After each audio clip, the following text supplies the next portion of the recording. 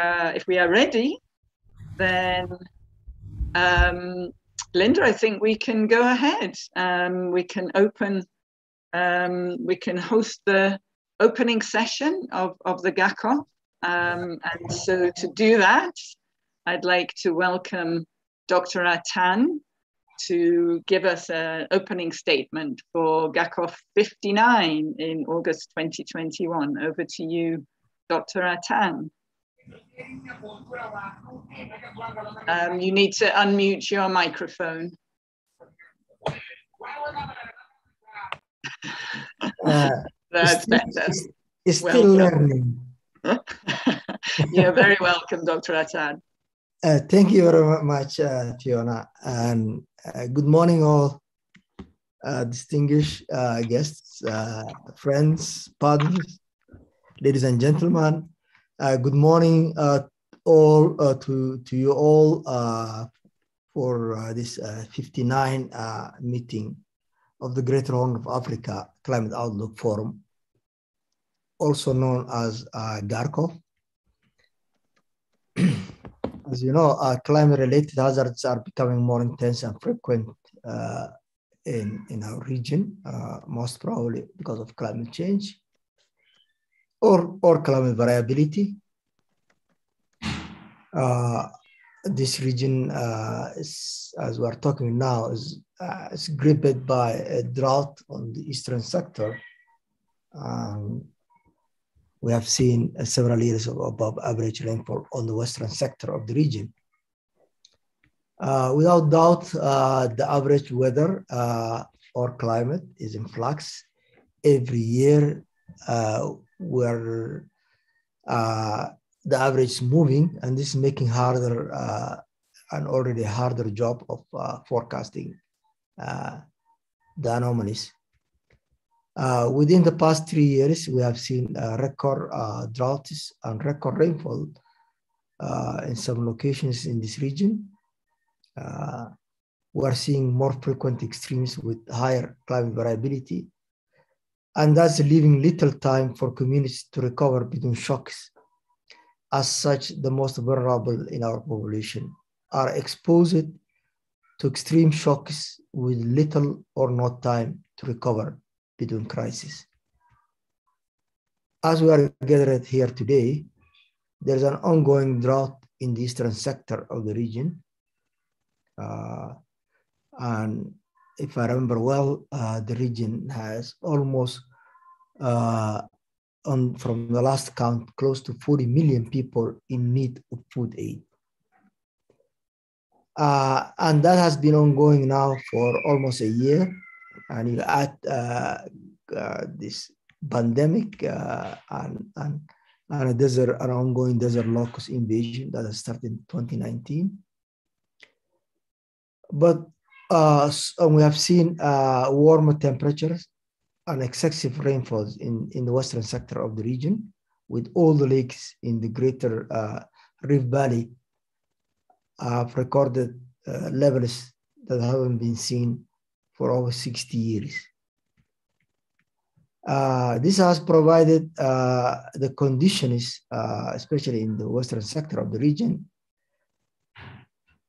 uh, for an ongoing infestation of a desert locust invasion that I say started in November of 2019. Now we're pushing on our uh, second year almost to face the increase in climate, uh, this in climate hazards and challenges. Uh, the region calls on all of us to accelerate our efforts to climate-proof the region from the negative impacts of climate variability and climate change. We are privileged to have the, uh, the representative of the member countries with us here today to share their experiences regarding the level of preparedness and mitigation measures that were put in place by the, by the respective countries after the last forum that was held in February of this year. Ladies and gentlemen, ICPAC, uh, most of you know, but for those who don't know, is a specialized institution of IGAD, the Intergovernmental Authority on Development, one of the seven RECs of the African Union. It is a regional climate center of excellence that creates regional products that include long-range forecasts that support regional and national climate activities and thereby strengthen the capacity of the member states in the Greater Horn of Africa region to deliver better climate services to national users in order to improve the livelihoods of the population of the region and to build resilience to climate shocks. ICPAC is also a Regional Climate Center of Excellence for Eastern Africa that leads and coordinates uh, this office in collaboration with the national meteorological agencies of the member countries uh, three times a year. We organize consensus outlook, producing consensus-based, user-relevant climate outlook products in order to reduce climate-related risks. Uh, for the coming season, in sectors of critical socioeconomic significance to the, to the region. And usually those are the five uh, climate services uh, sectors that WMO has identified, food security, agriculture, DRM, water, health. The GHACOF Forum has made an enormous contribution to the improvement of dissemination of climate information of disaster risk management and economic development in our region. The core concept of GHACOF is to deliver consensus-based, user-relevant climate outlook products in real time through regional cooperation and partnerships. And we started this uh, GHACOF uh, uh, beside preparation. The actual GHACOF actually started a week ago, uh, last Monday.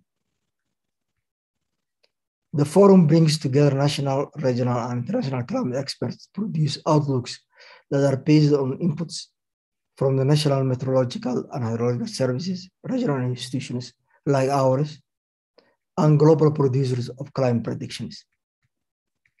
By bringing together countries that have common climatological characteristics, the forum ensures consistencies in the access to interpretation of climate information.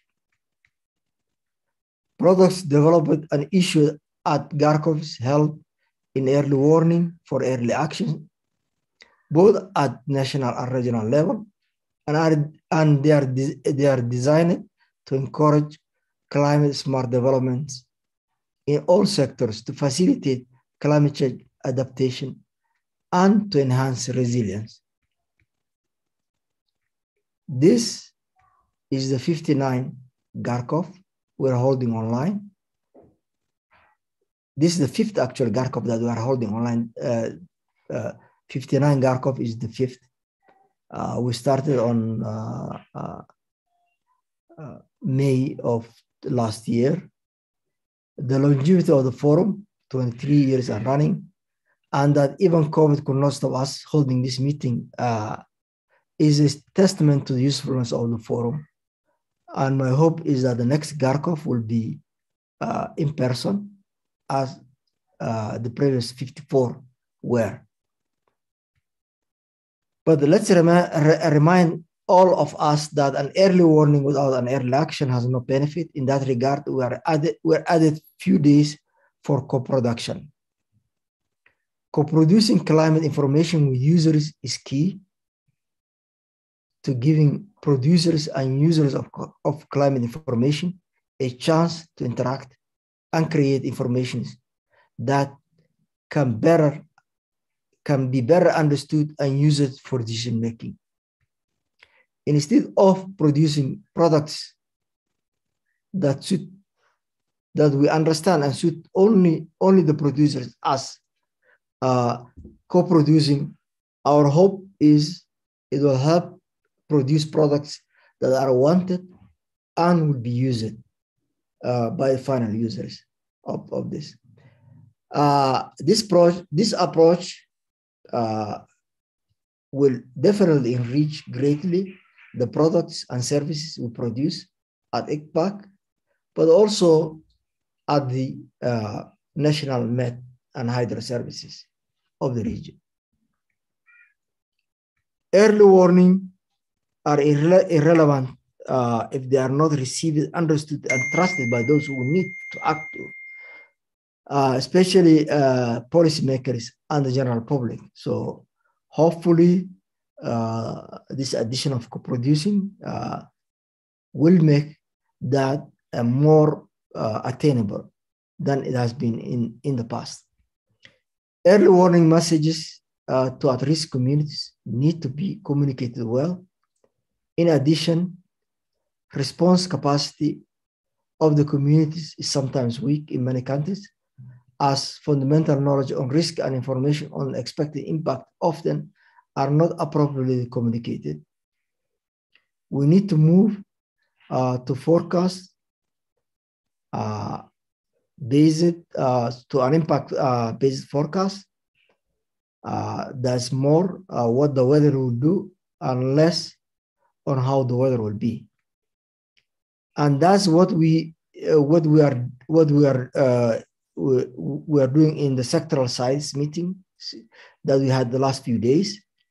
And uh, the presentation will be done uh, later today uh, of the outcome from those sectoral meetings.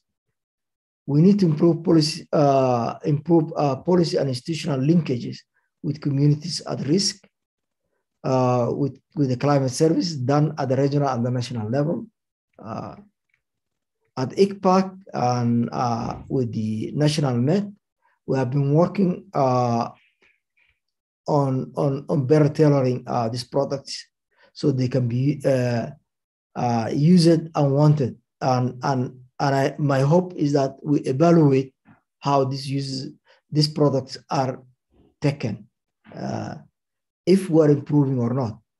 And I hope uh, this will be part of the discussion that we're having, uh, we'll have later on today. Uh, ladies and gentlemen, ICPAC will continue to uh, innovate and improve uh, constantly by making a deliberate effort to deliver better climate services to our member countries in the coming years. Even though from past experience, our seasonal forecast has been uh, good, I'm not, uh, I, I wouldn't include that good on the last one. So hopefully uh, uh it will come through the discussion uh, that we'll have uh, in the next actual hour. We have seen market improvement in seasonal forecast since we have started the objective seasonal forecasting, replacing the consensus-based climate outlook on the last two years. And we will move in this direction more as, uh, as time comes in. Uh, my hope is that uh, with the improvement in our computing system, we might uh, will produce uh, more uh, as a, a, sample of forecasts. And hopefully our, our average will, will improve.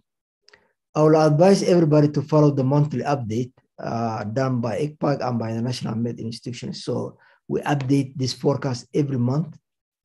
And, and usually as you get closer and closer, it becomes better. So uh, I would advise everybody to, to, to look at the, at the, at the monthly uh, updates of, of the seasonal forecast. Ladies and gentlemen, uh, we are grateful to national uh, hydromet agencies and our development partners for the support. Uh, finally, I would like to take this opportunity to thank uh, the African Development Bank, uh, the European Union, and UK, uh, the UK DFID for supporting this forum. With those few remarks, I wish you all good deliberation and thank you all. Back to you, Fiona. Thank you. Thank you so much, Dr. Artan. Um, and yeah, very good messages around what we, um, the situation that we are in and the role that ICPAC can play. Um, so thank you. We are now officially into GHACOF 59. Um, I realize we actually started a little earlier than originally planned, which is great. So it means we have good time to cover all the deliberations that we want to get through during the day.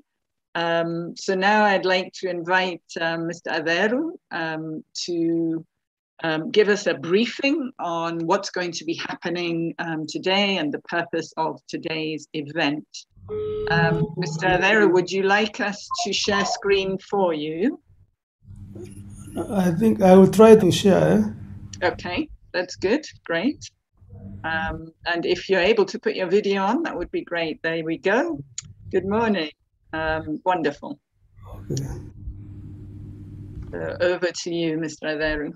Okay, uh, morning everybody. Uh, I think uh, as uh, Fiona said, I'm going to present on, uh, give briefing of the forum event, uh, including the related workshops. Um, hmm. And I will start with the, the objective of GHACOF 59. Uh, the main objective really is to present the consolidated uh, uh, objective uh, regional climate outlook for the October to December 2021 season. We will also uh, present implications of the forecast and the response strategies. What our sectors have been discussing uh, the last few days, uh, leading to yesterday, is what you will many their summary will be presented, and then um, we provide a regional interaction platform uh, for decision makers, climate scientists, research scientists, users of climate information, and development partners. Uh, this is actually what makes uh, regional climate outlook forums as a component of user interface platform of the global framework for climate services when we, we provide this interaction uh, between uh, many players. Then at the end of the day, uh, the no, okay, towards the end, before of course maybe uh, lunchtime, uh, the director will release the statement and thereafter uh, press release. And uh, this will be followed by development of uh, summary for decision makers, which will be also circulated um, later. Uh, before this forum, we had the pre-forum activities or workshops. Uh, the key one was the, uh, the virtual workshop by climate scientists uh, from 16th to 20th of August to develop objective regional and downscaled national climate outlook forum uh, outlooks for October to December 2021 season. And they also reviewed the performance of the last season, which of course has not ended, uh, but they anyway reviewed what has happened so far. Uh, the actual review will be presented uh, maybe in the next forum when the whole season is over. Uh, we had also co-production workshop with the key sectors on 24th of August uh, because nowadays we're emphasizing on co-production of climate services between the climate uh, providers and the, the, the, sector users. We had also climate change workshop on 24th, the, the same 24th August. Um, and all sectors, we had uh, the specific sector workshops yesterday, 25th, where we started with preliminary and all sectors uh, broke into uh, parallel sec uh, sessions where they discussed their sector-specific issues, which of course will be presented later on. In this, they review the lesson learned in the use of uh, the previous uh, uh, outlook and also formulated implications for the October to December 21 climate outlook and the response strategies. The theme of this uh, forum is climate services for resilience. We are very aware that our region is very prone to uh, climate variability and change, and uh, the socioeconomic system is very sensitive to climate variability and change, mainly due to high dependence on rain-fed agriculture and pastoralism. Uh, Climate extremes often lead to migration and increased risk of uh, conflict over limited natural resources, such as pasture and rangeland. The hydrometeorological hazards account for about 90% of the natural hazard-induced disasters in our region. Climate change is expected to lead to increase in the intensity and the frequency of these extremes and hazard-induced disasters. In, in this regard, climate services in support of sector decision making and early action are essential and an needed contribution to increase climate resilience of our co- communities in the region. And you know, the, our vision as IGAD, your vision 2027, where to have resilient ecosystems and communities uh, to uh, climate shocks. The program, as uh, Fiona has said, I think we started a bit early or uh, uh, we have already going through uh, the open session. Then this will be followed by feedback of 20, uh, the last season and uh, the, im- implica- the impacts, which will be shared by Philip Omondi. Then thereafter, uh, we'll have the presentation of October to December season uh, forecast. Of course, within that, we'll have the global state of climate uh, before we go to uh, the, the, the, the, the forecast and the discussions. We'll have a virtual break. Then, uh, after we resume, we will go to sector uh, implications of the forecast in uh, by the sectors, and then uh, this will be followed by short plenary on climate change, and then we'll go to session on partnerships, where we tell you about the initiatives we have uh, with the partners. Uh, just brief as a, a, a kind of uh, information sharing of what is going on. Then this will be followed by the release of the statement and uh, signed uh, lunch, short break lunch, then uh, sector. Uh, I mean, we have the three signed events which will take place in the afternoon, and I think uh,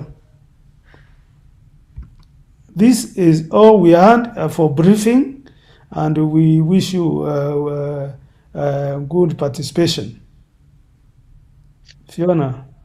Thank you so much. Thank you, Mr. Atheru. Yes, we were a bit on a roll. We realized in terms of timing, the um, the email that people received um, for GHACOF actually said everything was starting at 8 a.m. And the last couple of days, we've been starting the sessions at 9 a.m. promptly. Um, and I think we thought, well, we are all here. We are over 100 people, so let's let's get going. Um, so thank you very much, and um, we will continue now um, with our next session, and um, I will hand over to Philip to moderate us through the next session, which is looking back at the June, July, August season and seeing what happened during that season climatologically, and then from the perspective of all the um, sectors as well. Um, so yeah, if you're able to stop sharing your screen, that's great. Thank you, Zachary. And um, over to you, Philip. Uh, thank you, uh, Fiona. Uh, thank you, everybody, for joining. Uh, Fiona, uh, kindly display the, uh, the program so that members can see the order in which they are uh, going to present before I call the first presenter. Kindly.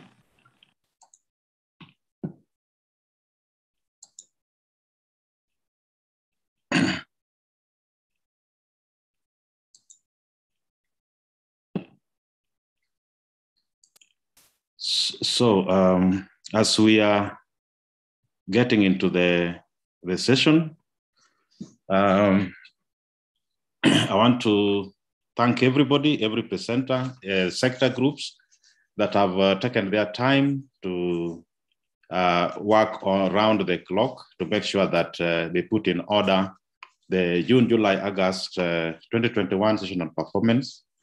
Uh, I mean, uh, uh, impacts. And we also thank the climate team for putting together the performance. And I want to call upon uh, Mr. Anthony Mwanthi to start us off by giving us the, uh, the performance.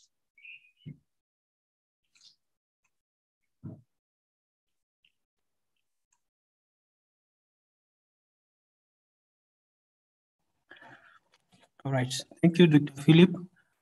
Uh, good morning, everyone. I'm Anthony Mwanthi, and I'm going to take you through the performance of the ongoing season.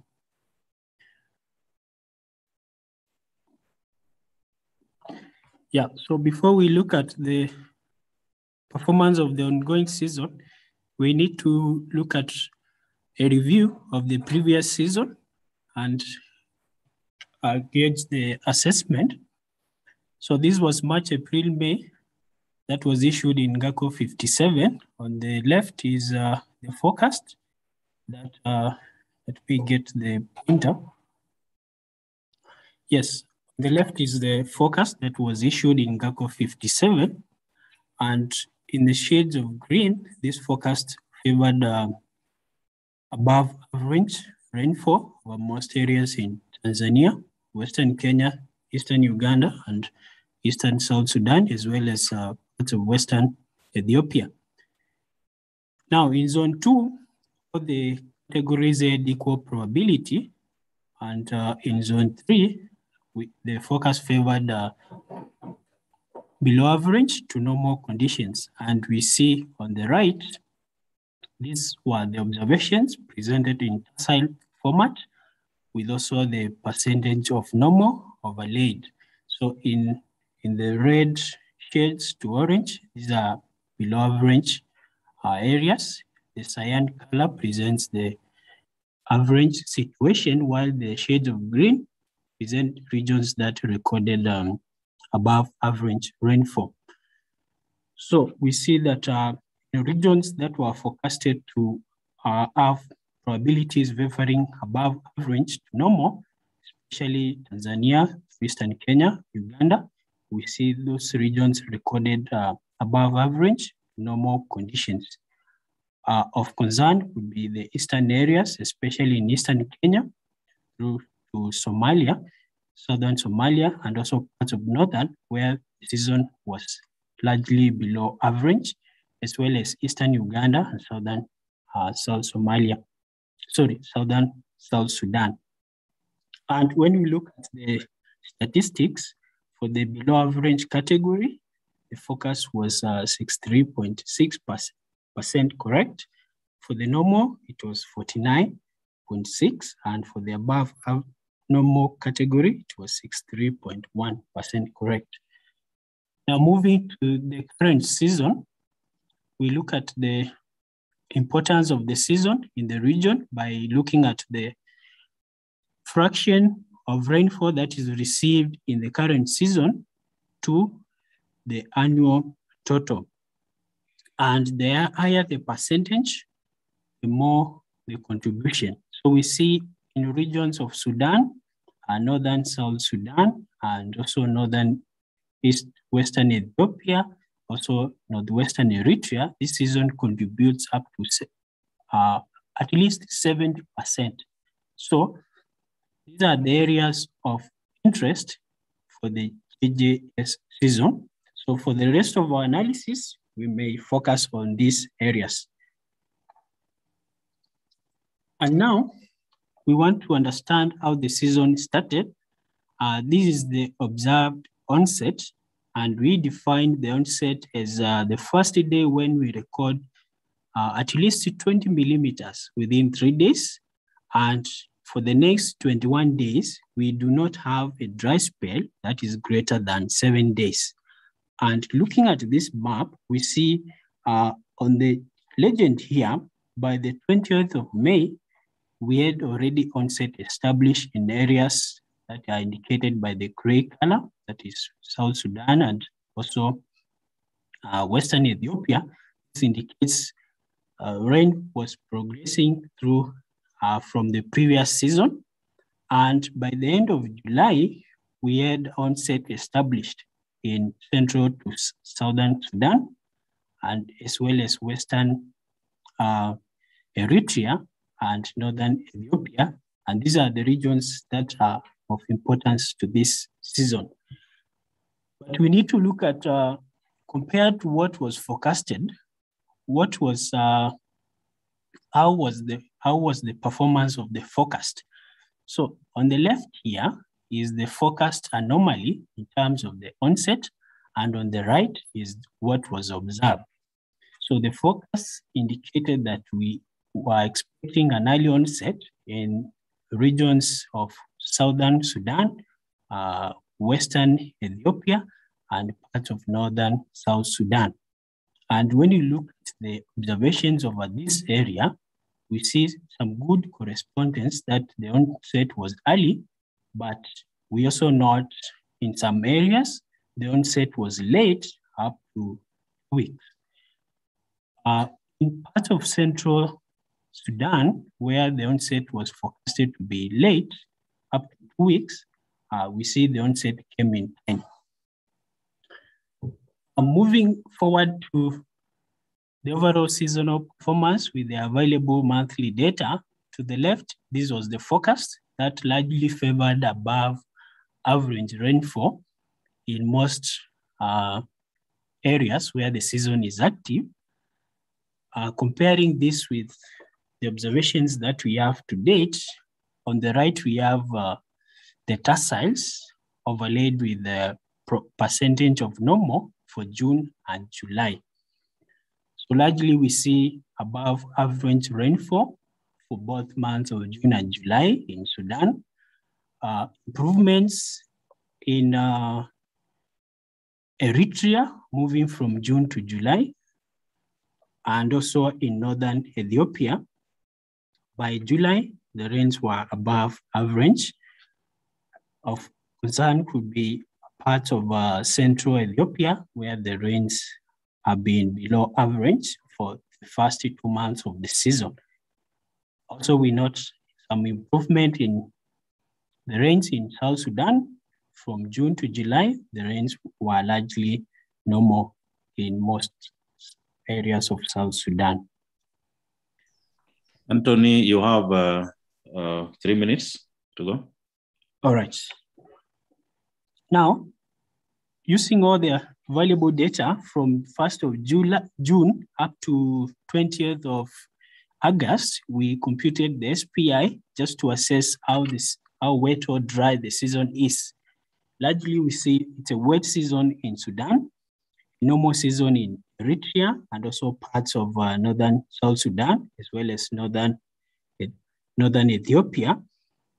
Uh, but there are indications of dry conditions in um, uh, central southern Ethiopia, parts of southern South Sudan, and also Uganda. The white region here is masked out because this is not an active season during this time of the year. In terms of temperature, on the left, this was the forecast that favored warmer than average on the part of western and also extreme northern. And the observations so far indicate that uh, using June and July data, here we present as standardized anomalies. The region is largely warmer than average, with the exceptions of border areas in Sudan and South Sudan, and also parts of uh, central Tanzania. And using stationary records, here we present uh, the average minimum temperature for July for some selected stations in the region. The black bar is the long-term mean or the climatology, while the red is the current observation together with the blue. And we see most stations are actually warmer than uh, the average, and only one station in this uh, selection in Mtwara, Tanzania is colder than climatology. So in average, the rainfall season is good especially in Sudan. But the rest of the northern countries show uh, an, an average situation in terms of the rainfall. The onset was on time to early, but we have areas where the onset also delayed and temperatures largely are warmer than average. That's the end. Thank you very much. Uh, thank you very much, uh, Anthony, for that uh, a good presentation. Uh, we have seen uh, the performance. Uh, we need to understand, as from your explanation, that we are not yet out of the season, but we can see what has been verified so far. Thank you very much. A quick look at the chat. I don't see anybody throwing a question to you. So should you have any question, should you have any concern, please uh, feel free to uh, jump into the chat uh, utility and ask your question. Anthony Uh, and the rest of the climate scientists would be uh, very much uh, ready to answer your questions. So thank you very much, Anthony. from this now, we are going to move to the next session, I mean, uh, the next group category of the presenters, you want to listen from the, you want to listen from uh, the sector groups, what uh, became of the JJ sessions in terms of sectors. So we have sectors as in the program, agriculture, we have conflict, we have disaster, livestock resilience, we have health, we have water resources, and environment and forestry uh, sectors. So uh, without wasting much time, I want to call upon the first presenter to quickly present in uh, five minutes, and this will be agriculture and food security. So Oliver, if you can share your slide and move on. Thank you.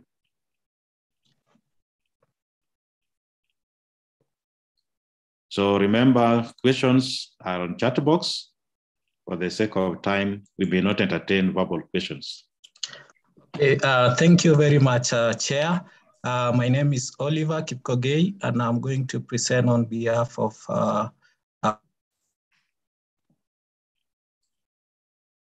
uh, Agriculture and Food Security Member State focal points who send me the reports. So first of all, I'm going to start with what was observed as positive impacts of the previous season, which is June, July, August. So first of all, the dry conditions which are actually experienced in some places suppressed breeding and spread of the desert locusts, particularly in Ethiopia, Sudan, and Somalia. Also, uh, there were financial institutions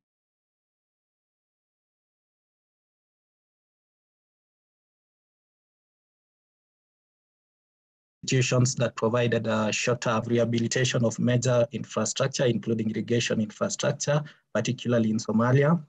And this actually improved access of uh, water to farmers. Uh, also improvement in food security in eastern and western parts of uh, Equatoria, that is in South Sudan.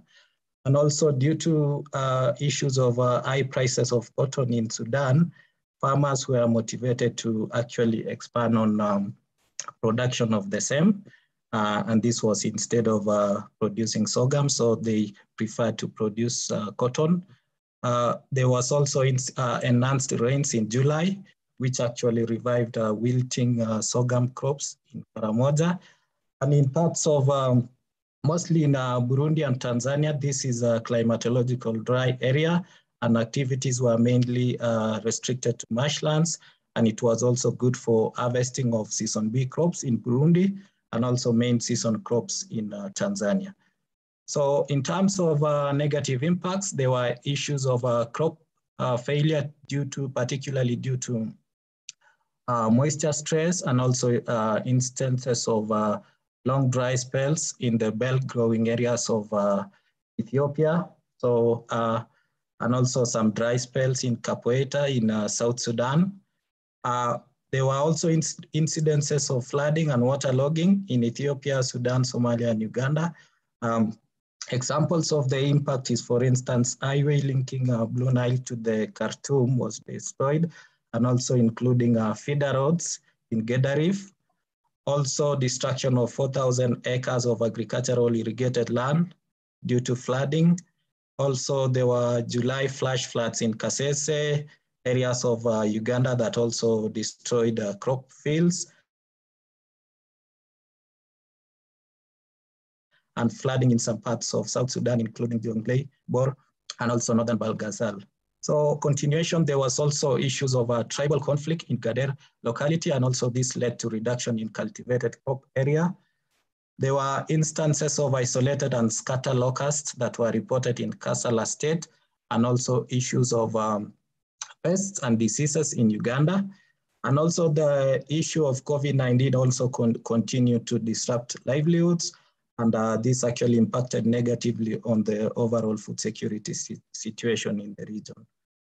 So uh, some of the long-term observed seasonal changes, there were dry spells, particularly in July in Sudan states, and August in uh, South Gedaref. So these are normally not normal in those times. There were also high rainfall that was observed in July in uh, Ethiopia, uh, which, which actually normally happens in August. Rising water levels also that displaced uh, hundreds of people in Uganda and issues of uh, instances of extreme floods and storms in Rwanda and also parts of Uganda. So in terms of interventions, uh, uh, first of all, dissemination of the outlook and agro-meteorological advisories were undertaken regionally, and uh, promotion of uh, crop and pasture fields, that is in Ethiopia, water harvesting, distribution of agricultural inputs, and also regular scouts. This is particularly in Ethiopia.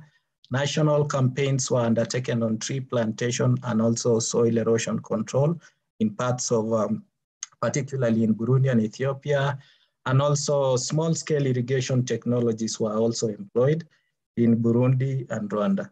So these are some of the impact uh, pictures that we received from our focal points.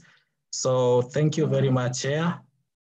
Thank you. Thank you, Oliver, for doing a good job. You have uh, utilized your five minutes well. Uh, we move quickly to the next uh, sector and I want to welcome uh, I want to welcome conflict uh, sector to present. Uh, hi, Philip. Uh, who's standing in for conflict? I don't see Andrew. It's no longer Andrew. Uh, we have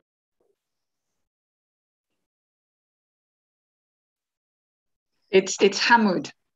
Hamud, yes, we have yes. Hamud. Hamud, yes. Hamud uh, uh, if you are and, listening to uh, us. I can share screen. He asked me to share screen for him. Uh, let's just check if Hamud is actually here. Um, I am not. I don't see Hamud. I think maybe you jump to the next sector and then we can come back to Hamud. We can come back to conflict. Okay,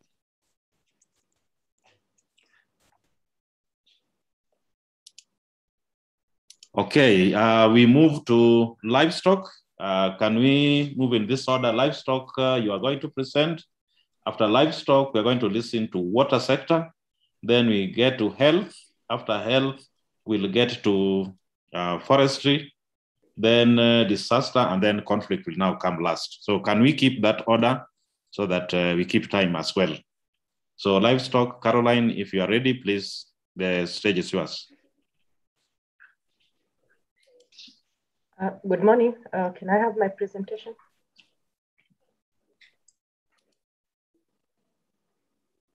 Just hold on and I'll share it.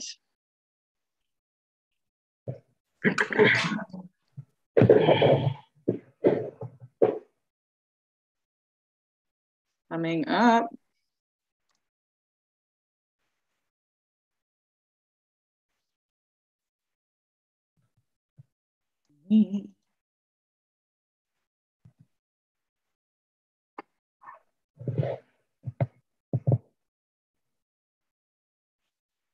Okay, is this, I hope this is the correct one.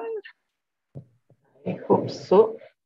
Okay, thank you very much. Um, I will quickly go through uh, the presentation for the livestock sector as has been received from the member states. Um, I had feedback from uh, all the countries that uh, are represented in IGAD. Uh, for JJA, uh, there were positive impacts. Sorry, can we go back? One step back, please. Um, sorry, can we go to the positive impacts? The previous slide. Thank you. Um, we find, see that this season is important in Djibouti and Sudan, and as we have seen from the validation that uh, the rains came in as was expected, the season is still on. And because of this, there's adequate pastures um, in uh, Djibouti, in Sudan, uh, parts of Uganda, uh, parts of Ethiopia, um, and South Sudan. Uh, generally, in these uh, areas, the animals are in good body condition, uh, and um, the pastoralists engaged in water harvesting and, and other activities regarding securing the pasture and water for their livestock. next. Um, however, we see some negative uh, impacts uh, within the same season. Uh, for example, we had floods in, in, in Ethiopia, especially the Afar region, um, in the lowlands of South Sudan and in Sudan. in, in Ethiopia, we are also experiencing drought conditions in the Borana zone, some districts in eastern and western Hararghe, which have resulted in livestock deaths. And the same is happening in Dasanech and Nyangatom because of these uh, dry uh, spells, there's uh, a lot of animal movements, uh, and this is witnessed in Kenya, Ethiopia, and Sudan. Um, then uh, we noted that the price of milk and eggs were increasing with, uh, in, in Ethiopia and Sudan, and this was attributed to supply and demand and economic challenges that came with the variations to the currency due to the COVID pandemic. In Kenya, there were resource-based conflicts that were reported in Lake Laikipia because of the dry conditions that are experienced in the northeastern part of Kenya. Um, and also some tensions that uh, were rising in uh, South Sudan as the pastoralists uh, moving their animals from the lowlands, which where there was a lot of rain to the highlands, so that for the dry conditions in the highlands. Uh, in Kenya, animal body conditions have deteriorated so much, and um, Kenya Meat Commission has taken up uh, uh, some task of uh, strategic destocking um, from the pastoralists. Currently in Kenya, 10 of the ASAL countries, counties sorry, are already in uh, red alert. Uh, next. Uh, there were a few incidences of diseases um, as usually attributed to the season. But notably, there was an outbreak of an unknown camel disease in Ethiopia, which is still being investigated, and foot and mouth disease in uh, Ethiopia. Um, and for uh, desert locust, we see that this is still a threat um, in Ethiopia and uh, in Somalia and part of Djibouti. Next. Next slide, please. Um, I won't go much into this because we've seen from uh, what has been mentioned by the previous presenters that uh, generally we are observing uh, an increase in extreme events, uh, which is leading to the, the floodings and the onset dates have uh, become late. And this was witnessed in Sudan and Ethiopia. Uh, and in Kenya, Uganda, South Sudan, we see that even within the season, there were longer than usual dry spells. next slide. Um, for the implementation of the advisories that we gave uh, for this season, uh, they were impl implemented in the various countries. So we see that there was a lot of disease surveillance, especially against Rift Valley fever in the areas where they had indicated that they would be above normal rainfall. Uh, vaccinations uh, and treatment of animals happened in the countries that are outlined there against the major uh, notifiable diseases that are also indicated there. However, the COVID pandemic, um, for example, in Kenya affected the turnout for animal vaccinations because we know there's a lot of uh, social distancing and people are avoiding uh, to be in crowded areas. And in Ethiopia, uh, part of that was also hindered by the security problems that are experienced in the conflict areas of uh, Ethiopia. Um, Caroline, you have uh, one minute. Sure, sure. Um, the people in Ethiopia and parts of Kenya and Uganda took advantage of that. Uh, uh, the conditions that were prevailing to develop animal feed. And in Kenya, we've seen that uh, the Kenya Meat Commission uh, played a major role in offtake of livestock, and that managed to keep the terms of trade uh, favorable and stable.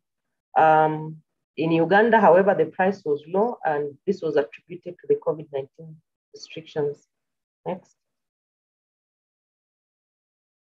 Um, yeah, and again, also in part of implementing of uh, the advisories in Uganda, the challenge was uh, because of the delayed onset, uh, the yields were low, and this has affected the availability of feed for particularly poultry and pig industry in, in, in Uganda. Um, Ethiopia have embarked on a large-scale tree planting, and in Sudan, we got reports that the One Health coordination uh, was beefed up. Uh, next. Thank you. That's uh, in brief what I can report from the livestock sector. Thank you. Thank you. Thank you, Thank you. Thank you Caroline, for that presentation. I request uh, uh, water, uh, Dr. Hassan.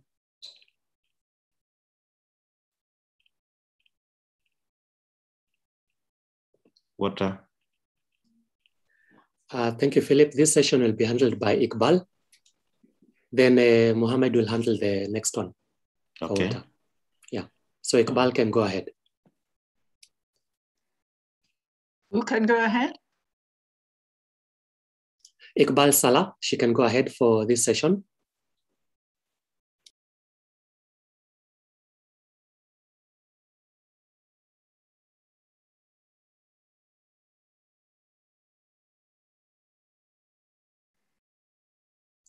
Can you share the presentation, please?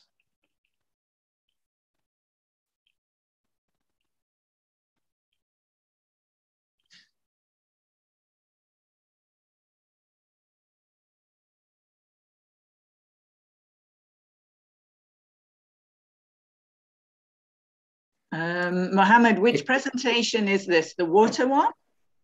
Or which uh, one are we doing now? Yes, this is for water. Uh, this session of water will be handled by Iqbal, according to right. Dr. Mohammed.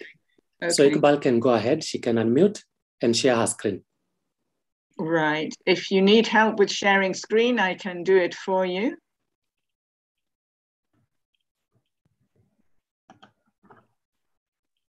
Meanwhile, health Hello? to get ready after water Hi. health.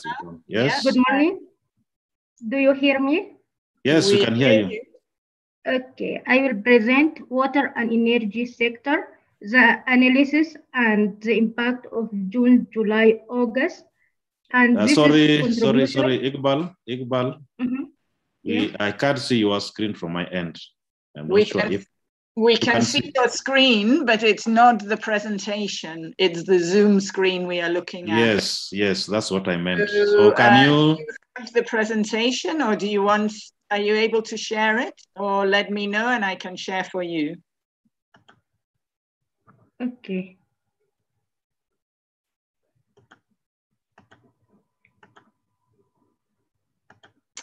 There we are, wonderful. Are you able to put into uh, full full screen? Yes. Wonderful. And, yeah, uh, the positive impact for this season, there is drop in lake levels due to low rainfall, specifically in Lake Victoria. This happened in Kenya, Tanzania, Uganda. There is enough water for hydropower generation in Uganda and flourishing riparian fishing in South Sudan. Also, the water level in White Nile remain deep enough for navigation for South Sudan. There is increase in groundwater recharge, seasonal and perennial stream, and shallow groundwater and energy generation. Uh, excuse me, excuse me, Iqbal, Iqbal. Yes. Kindly uh, get into presentation mode and then roll your screen or your slides, please. It's stuck from my end yeah i didn't uh, and there is uh, Um, Iqbal, you if you prefer, you can um, uh, stop sharing screen. I'll share for you. Okay. Um, here we go.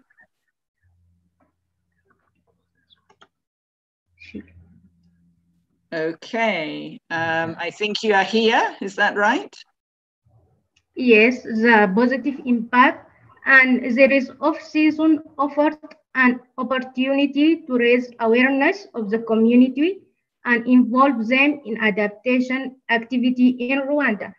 Here we can see the drop level in Lake Victoria and Lake Nakuru. Next slide, please. the negative impact for this season, uh, there is uh, reservoir water level have been falling steadily and uh, leading to reduced hydropower in Kenya. The lake levels remain high for Kyoga and Albert lakes in Uganda and causing displacement. In Ethiopia, Somalia, Sudan, and Uganda, floods led to river system bursting banks. And there is interruption of construction related project in Uganda and increase in water prices for Somalia. The water level remain high for White Nile and for the uh, and it is maximum than the last 15 years in South Sudan.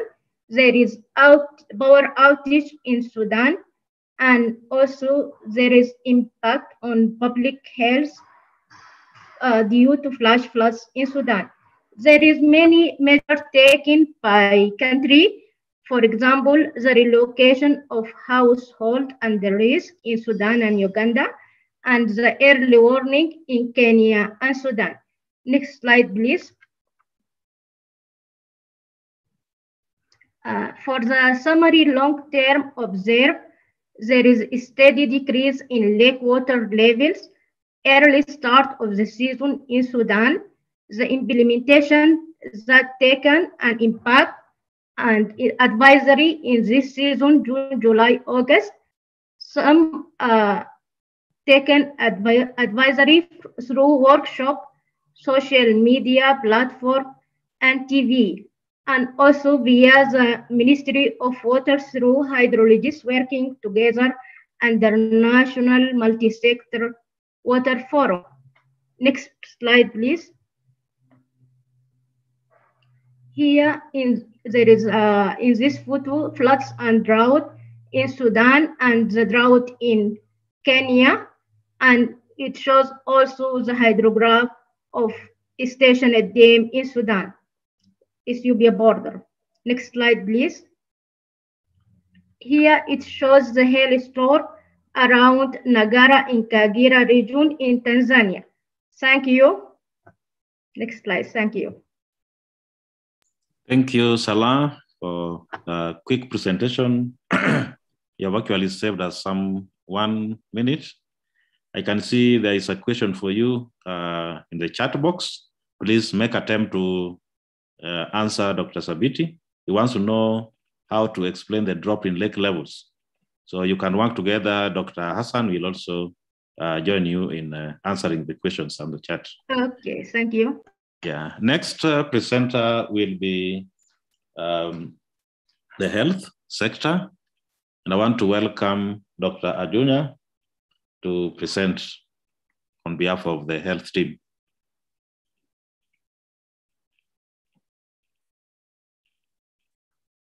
Dr. Agunya, are you sharing your slides? Alternatively, you can be helped if you want to be assisted in sharing the slides. Uh, Philip, I'm informed uh, that uh, it's, it's uh, David Gikungu, but uh, let me also enable uh, Aguna, Adugna, so that they can, one of them will handle it. Kimotho? yes? It's, yes? a, it's a Dunya for this one, for JJA. Okay. I will be doing OND. Okay, so Dr. Yeah. Adugna is enabled. He can go ahead. Okay. Thank you very much. Uh, I'll share my slide. Allow me to share my slide.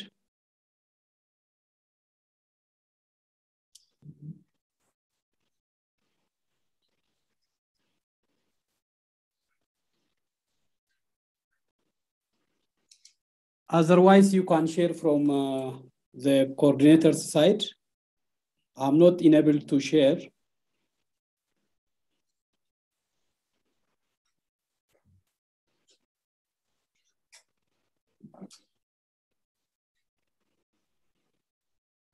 That's okay?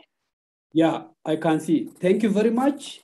This is Adugna from uh, a cold Addis Ababa. Uh, I'm uh, representing nine countries.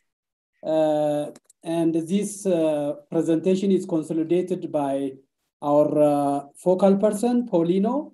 And I'm going to stay with you for the coming four to five minutes in four slides. We are prepared four slides. Next slide.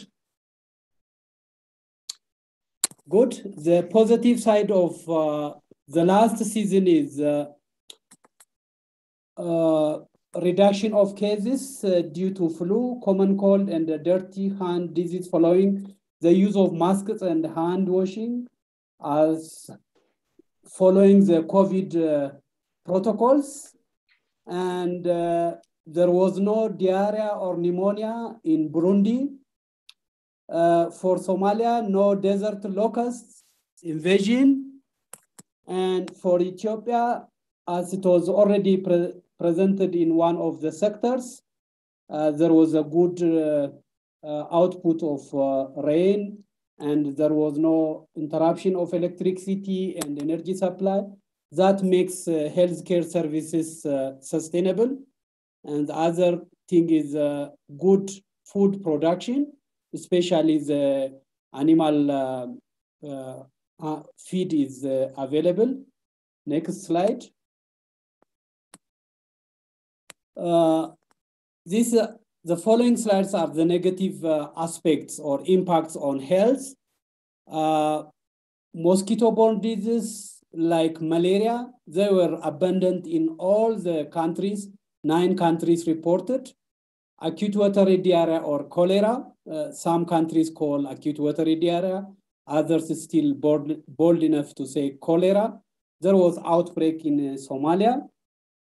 There was nutrition deficiency traits in Kenya, especially in the northern and northeastern. Uh, internal displacement in and urban poor in urban poor Somalia. Typhoid and dysentery Dust storms in June caused allergic disease and bronchial asthma, snake bites and scorpion stings in Sudan. Uh, upsurge of hepatitis E cases in uh, Bentiu, internal displacement uh, in Kamtu, South Sudan.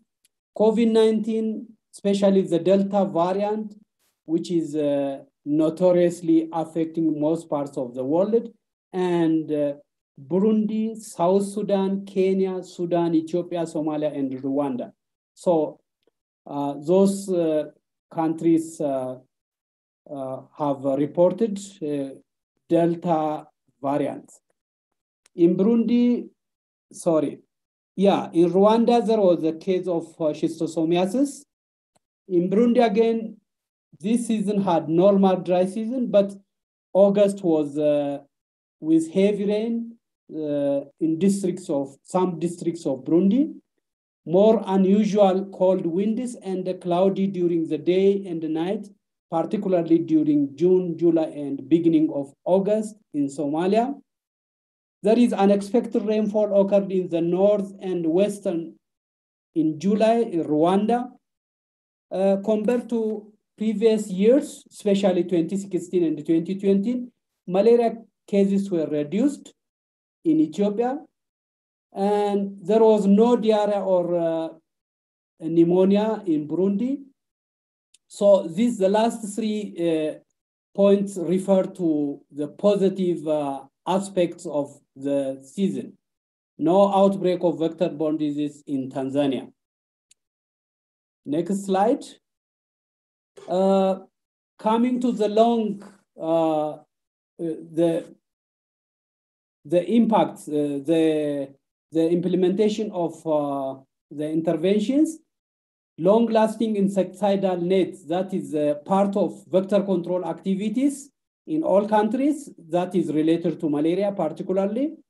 Personal hygiene, uh, especially using drinking and safe water, wash hands, cook food well, clean and up safety, safely in all countries, comprehensive humanitarian responses to cover nutritional deficiency in Somalia, Kenya, and Ethiopia. Uh, these are where uh, there are uh, internal displacements. Availing of vaccines and gloves and masks to all countries related to uh, COVID-19, enhancing surveillance, contingency planning, and uh, pre-positioning of essential supplies. This is done in all countries. Door-to-door mass drug administration for schistosomiasis deworming in Rwanda. Next. Uh, thank you very much. This is the end of my presentation.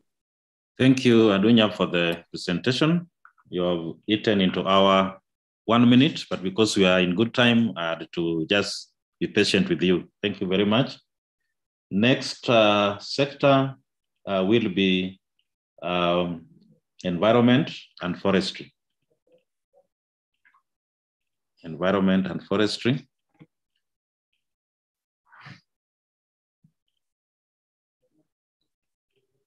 Is it Eugene to present? Yes, Eugene, you are now the co-host.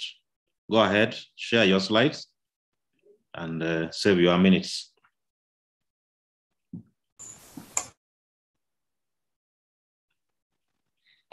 Uh, good morning. Can you see my screen?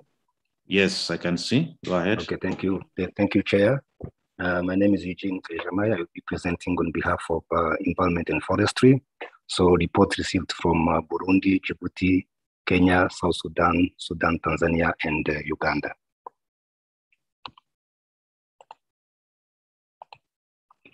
So the positive impacts for the June to August uh, season.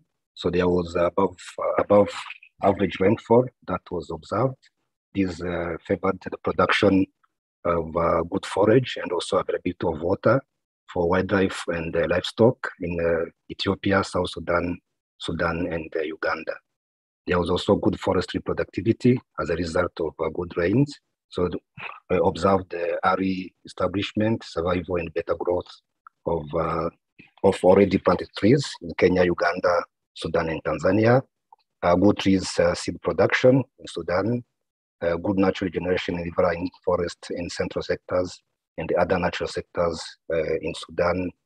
Then there was also reduced pest and disease infection in trees observed in Uganda, mangrove restoration in Djibouti, Eritrea, and uh, Kenya.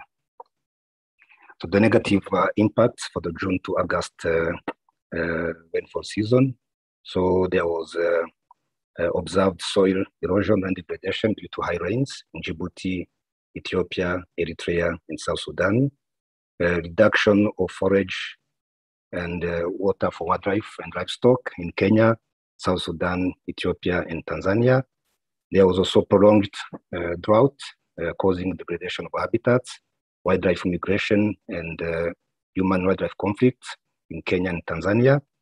Uh, strong winds limiting air security patrols in protected areas in Kenya. Uh, increased number of, of, fire incidences in protected areas and the forest observed in Burundi, Kenya, South Sudan, Tanzania, and Uganda. There was also incidences of deforestation due to agriculture expansion, charcoal production, uh, timber businesses in Eritrea, Ethiopia, South Sudan, Tanzania, and Uganda, and also for oil production in South Sudan. So increased costs in forestry operations associated with challenging infrastructure due to high rains, so damaging to roads in Kenya, South Sudan, and Uganda.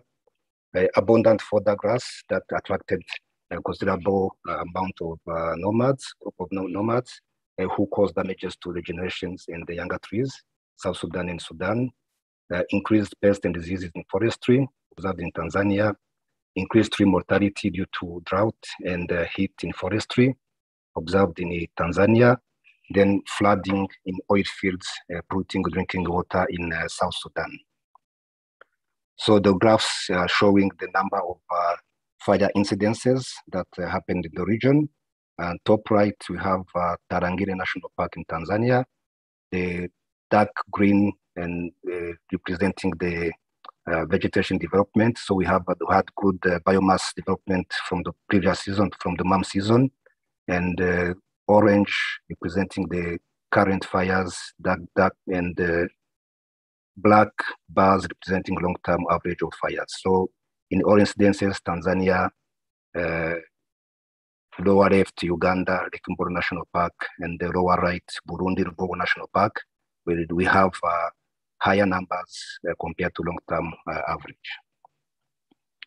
So the advisories that were implemented. So there was soil conservation, landscape and ecosystem restorations in Djibouti, Eritrea, and Kenya, fire management practices, clearing of uh, fire breaks, uh, early burning, and others. So we observed in the uh, rehabilitation of burnt areas in Kenya, Sudan, Tanzania, and Uganda. Enhanced success forestry operations due to better planning, including species site matching and timely planting, Kenya and Uganda. Uh, increased surveillance in human wildlife hotspots, reported by Kenya. Uh, increasing uh, forestry connectivity to enhance natural resilience, reported by Tanzania, uh, increasing the area under forest through afforestation deforestation, Kenya, Tanzania, and Uganda, and improved early warning and dissemination of climate information in South Sudan and uh, Ethiopia. Thank you very much. Thank you, uh, Eugene, for the presentation and the time also well spent. Uh, you are right on the dot. Uh, the next uh, sector uh, which is the second last, is the disaster risk management. Can we have uh, Julie sharing his screen and present on behalf of the DRM team?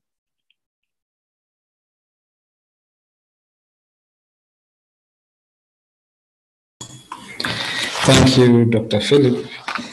So I'll present the June, July, August impact on behalf of the DRM. And just as reported uh, earlier, the season was generally well for the northern sector, which was positive for major, majorly the two sectors, which are agriculture and water sector, as well as the livestock. And just to note, we didn't have any emergency declared from any country during that season. However, there are a number of cases we had reported which had a negative impact. And majorly, if you watch on the news, you'll see flood and drought which were mainly picked out. So we'll share with you a summary of all the impact we received, well, the, the hazard or disaster we received from the member states, the focal points for the DRM, and they are given the different scores in percentages, uh, COVID being the major one, and this has been shared earlier with the other presenters, which really affected the individual sectors. So overall, it had the 100% score. This was followed by floods, which affected Ethiopia, Somalia, South Sudan, and even majorly Sudan, which is even currently ongoing, in Kenya and Uganda. Majorly western part of Kenya is also affected. This also had a score of at least over 80%. A collation of some pocket disasters in the in the different countries reported in Ethiopia, Kenya, Sudan, and South Sudan were conflict, some bit of hailstone, strong winds, fallen and uh, some bushfire or just an outbreak of fires. This doesn't entirely mean they happen in one country, but they're reported in the different, uh, I mean, the four countries highlighted. We also have drought, which is even currently ongoing in Kenya and Somalia, which is also reported and others which had at least a 15% score were landslide in Ethiopia, desert locust, and other epidemic. So based on the tracking uh, of COVID-19 by IGAD, just wanted to point out that the last season, which was MAM, when we reported, we had a very high number of deaths in the region. And at least this has, has reduced uh, this season that we're reporting now the increase from the pre, from MAM to now was around 5,000 uh, reported deaths. So MAM had the highest number, but at least this season is a bit uh, reduced. In terms of impact photos, we we had some received from Ethiopia, and the top left is Addis Ababa, and another one from South Sudan, which is the bottom left, and some a bit of a satellite analysis for Khartoum, which they highlighted the colors indicate areas covered by uh, flood or water. But then all that we tried to collate it in a map to identify areas which were largely affected or people who were largely affected by disasters. And this is only up to mid-August, it's not for the entire season. And what we were looking or what we looked at here, majorly flood, drought, landslide, hailstorm and strong winds. Uh, so we had Somalia having the highest number followed by Kenya, but the Kenya and uh, Somalia numbers in millions, which is very far from the rest of the region. And we, we note that this could include the IPC report on the highest number of people affected in terms of food security. But then the major hazard that were reported here for these countries were drought and floods, which are both extremes of the rainfall affecting a number of people. In Ethiopia, we had both flood as well and landslide, as well as uh, strong wind and hailstorm. Because again, this uh, the northern part it was a major season for them during the GGN. So flood came in as the major disaster that had a high impact on people. And also the number of deaths reported, Kenya gave the highest number, followed by Ethiopia and Sudan recently, or rather, the last few days, we also had a report from South Sudan that uh, the flood uh, killed seven children in the northern part of, of South Sudan. So these figures are just uh, based the mid-season, not entirely the whole season. In terms of people displaced, and this focused only on flood and lake rise, and I remember when we discussed Nako production, in Ethiopia, Lake Tana was actually rising and displaced some people. So the displacement are basically on flood and landslide. And the numbers are very high in Ethiopia. But we have at least uh, also over 3,000 in Kenya and uh, 3,000 in Somalia. Basically, Somalia would also be affected by the rains which were received in Ethiopia, affecting the river and floods. 300 was reported in Uganda. South Sudan, we didn't have any report in terms of displaced person, but Sudan, we had 1,050 reported as displaced. Djibouti also, we didn't have a report as well as Eritrea. In terms of measures that were taken, this again is aggregated from all the report we received from the member states. Early warning issues were, I mean, issuing of early warning was done uh, timely for several member states as well as community uh, sensitization. And then uh, relocation of especially those who are affected with floods in Sudan and Ethiopia to safer ground. And in terms of response, at least there was some report on cash transfer. Some people were affected and also distribution of food and non-food items as well. And also there are some uh, underway activities on construction and recovery, especially those who are affected by floods. And generally, there are some countries who had multi-sector approach in these um, measures, but uh, we still uh, encourage.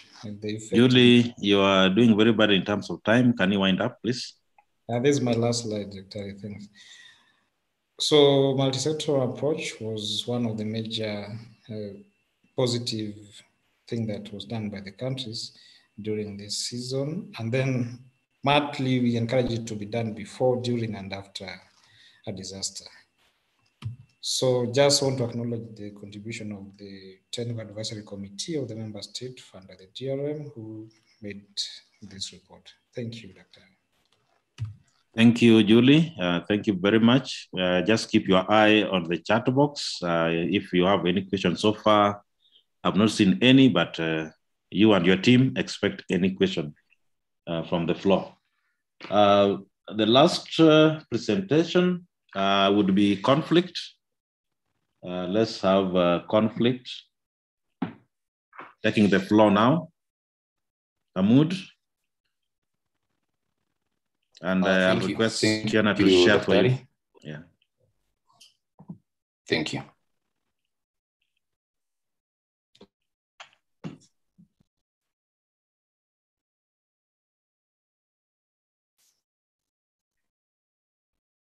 So this is the conflict sector, uh, has like it has been uh, described before. We have uh, uh, uh in, arranged this in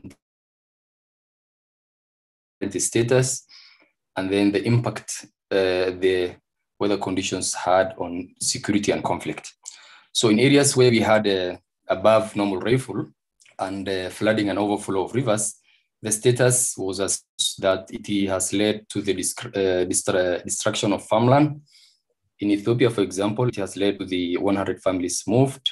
In South Sudan, um, there was at least 45,000 in uh, Ayod County. Fangak County was also 18,000. In Somalia, we had uh, uh, the two rivers, uh, uh, and Marka district uh, uh, families, people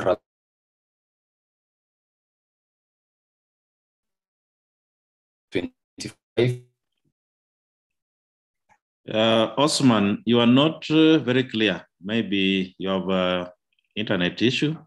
You are breaking, at least from my end. Um, are you able to hear me now better? Is it better now? Yes, uh, go ahead. So Fiona, if you can just, I will come back to the impact on security and cover it once. If you can go back, I, I will just finish with the, with the member states. Yes. So in also just just to the next slide, please. Yes, thank you. So in Uganda, there was also 2,700 people from 450 households who were affected by the above, uh, the above uh, normal rainfall and the flooding. So um, there was also flooding, uh, high water volume in uh, lakes and swamps. Um, so we can go back, Fiona so that I can discuss a little bit more on the impact on security. Just go to the first slide, please. That's the first slide. Yes. Um, so there was loss of livelihood in South Sudan as a result of the weather conditions and the weather condition, resulting to the migration of victims of floods to safer areas which were already inhabited by the host communities and from the conflict angle, this is normally going to increase uh, hostilities among uh, communities living there. On to the next slide, please. Um, still on the impact on security, there was tension and escalation of conflict between the military who are enforcing the fisheries regulations and communities. And uh, it also led to the death of one Marine officer who was enforcing the rules uh, put in place. To the next slide, please. So uh, in circumstances where there was delayed of uh, above below rather average rainfall and uh, dwindling pasture and water, in major all the member states there was uh, in Kenya, for example, there were 20 ASAL counties experiencing drought stress. Uh, the pastoralists from Kenya have also migrated to Uganda in search of the basic commodity of pasture and water. In Somalia, there was delay of at least three to four weeks of the onset of the gu season. And in Uganda, there was also resource stress. What this had on the impact on security is that uh, it led to raids and deaths between South Sudan, and Kenya, for example, and also Ethiopia, Kenya, and also Uganda, Kenya. Uh, cases were also reported of deaths and raids. In Somalia, the dwindling resources have resulted in conflict uh, between farmers and herders, such as clan conflict in Bokame and Burtinle region of Puntland. In Uganda, the pastoral communities also continued to read each other, leading to, um, yes, uh, to deaths and continued cycle of violence. On to the next slide, please. So there was also uh, reported in all Woreda in uh, of Ethiopia, for example, affecting uh, over 3,000 people, um, over 3,000 hectares of maize, rather, sorry. And this, in terms of security, it has led, uh, or we're anticipating that uh, there will be the rural uh, urban migration, you know, as a result of these issues. To the next slide. So the June, July, August period is normal dry season. Uh, the status is that uh, in Pokot of, uh, of Uganda and Kenya, they are jointly grazing. In terms of positivity, uh, with the Pian and uh, district, Pokot are also currently grazing. There's also the Pokot from Kenya who are jointly grazing with the Pian. In terms of security, it has uh, this managed, managed competition of resources, reducing clashes between the, the Pokot of Uganda and Kenya, for example. It also boosted local small-scale trade and exchange improving communal relations and coexistence. It also lead to increased food security, thus reducing cases of stealing among the, the herders. To the next slide, please. So the, in terms of implementation and impact of climate services and advisories in uh, the June, July, August, uh, Ethiopia, South Sudan, and Uganda, there was the dissemination of information to relevant offices and partners in Ethiopia, for example, 50 households from Afar moved from the river banks. In Sudan, there was a food aid to households and households item rather, and items uh, distributed. In Kenya, there was a facilitation of intra and inter communities. There was also coordination of peace and security. The, it, there was also uh, the National Drought Management Authority implementing a total of 19 micro projects in 13 counties, mainly from the ASALs. Thank you. Um, uh, I'm ready for any clarification that has to be sought. My colleagues uh, from the conflict uh, sector are also available. We will be ready to respond to your questions. Thank you. Thank you very much, uh, uh, Hamud, uh, uh, for the well, pre- well presented sector of conflict. Indeed, we appreciate you coming in and you've done very good work today. And thanks to the team from the conflict and other sectors. I see we have uh, some uh, few minutes to wrap up this session. I just want us to uh, quickly uh, look at uh, some of the questions that may have not been answered. I'm glad that uh, if you are on the chat box, most of the questions have been answered very well.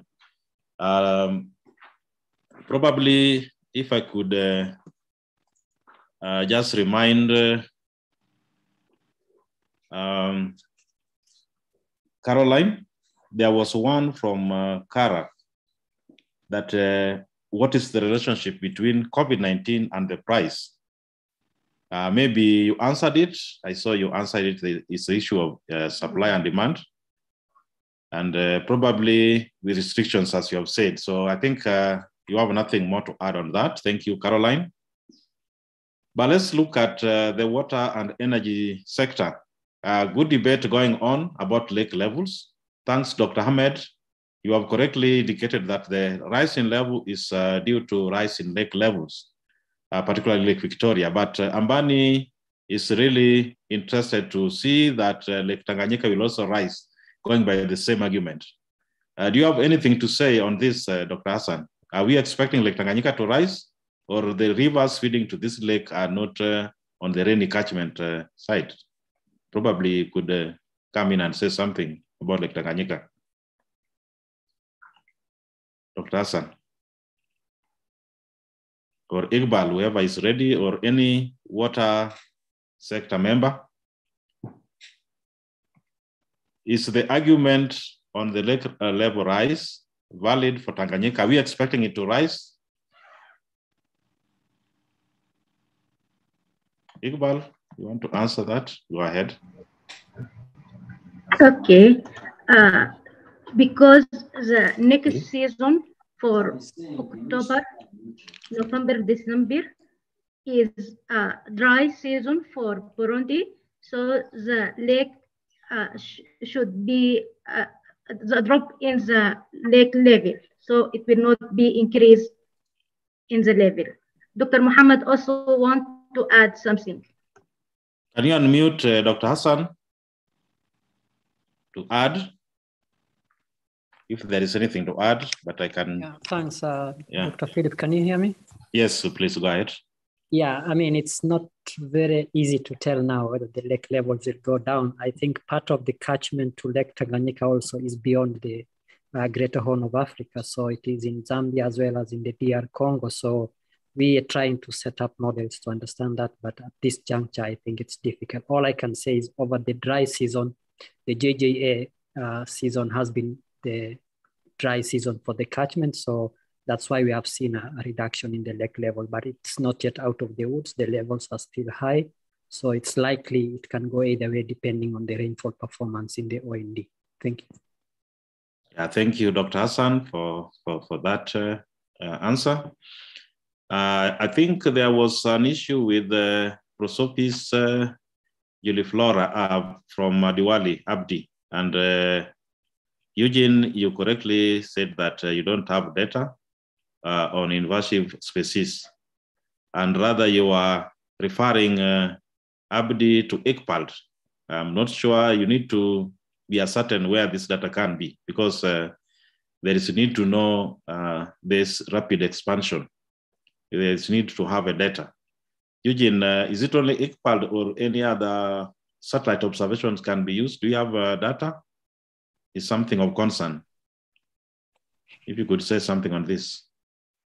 And Uh, uh, yes. maybe also Caroline could add us something after Eugene. Yes, uh, the, to the team.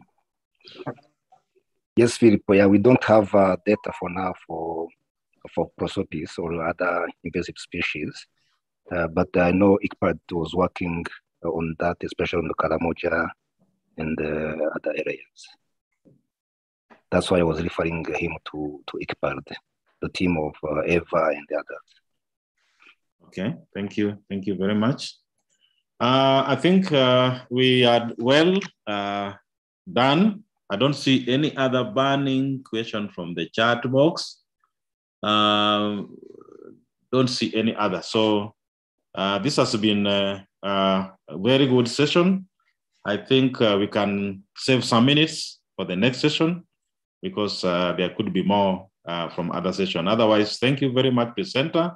I think Fiona, you did a good work for moder- uh, uh, moderating the number of slides. We have done very well in terms of time, and I want to thank everybody uh, for uh, doing good job. And uh, wherever you are, can you just clap for yourself online? thank you very much. And uh, without uh, wasting much time, I hand over to uh, Fiona. Fiona, take the floor. Great, great. Thank you. Thanks very much, Philip. Um, we we do still, you know, we're very good on time because of our early start. So please do continue to put your questions in the chat box, and we can, um, you know, ask the the presenters to be checking the chat box to see if there's questions.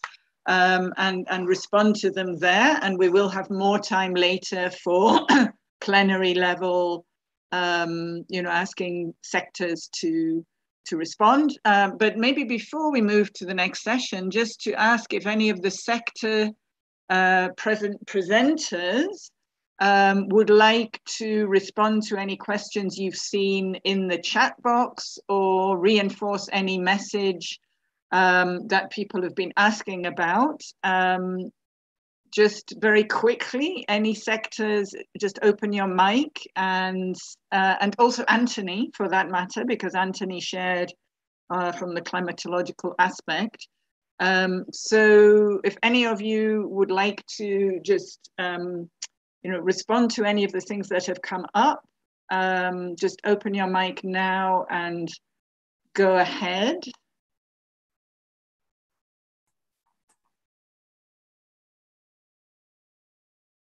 So it's hard to see. Um, was that Zachary? Um, okay, I'm not seeing any, not seeing anyone opening their mic. So um, question here if we can share copies of presentations with participants. Um, yes, perhaps um, can I ask those of you who've presented um, that you could um, try to upload into the chat. But I would especially ask for the next session. We are now going to go into session three. Um, I'll hand over to the moderator in a moment. Um, the next session is all about the coming season. And so with um, Stefan and Zewdu, after, after you've presented, it would be very nice if you could upload your presentations into the chat um, because those are, I think session three presentations are really the most important information that many of us are here for um, on where, you know, where we are headed over the coming season. Um, and the Anthony and the sectors, if you're able to upload yours in the chat, that would be great as well. Um, otherwise, um, let's move on now and we move into session three and I will hand over to Masilin to moderate for us. Over to you, Masilin. Thank you, Fiona. Good morning, everyone. We are now moving on to section three of our program.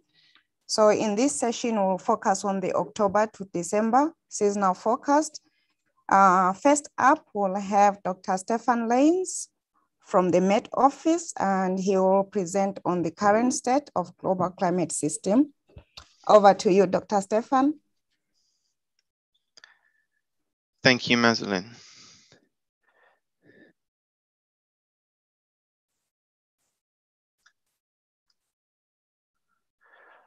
I'm actually having difficulties sharing my PowerPoint presentation, unfortunately. Um, Leonard, could you give Stefan the right to share screen? Is it a share screen issue? I can I can share screen, but I'm not able to share my PowerPoint at all.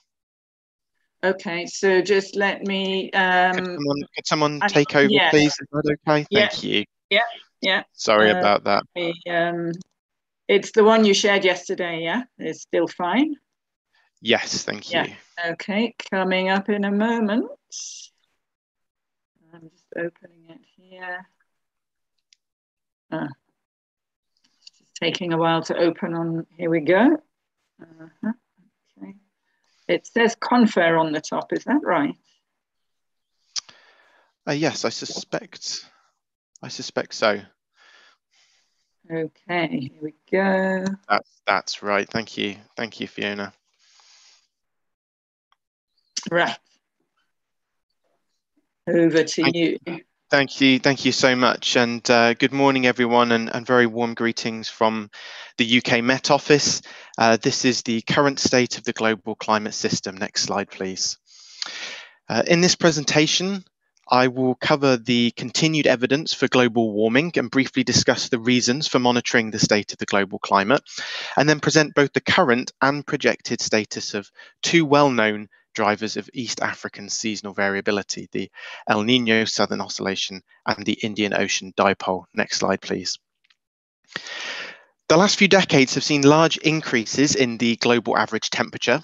The left figure here shows the temperature anomaly, defined as the difference between the temperature in any year with respect to the 1850 to 1900 average. Temperatures have been rising rapidly since 1975, with global values now roughly 1.3 degrees higher than the pre industrial period. 2020 was the warmest or second warmest year on record, depending on the data set used. And this is even though the second half of the year experienced La Nina conditions, which typically results in the cooling of the atmosphere due to the upwelling of cold ocean water in the East Pacific. La Nina's presence continued uh, during the first half of 2021, but there's still a 99% confidence of 2021 being in the top 10 warmest ever years globally.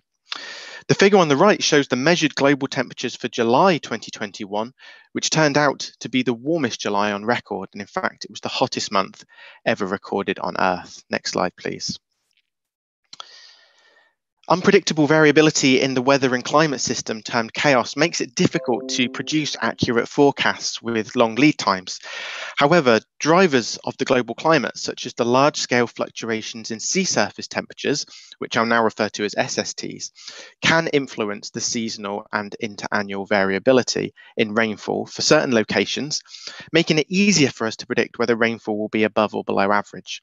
The drivers with the largest influence on East African rainfall are the ENSO in the Pacific, characterized by the El Nino and La Nina events, and the intermediate ENSO neutral phase, and the Indian Ocean Dipole or IOD. If you could just click once, please, to change the slide a little. They can help tilt the distribution of outcomes towards wet or dry, depending on the particular driver and season. It's very important to note that knowing the status of these drivers, which we'll look at now, can give us some idea as to the most likely conditions over a season. They do not fully determine a season's outcome, and there are other factors that must be considered. And this is where dynamical climate models from the global producing centres are useful as they consider a wide array of contributing atmospheric processes and not just sea surface temperatures. Next slide, please. Let's start by looking at the current observed conditions via the tropical SST anomalies. As you can see from the left-hand figure, over the last month, SSTs have been below average over the east and central tropical Pacific and slightly above average in the West. The current status of ENSO is neutral, although ENSO indices are currently negative. Click to load the right-hand side of the slide, please. The figure on the right shows the recent changes in SSTs uh, during late July and early August, indicating a slight cooling across the East Tropical Pacific, but a warming in the West. And if we plot the time evolution of the Pacific SST anomaly, we can see it's been generally cooling since the start of July, indicating a potential return to a La Nina in the coming months. Next slide, please. This figure from the Copernicus Climate Change Service shows the historical SST anomaly over the commonly used Nino 3.4 region, as well as the predicted values, which are in red, from multiple global producing centre dynamical models, such as the ECMWF and the UK Met Office. You'll see that the majority of models show, for the OND season, a predicted cooling with respect to the July anomaly, during OND, models from the C3S seasonal forecast indicate a very high chance of La Nina conditions, as shown by the number of red model runs that are below the negative 0.5 degree threshold. it's worth noting that a large number of model runs still predict a neutral ENSO for this period. Click, please. Probabilities from the Climate Prediction Center also indicate probabilities of La Nina occurring to be around 60 to 70%. So a La Nina event over OND does mean a preference for drier conditions over East Africa for the upcoming season. Next slide, please. Like the Pacific Ocean, the Indian Ocean also exhibits fluctuations of sea surface temperatures on interannual timescales, and this variability can be quantified in terms of the Indian Ocean Dipole Index, or the IOD. And this variability, um, it's calculated by subtracting the SST anomaly in the East Indian Ocean from the anomaly in the West. The IOD has shown good skill in predicting seasonal rainfall over East Africa for OND season. Therefore, monitoring its status can provide a clue as to the upcoming conditions. Next slide, please. On the left, I show the July uh, to August SST anomaly figure again, but now focusing on the Indian Ocean. The current pattern of warm east and cool west is resulting in a negative phase of the IOD. A negative IOD has been linked to drier than average conditions across the Greater Horn region for the OND season. But will a negative IOD persist into the season itself? Well, the right-hand figure here shows the predicted IOD values in October and December for selected models, including the UK Met Office and ECMWF, with the average of these five models shown via the mean. In October, all but one model predicts a negative IOD, but by December, all models shown here indicate a return to IOD neutral, showing a weakening of IOD. Hence, the currently negative IOD conditions are expected to remain for at least the first part of the season. Next slide, please. In summary, we provided continued evidence of global warming with the surprising near record global temperatures of 2020 occurring despite the cooling influence of La Nina in the second part of the year. The latest data shows that we are experiencing ENSO neutral conditions, but models indicate La Nina conditions are expected to return over the OND season. La Nina in OND signifies a preference for below average rainfall or drier conditions. IOD has an influence on OND. It's currently in a negative phase and is predicted to be negative for much of the coming season. And a negative IOD over OND also means a preference for below average rainfall.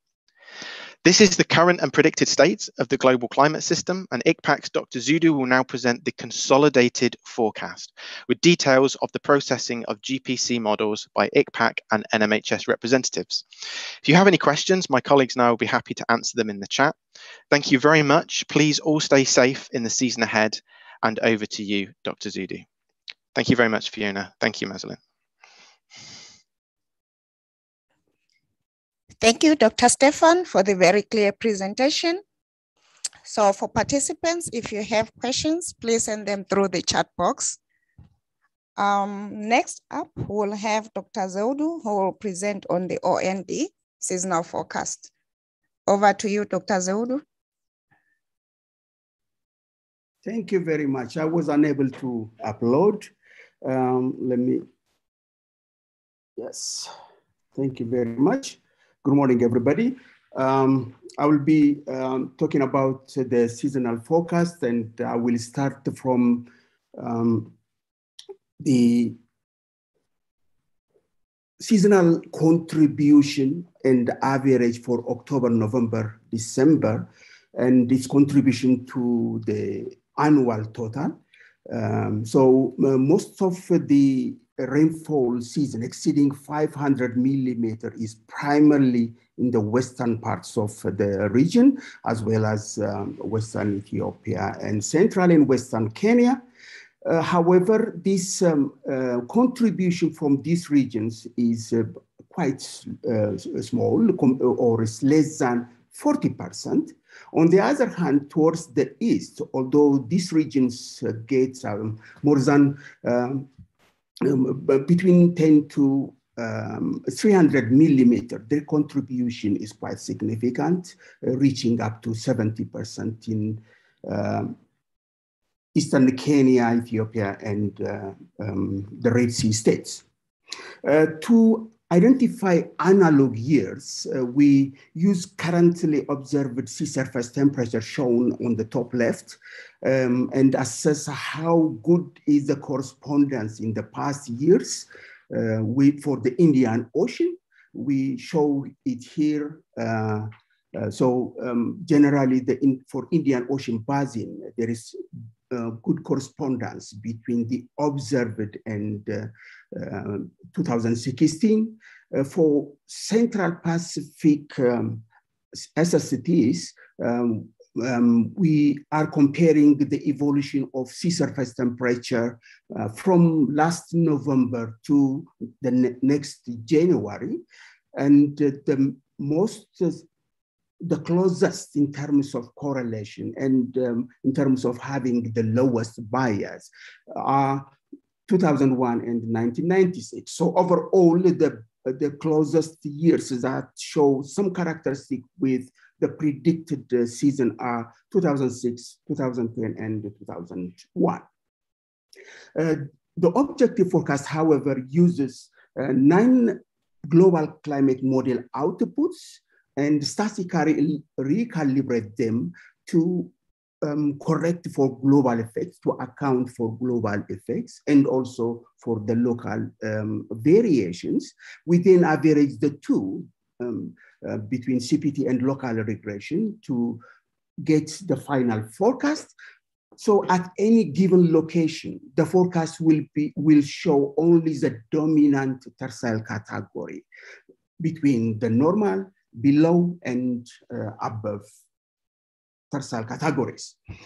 Overall, we can see that from Tanzania to uh, Somalia, um, there is generally a drier than average condition. with uh, increased probability for below normal rainfall in the cross-border areas of Kenya and uh, Somalia.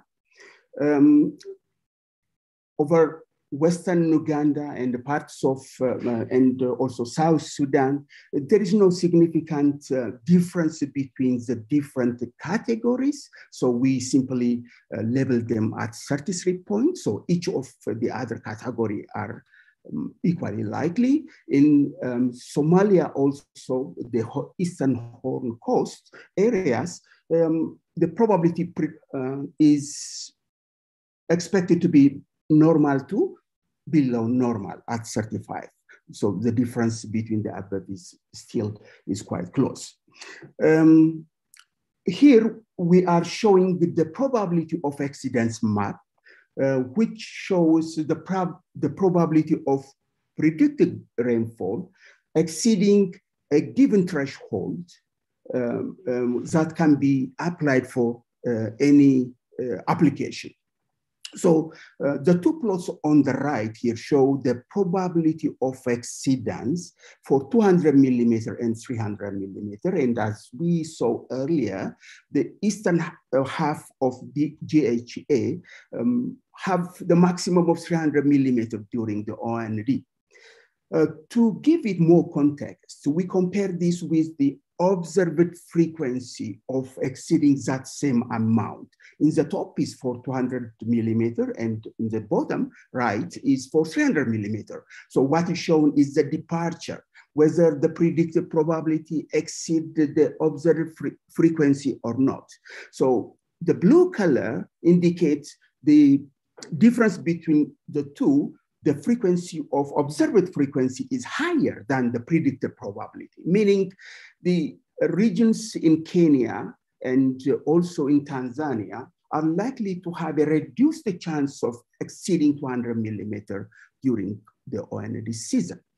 On the other hand, um, parts of southern Sudan have increased probability, meaning the predicted probability is higher than the frequency of the observed frequency. So there is uh, increased chance of uh, enhanced rainfall over some places, localities in, uh, in, the, in South Sudan.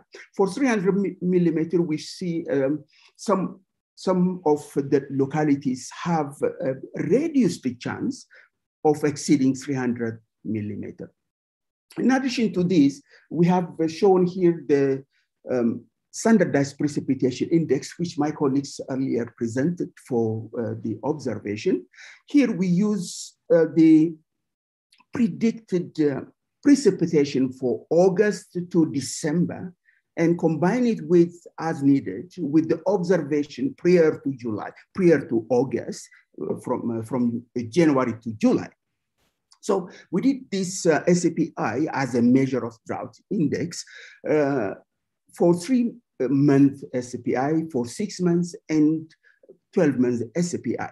So shown here in the east have uh, uh, areas that show um, um, moderately dry conditions over the eastern parts of uh, uh, Kenya, as well as parts of Kenya and uh, some localities when we do the six-month SAPI now, which which also extend include observation for July, um, it brings out the area of um, moderately drier um, regions, which includes uh, eastern Kenya here, um, parts of Ethiopia, and Uganda. A 12 month SAPI, which is a cumulative trend of, which show a cumulative trend of droughts, um, show um, some parts of the region, especially Eastern Kenya, parts of Western Uganda, Ethiopia, have um, up to severely dry condition or severely dry um, droughts. On the other hand, on the northern half, um, just about 10 degree north, we see greens, which indicate, um, which show or indicate the prevalence of excessively wet conditions in the north in the past uh, um, few months during the summer. Here we show the onset of the season. Uh, the predicted onset is based on uh, 43 uh, warp ensemble models, which were uh, produced by using um, NOAA uh, climate model. Um, the average show the onset is in October, the first decade over northern and parts of uh, um, eastern Ethiopia. Then it increases to the second decade of October um, to central Somalia, to southern Ethiopia. In Kenya, the onset is um, after November. And um, in uh, Tanzania, then the onset is late in November. So um, basically for, for, for, sorry, for Tanzania, it's late, later than late November. So generally for the season we are talking about for Tanzania is after late November. Compared to this, the average of uh, onset uh, um, for 30 years show um, is significant delay in the onset over the eastern and southern Somalia, and also parts of the uh, Turkana, um, Karamoja area in general. Parts of um, um, uh, Somalia also has, northern Somalia also has uh, the delayed onset. Some early onsets are indicated to southern Sudan and the parts of western Kenya. In terms of temperature, generally, a warmer than average temperature was predicted uh, throughout the, um, the region. Uh, probability for warmer than average temperatures are highest um, in the east over a region extending from Kenya um, to um, Somalia, Ethiopia, and parts of northeastern um, Sudan. Uh, just to, to uh, summarize, most parts of GHA are predicted to have um, higher likelihood for drier than average rainfall. Probabilities are enhanced, especially over eastern Kenya and adjoining Somalia, where delayed on season onsets are indicated. Compared to the usual chances, the predicted probabilities of rainfall exceeding 200 millimeter and 300 millimeter are much enhanced over South Sudan, Northwestern Uganda, Southwestern Ethiopia. In contrast, predicted probabilities for exceeding this threshold are much lower than usual uh, over Eastern Kenya and Southern Tanzania, where uh, below normal rainfall is uh, predicted. Observed condition for January and prediction to end of December 2021 indicate continuing multi-season drought conditions over Uganda, parts of Kenya, Ethiopia, Somalia, and Tanzania. Generally warmer than average temperature are pre predicted across the region. Um, lastly, just I will leave this one. Um, since we started the objective forecast in May 2019, uh, the top panel show all the uh, forecasts provided at GHACOF, and the below the bottom uh, panel show all the corresponding observed precipitation um, that were analyzed using the tercile method, meaning by dividing the observation into three parts. So that is for you to assess. That is the advantage of objective uh, forecasting. Thank you.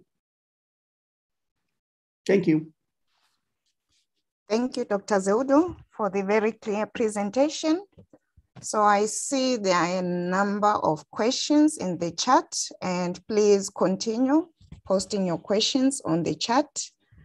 Um, the first question is for Stefan, uh, there is a question on if there are any updates on the Atlantic Dipole and its influence on the Western sector of IGAD.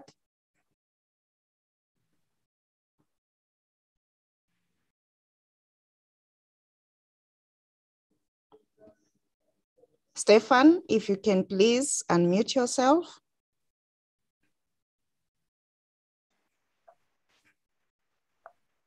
Leonard, if you can make sure Stefan and Zewdu can unmute, as well as Marcelind, because they'll now be answering the questions. Um, Stefan, are you able to unmute?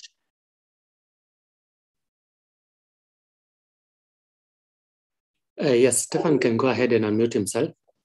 Okay. And Zewdu, you're also able to unmute, presumably. Yes, I am. Okay. Stefan, are you with us?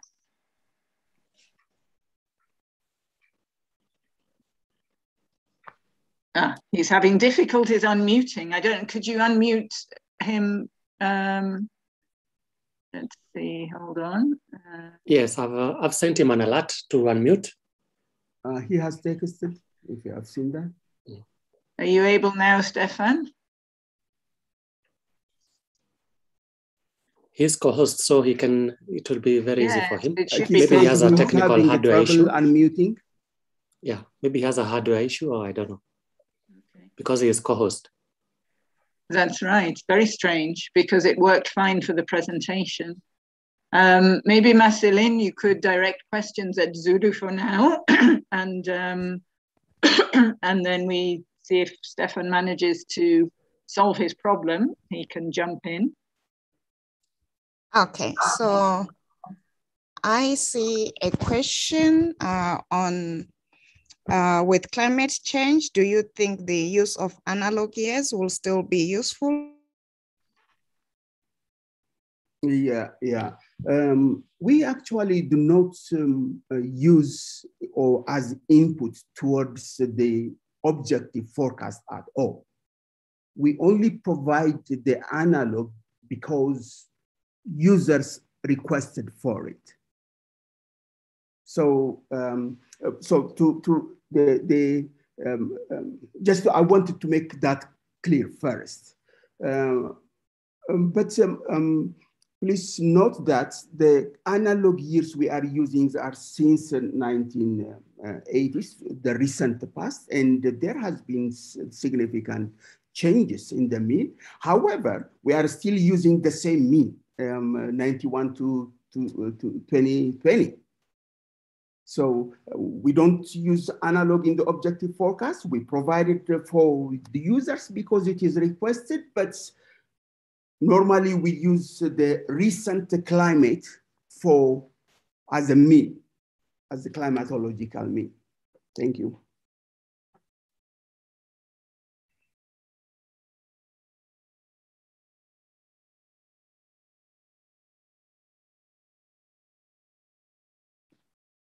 Am I mute or am I heard? Uh, Marceline, Marceline, are you mute? Or is Marceline, uh, is Marceline still here? Um, I'm not sure what's happened to Marceline. Um, thank you, Zewdu. We seem to have Thanks. lost her. Right, okay, so no problem. And I'm just thinking if Stefan still has problems, Leonard, you could give Richard Graham and Andrew Coleman um, right to open their mics. And um, maybe they would also be able to help with the questions that were directed to Stefan. Um, so, yes, I've done that today, Fiona. Okay, great, thanks. Um, but maybe still with um, still with Zewdu, uh, Abebe is also congratulating you. It's breaking news for the coming season. The introduction of the drought forecast is good. The introduction is good. The forecast is not so good, I think. Not so happy yes. with that. Um, but yes, um, very clear from both presenters that we are heading to lower than normal um, rainfall, um, which isn't so great. Um, so I don't know, Richard, Andrew, Stefan, are any of you able to speak? Uh, maybe we can just try and, and see whether we can hear you. Um, I can speak. Can you hear uh -huh. me? Uh-huh. Richard? Okay, yes, we can hear you. Yeah. Andrew, what about you? And Stefan, back to you. Can you? Are you? It's very strange. Um, Andrew also is saying he cannot unmute. I just heard you though, Andrew. Yeah, I can unmute yeah. now. yeah, that's great. okay. Now. Stefan, do you want to try again? Otherwise, I'm going to, to ask uh, Richard and Andrew to um, answer your questions. Um, so let me um, let me read a few of them out. Um, so we had questions from Oliver around updates on the Atlantic dipole and its influence on the western sector of IGAD, and any early indications. So another question: any early indications for MAM 2022 based on persistence of the current climate drivers or lack of persistence, maybe in the sense of the IOD. Um, and then another question, if there's any documented relationship or interaction between ENSO and IOD. Um, so maybe you could take any and all of those. Can I start? Yes, please. Hello, yeah. Uh, on the issue of the March, April, May, I think one thing to note firstly is that the relationship between ENSO and rainfall is not does not stay the same. That uh, the relationship kind of much weaker. If, and there is some evidence actually that ENSO can actually rainfall relationship could even be reversed in some March, April, May season. So you can't assume that uh, even if the La Nina persisted, that you'd actually get another dry season. Uh, the, the, moment of forecasts are that the uh, ENSO signal will get, get back to, to neutral, i.e. the La Nina will come to an end. Uh, so IOD is a bit less predictable at that time scale. But uh, at the moment, we can't really say a lot about March, April, May season. Great. Okay. As for the Atlantic, I haven't looked very, very closely recently. Uh, it's not the biggest player for the uh, OND season. I wouldn't expect it to.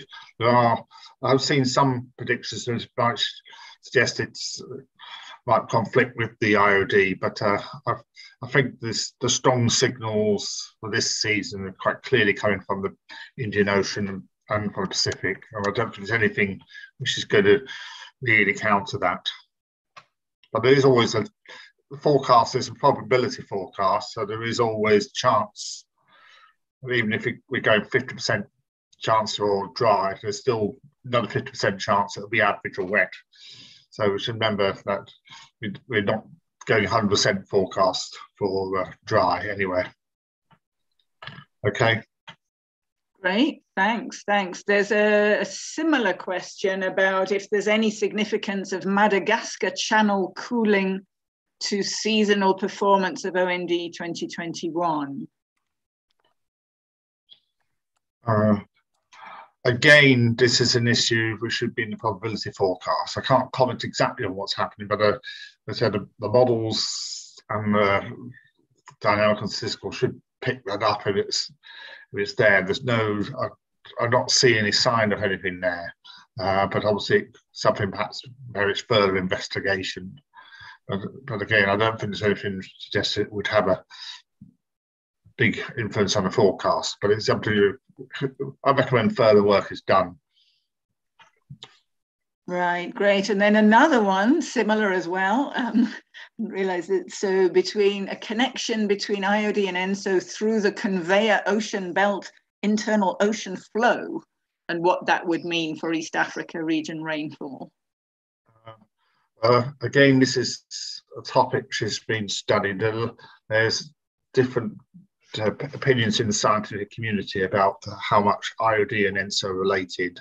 Some people even think that IOD is not independent of ENSO. I think it's now pretty established that IOD is an independent phenomenon, but uh, IOD a lot of the time is linked to ENSO and it's still being studied. My colleague in the UK, David McLeod, has written, an interesting paper on this topic, which I recommend some anybody should read if uh, they want to look at the late some of the latest work on this issue, which is ongoing. Is that the Titike's paper that Stefan mentioned in the chat? I think Titike's paper, I recommend that too, but there's also a paper right. by McLeod et al. Okay, okay. If you could maybe put something about that in the chat, yeah, then people okay, will be able to it. look it up. That would be great. Yeah, so Stefan actually was uh, mentioning Titike's paper in relation to seasonal time scales in relation to what the um, PDO, not sure what PDO is, but apparently PDO has been mentioned in the AR6 report, um, influencing rainfall over the region at decadal time scale. Any comments at seasonal scale? And Stefan mentioned that's very complicated. Titike's paper would be good, but perhaps um, you could tell us a little bit about the PDO influence at decadal and then seasonal timescale. Yeah. Well, PDO is really a low frequency sort of decadal version of ENSO, and it's quite t- quite tied up with ENSO. So I think I guess that theory is that if you get a, a strong PDO event, So a continual amount of higher normal number of La Ninas or El Ninos going on. For example, back in the early 2000s, we have a well, we have quite a few La Ninas in a row, and a, a strong negative PDO event, which is also quite associated with a lot, quite a few droughts. Uh, again, it's something that requires further work and further study. I, think, I think it's it, well, well, it possibly has some relationship with the, the paradox and known between the climate change forecasts, where they predict a wetter, a, wetter Great Horn of Africa with uh, climate change, and also the observed uh, dry, no, persistent dry years in recent years. PDO could be an explanation, but it requires further study. Great, thanks, thanks. Um, so maybe a question to both uh, you and Zewdu, um, to just building on what you just said, to what extent the forecasting that you're able to now do and knowing you know, forecasting is improving all the time, to what extent you are you know, able to factor in um, the shorter and longer term climate change projections.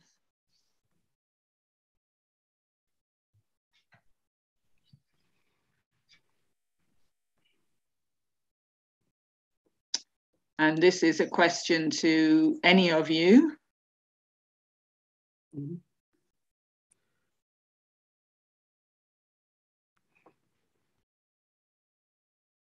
Stefan, if uh, you can go ahead, but uh, so far uh, uh we have not incorporated the um, cl any climate change uh, um, indicator in within uh, the forecast.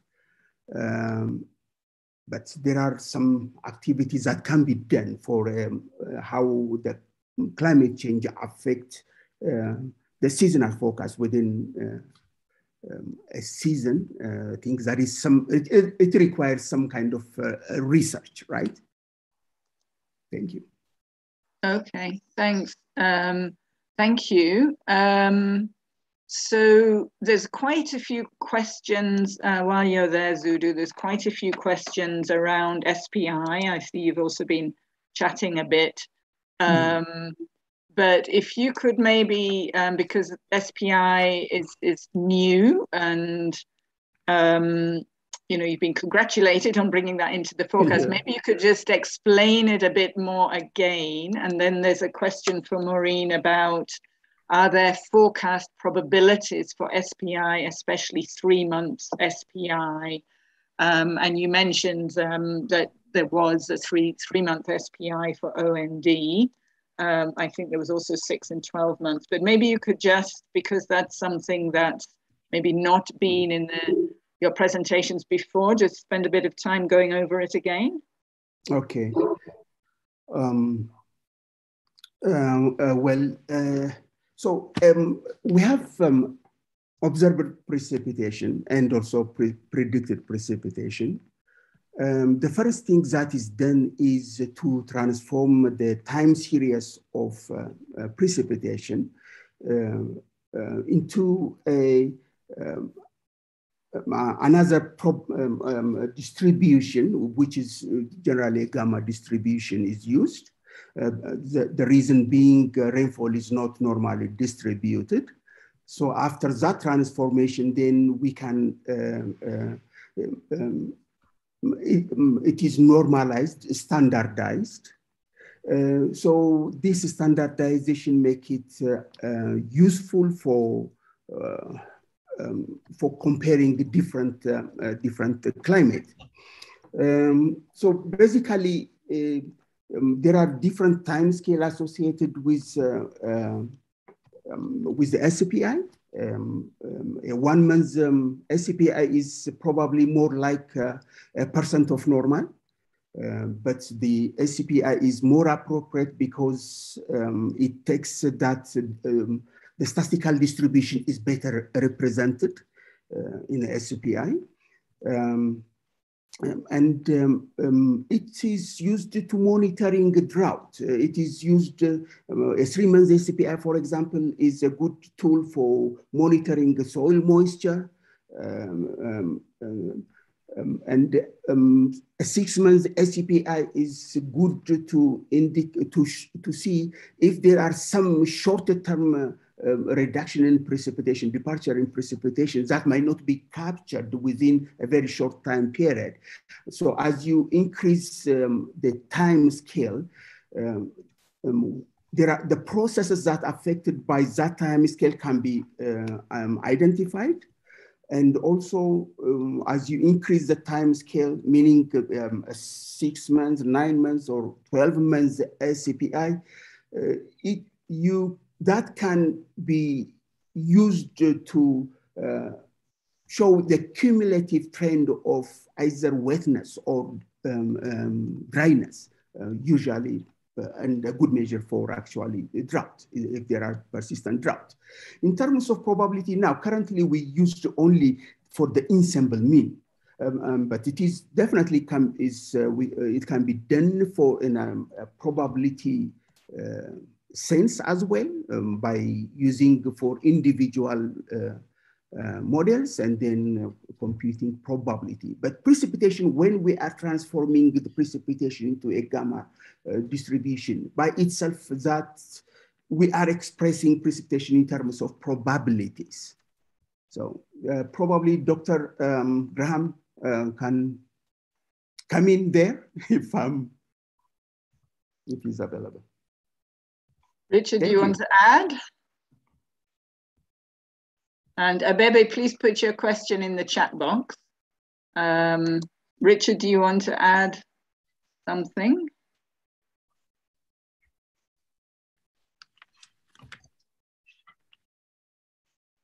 Uh, thank you, Fiona. Uh, sorry, I missed the very last bit of uh, Dr. Zewdu's uh, what was there some specific thing you wanted me to comment on? Uh, no, no, no, no. I, I, was just asking if you have yeah. any any no, um, no, I, I comments, think, please. I was just I, inviting you. Sorry for catching you like that. I, that's right. No worries. I, I think uh, you covered it uh, very well. So I, I, I don't really think I can add much to that. Thank okay. you. Great, great. Thank you.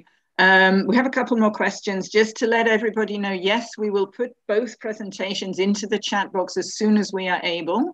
Um, just stay, you know, don't leave the Zoom link. We will, they will be there.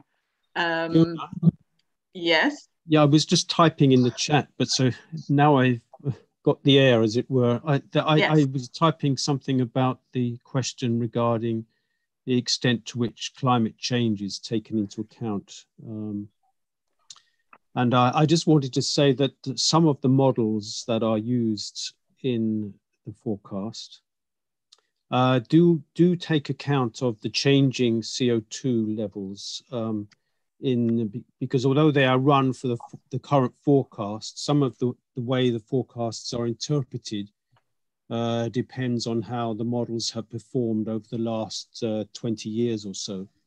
And so it increases in CO2 over that period are taken into account in some of the models used at least. And, um, and so those will have some influence on, on the forecast probabilities.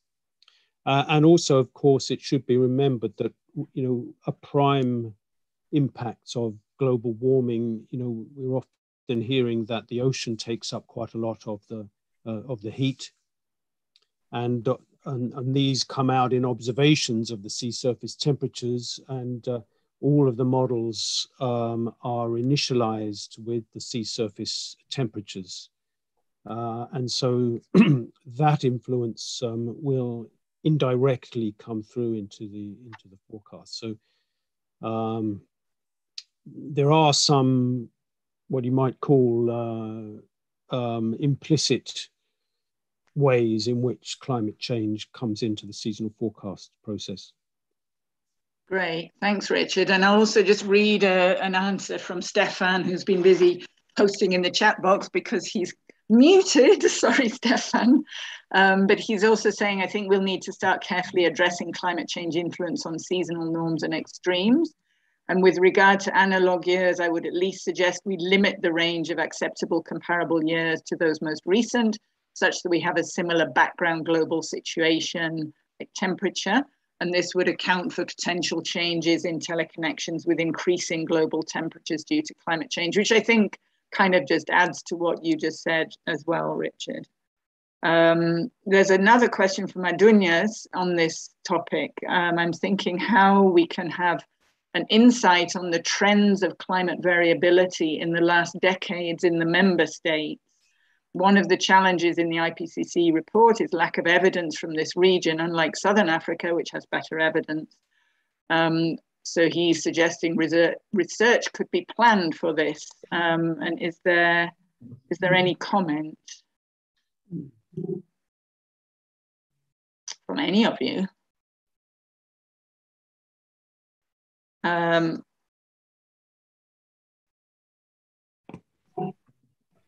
uh, well, hopefully the climate change people will comment on this one. Uh, this is something they have worked on. Um, Dr. Philip, Dr. Sabiti. Yes, we can we uh, tackle that when I I'll be giving presentation on uh, the report on the warming, so we can uh, tackle that uh, during that time. Okay, that's fine. Um, the last couple of questions to Zewdu. Um, is it possible to predict the tendency of La Nina, like weak La Nina, strong or moderate, as of August, as of this month, August 2021? And another question also on the OND forecast from Herbert. His question was There's a light blue legend labeled transition zone with probabilities of 30 to 40, and he was wondering what that means. I think these um, are for you, Zewdu. Yes. Uh, so, in, on the first one, uh, so we monitor uh, from the monitoring of an um, um, SST is the, from the global centers. Um, they do provide for August also on a weekly basis. For example, the Bureau of, Bureau of Meteorology in of Australia, uh, they provide uh, um, changes every week um, NCEP, NOAA also they provide. So we only monitor uh, from their side. That requires uh, a global level um, um, capacity. Uh, regarding this, uh, the transition zone, uh, as I indicated, when you when we plotted um, area between um, a warmer and a colder, there must be something in mid in the middle, right? So that is what we uh, try to refer. Sometimes this middle zone, also transition zone, can be um, a, um, um, uh, 33, 33, 33 categories can also be taken like that. But it is just to show there is no abrupt change um, from one zone to the other. There is a transition area. Thank you. Great, thank you. Thank you, Zewdu. Um, so we're coming to the end of this session now. Um, for those who want Zewdu's presentation, he posted it at 11.15 a.m. If you go up the, scroll up the chat, you will find Zewdu's presentation posted there. You can download it from there. He posted it at 11.15 a.m. Um, for Stefan's presentation, we will um, upload it um, shortly. Um, just seeing, yeah, um, as Stefan says, he's going to upload it very shortly. So both presentations are there. Please do download them. Marceline did get herself back, um, but I felt Marceline um, maybe best to continue because we knew which questions had been answered and asked and so on. Um, sorry for your problem with connection. Um, but I think we've we've managed okay. And um, thank you for the facilitation until you ended up dropping off. That was great. Um, so thanks to Stefan and Zewdu, um, really interesting, um, very interesting information for the coming season.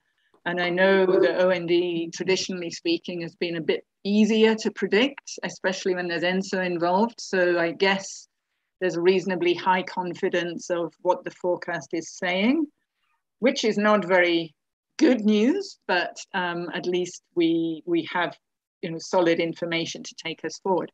So next we will have um, a break for 10 minutes and we will be back at 11.40 to start again, um, 11.40 East Africa time.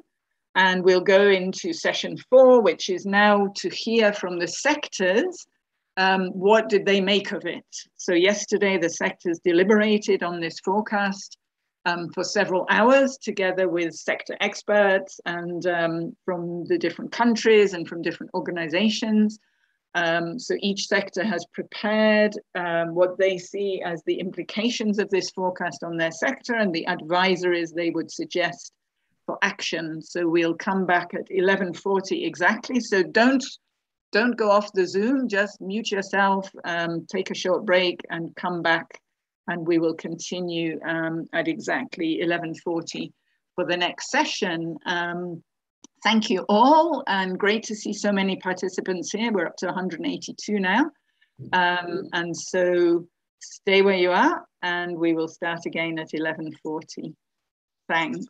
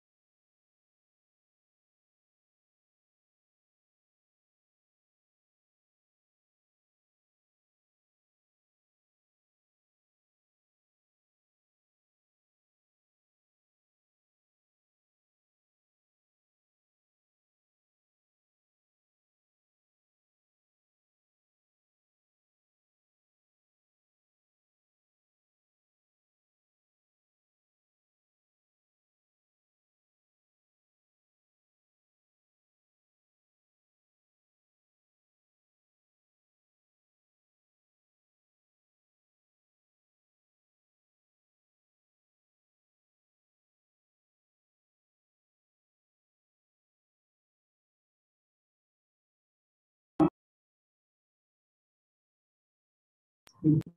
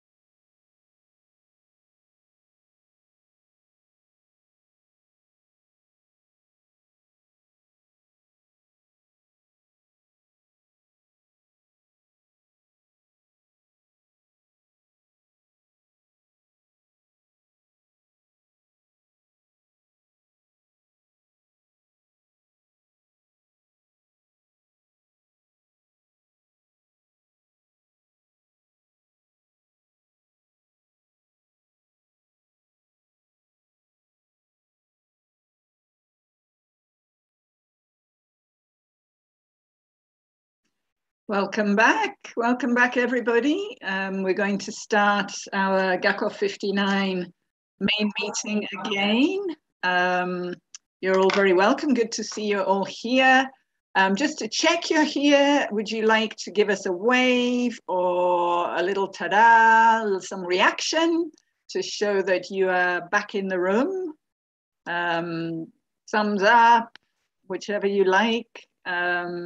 Just to show sign of life. I can see Callistus is with us. Anyone else actually here? Um, just give us a thumbs up.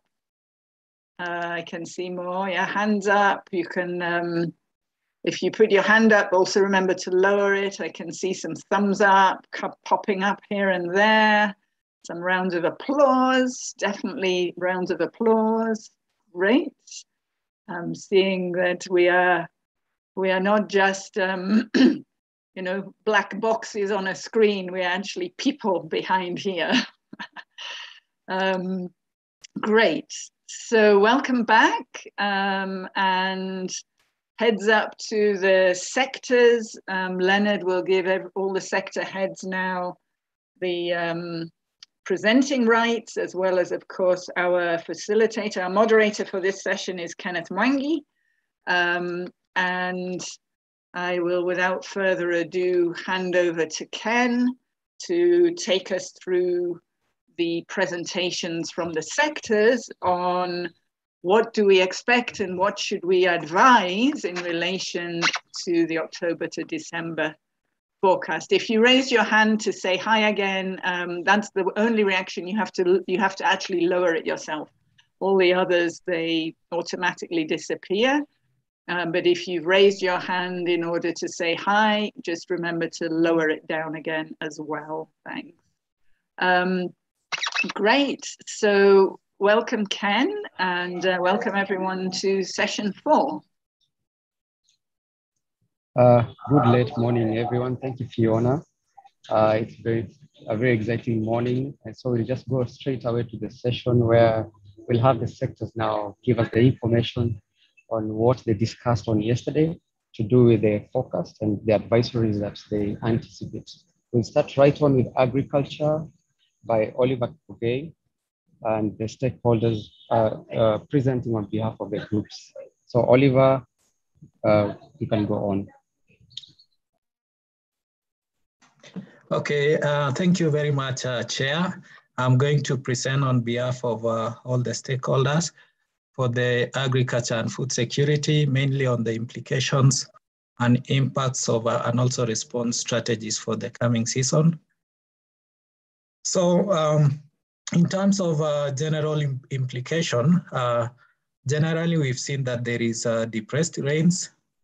There is also issue of late onset, low probabilities exceeding 200 and 300, uh, contribution also from other non-climatic factors and all these present uh, actually poor prospects for the agricultural performance across the region.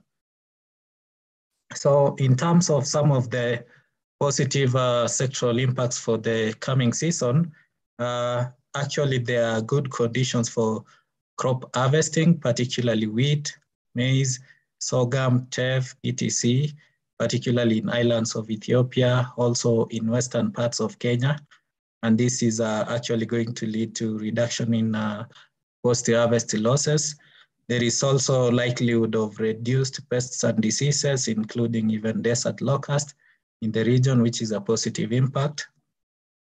Also, the predicted late onset uh, will enable farmers to get uh, enough time for land preparation and uh, dry conditions that are actually uh, predicted for the for the region will allow repairs of irrigation and other wa water harvesting infrastructure, and these are particularly across the irrigated areas. Um, in terms of uh, uh, negative uh, uh, sectoral impacts for the season, uh, there is a high likelihood of poor crop prospects due to mainly depressed rains, uh, and also uh, water stress that might also lead to low soil moisture, and this might lead to below average harvest, um, increase in food prices, uh, likely increase in number of uh, households, uh, vulnerable households requiring need for expanding relief and other interventions in the region.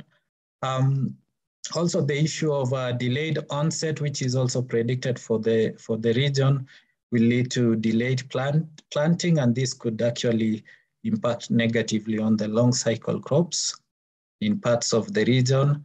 Uh, also, the situation that is given uh, by the forecast may also trigger resource-based conflicts, which is a key driver of food insecurity in the region. Um, uh, also, generally poor food security situation, especially for the ASAL areas in the region.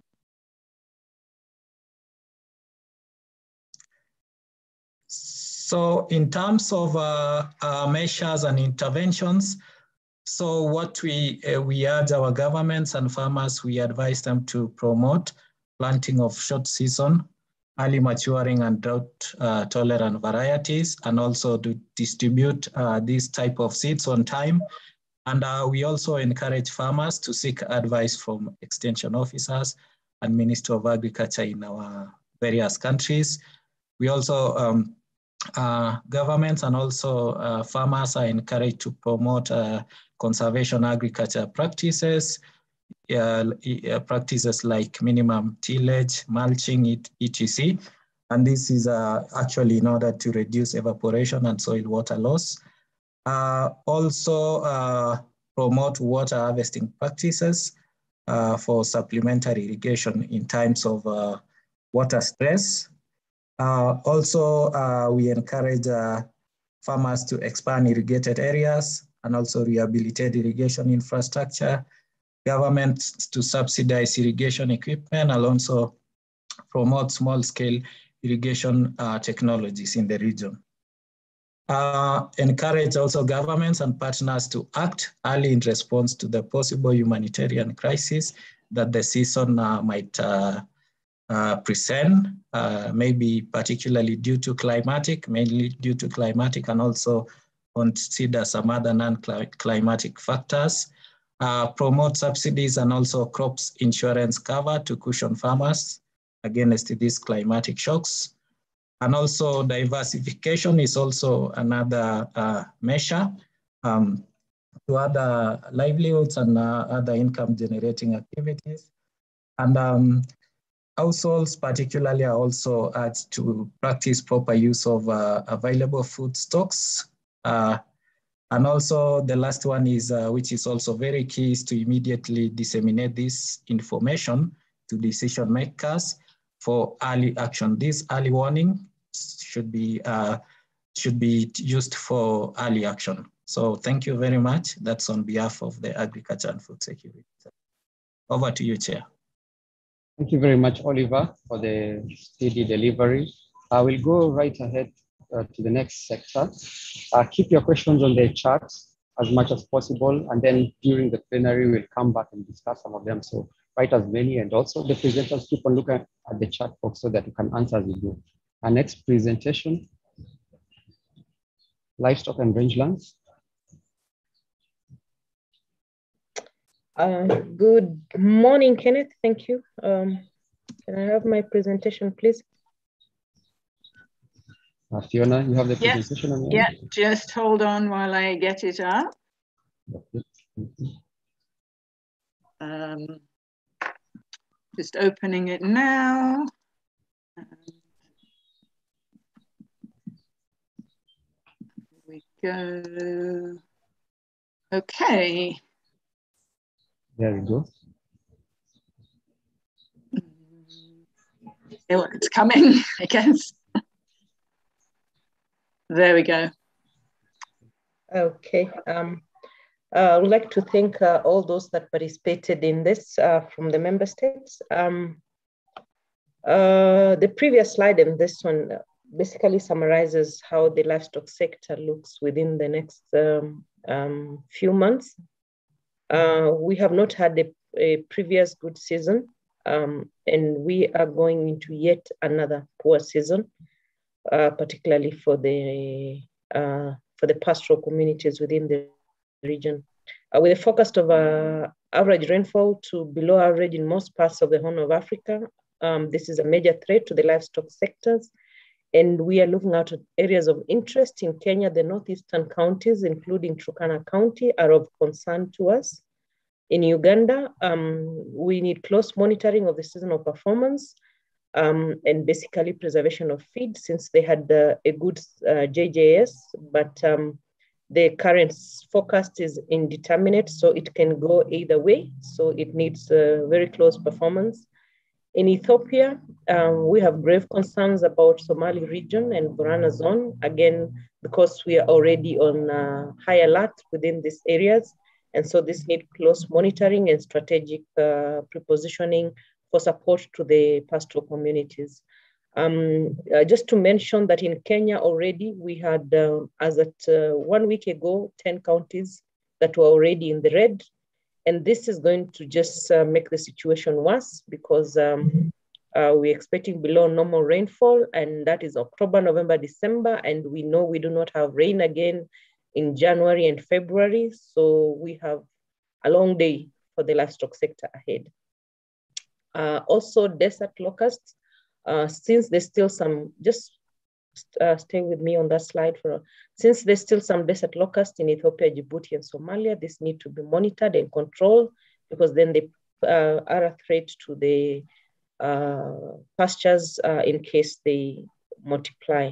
We expect general uh, movements of animals and, and, and pastoralists in and out of their countries and within the countries, and this may give rise to conflicts. Um, so generally, we are saying very close monitoring of performance of the current season because we still have a month or so to go, and the upcoming season over the region is uh, is recommended, and just to ensure that we have supplementary feed and water for the livestock. Uh, for the country slides next, I will quickly go through because I think basically, if we look at the slides, we see all uh, more negative um, impact as opposed to any positive impacts. For example, you can see in Djibouti, we do not have any positive impacts of the season, but uh, of course, uh, the pastoralists will enjoy um, uh, sale of their products because of the, the raising of the, um, of the COVID restrictions and the usual measures that we normally advise for a season like this, uh, basically to just continue surveillance of animal diseases. Let's move to Ethiopia, please. Uh, in Ethiopia, as I have mentioned, um, there's below normal, uh, and so of concern is Borana zone and Somali region. Um, uh, most of the country is going into crop harvesting season and therefore not of concern, but these two are to be watched. Um, and uh, so, of course, supplementary feeding water is recommended for Ethiopia. Um, next. Kenya, again, we see not uh, much positive impacts. Uh, uh, and as we've said, uh, we expect deterioration of animal body conditions. Um, uh, what we are actually advising for Kenya, and particularly in cluster one, or otherwise known as Karamoja re region uh, cluster, is the implementation of the MOU that exists within that cluster by sensitizing of the communities on what they're expected to honor within that MOU because we expect to see a lot of movements between Kenya, Uganda, uh, Ethiopia, Uganda, and South Sudan and Uganda. Um, what we have seen in the previous season that the Kenya Meat Commission did a good job in um, off-taking, and this was able to push on the farmers because they are offering better prices for the animals. So we are recommending a strategic off-take by KMC so that uh, the animals are not uh, affected because we think we have another five months of dryness in this region. Uh, next. Um, again, in Sudan, um, this is not their season. Um, so uh, we expect that animals will be moving towards South Sudan and there would be a lot of crowding in watering points and inadequate water. And this might give rise to diseases, uh, disease sharing, and therefore uh, we are advising for disease control. Um, and especially for those notifiable diseases, pneumonias and foot and mouth disease. Next. Uh, for Somalia, again, um, they have concerns about pasture because already there's deterioration of pasture. So we expect that to uh, deteriorate further. And of course, um, that could lead to uh, loss of animals. So we are recommending that they prepare to implement suitable plans to cushion the pastoral communities. Within Somalia. Next. Um, again, Sudan, um, the only positive impacts are expected in the lowlands where there might be a good pasture because they've had a good JJS. So we expect that uh, there will be movement of pastoralists from the highlands to the lowlands. And this, uh, even in this current season, as they were moving upward, there was um, a bit of conflict. And so we expect this to happen. Uh, again, as I mentioned, this forms part of the cluster one. So implementation of uh, existing MOU is uh, recommended. Next. Uh, Uganda, the, the forecast is indeterminate, uh, but we are recommending that uh, because of JJS performance was good, that whatever pasture has been grown in this season should be used strategically and stored well. So in, in preparation to not very certain forecast. Um, and Caroline, we have about a minute. Okay, then of course, peaceful negotiations over water and grazing grounds as they pastoralists from the communities. Next. Um, uh, one of the suggestions from the group was that uh, what we have been given in the forecast, including the onset, the the analog years, the all those products that they would give us in his, his presentation, uh, if we look at that vis-a-vis -vis the time that we have to digest that and use that to generate um, advisories is very short. And so we're trying to suggest that maybe there might be a timeline that we can get the forecast and allow the users enough time to interact with these products so that they can make uh, relevant inferences uh, with regard to the sector. I think that is all from the livestock sector. Thank you. Thank you very much, Caroline. Right on time. Uh, we'll uh, keep the questions coming participants, we just go right to the next sector where we'll go to environment and forestry. Uh, in the meantime, the, uh, could you please have Hamoud, who is presenting on conflict, identify himself? I think you shared the, your link with many people, so we have duplication of names here. So please uh, send a chat to me direct chat. Thank you. Environment and forestry, welcome. Uh, thank you very much, uh, Kenneth. So on behalf of Eugene and on behalf of the member states who were present during the, the environment and forestry session yesterday, I will present the advisor, the impacts and advisories for the upcoming seasons. So we had um, Eritrea, Ethiopia, Kenya, South Sudan, Tanzania, and Uganda present during our sector meeting. Uh, when it comes to positive sectoral impacts, uh, we also do not did not identify a lot of positive uh, impacts, but we had good vegetation and forest productivity in transition zones in South Sudan and Ethiopia, and then uh, decrease in water levels in flooded areas. So this came from South Sudan uh, because they've experienced a lot of flooding. So with the reduced um, um, rainfall next season, it's expected that these areas will be able to dry up in terms of the negative sectoral impact for OND, uh, depressed uh, growth rates of trees already planted in both natural and commercial plantation areas. So this came from the forestry sector, and this is uh, relevant for Ethiopia, Kenya, South Sudan, and Uganda. Uh, there's also natural regeneration of arid lands and vegetation will be reduced. Uh, this is uh, from Kenya deforestation and vegetation degradation for alternative livelihoods uh, because of the expected um, food reduction in food production, we are expecting that uh, deforestation and vegetation degradation uh, will become uh, increased because people will be looking for alternative livelihood um, uh, sources. Uh, this is for Kenya and Tanzania. Uh, there's also increased cost of forestry production. This was reported by Uganda uh, increased incidence of fires and their associated environmental consequences, including pollution and threats to biodiversity, applies to Kenya, Ethiopia, South Sudan, and Uganda. Reduced availability of water and pasture for both wildlife and livestock, as also reported by the livestock um, co-production session. And then uh, we are expecting increased human wildlife conflict. So for Kenya, for example, this is already happening uh, due to dry conditions over, for example, Tsavo and Chyulu national parks. And based on the OND focus, then this is expected to increase as well because then animals, wildlife are moving into um, private, either private uh, private uh, reserves or also into farmlands as well to find uh, forage. Uh, so in terms of the key response measures and advisories that were identified, uh, promote fire management practices, uh, practices, and this include fire cut lines, digging fire cut lines, creating fire breaks and early warning because we foresee a situation where we will, the incidences of fire will continue to increase. Uh, this is for Kenya, South Sudan, Tanzania, and Uganda. There's also promote uh, forage and pasture management, and this could be through rotational grazing, also alternate, alternate offering alternative feed. This is for Kenya and Ethiopia. Provide water for wildlife and livestock, so construction of water points or filling up existing water points or water troughs uh, for Kenya, South Sudan, and Tanzania. Uh, there's also mobilized resources for human wildlife conflict management because we foresee that this will increase uh, Kenya and Tanzania.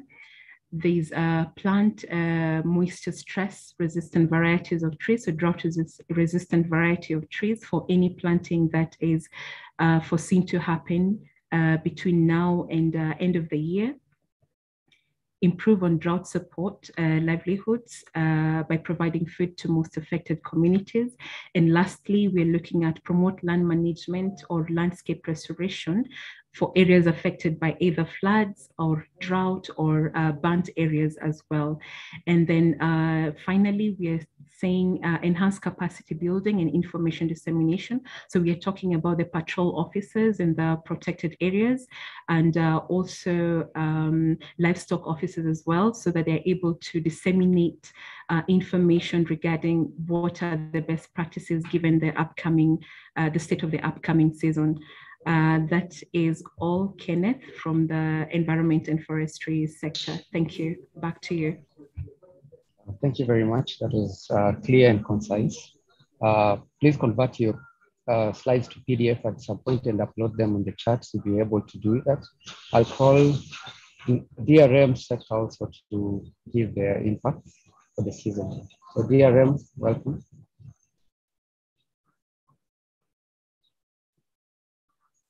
July, welcome. Thank you, Ken. And on behalf of the DRM team, I'll share a summary of what we discussed yesterday. And it's grouped in two ways. They are the northern sector and the south. So for the north, we have some impact summarized. And for a start, uh, from the Ethiopian northern region, they reported that this next season will be good for their post-harvesting activities. But Somalia, the expected below normal rainfall will impact the next harvest season since there'll be looming, there's currently a looming drought conditions in the country. However, there's also a negative impact on water availability, and this will be related to the drought expected in both uh, Somalia, Ethiopia, uh, conflict also anticipated in the northern sector and as reported by the livestock sector, this will be related to the livestock migration and will be a conflict between the livestock uh, group and the farmers as well. And also in terms of the wildlife, the high temperature forecasted might also lead to heat wave and bushfire. And South Sudan indicated that some of their wildlife might migrate to Kenya or Uganda. And so they propose some measures to be taken to avoid that. And uh, some of them are uh, adoption of irrigation or conservation of water strategies, especially for South Sudan and also Ethiopia, I mean the southeastern part of Ethiopia. And also they recommended some uh, feed storage based from the, this ending season, just to be prepared for the dry season that is forecasted. And they'll also issue early warning information to communities. And also for Somalia, the community-based initiative are encouraged to be supported by the local NGOs so that uh, they actually achieve the response that they're planning to do during the season. And then uh, smart climate agriculture is also encouraged for Somalia, but this should be, or rather be best advised by the agricultural sector in the country in terms of crops which are to be grown, and also awareness raising for communities. And this in uh, Julie, if it would be more audible, move closer to your mic, please. Thank you. Okay, sorry. Uh, for community awareness, South Sudan is planning to do some household level trainings. And just another slide on the equatorial southern sector, we had Kenya, Uganda report that the expected below rainfall may also cause drought, but specifically on the northeastern, eastern and coastal part of Kenya, but for Uganda will be the Teso region, southwest and the Karamoja. However, the same countries also reported that there will be some flooding and landslide uh, which may occur in central and western Kenya and some pocket areas of Uganda. Again, conflict also came in uh, handy for Kenya, Uganda, and also a colleague from Tanzania reported the same. But this also will be between the pastoralists and the farmers as well. Uh, Uganda also indicated that in the next season, they expect the cases for COVID to be on the rise, and the peak might be next month, September. So this will also be a challenge for them. And other productive sectors uh, within the region might be affected with the poor forecasted uh, rainfall or rather season. In terms of advisory, uh, the agriculture sector in the countries, specifically for Kenya, advised are encouraged to advise on the type of crop to be grown during this uh, expected poor season. And again, water harvesting again is also advised, basically at the household level. And again, water tracking for the pastoralists and domestic use.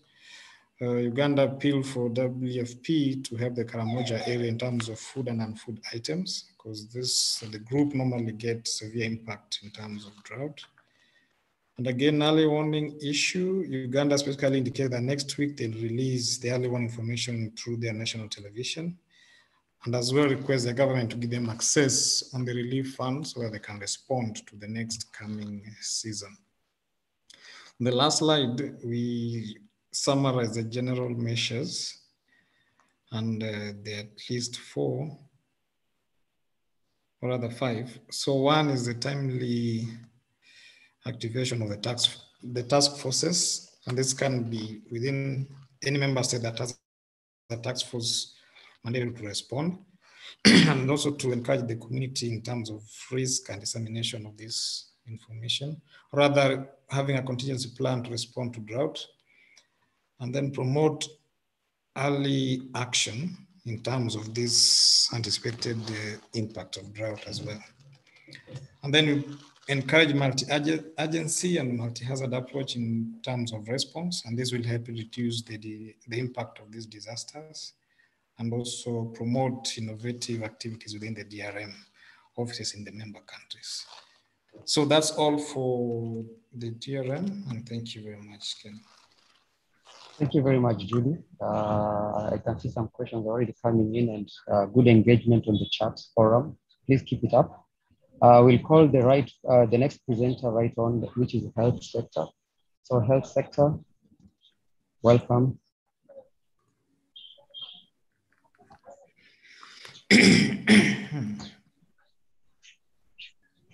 health sector, who's presenting for health sector?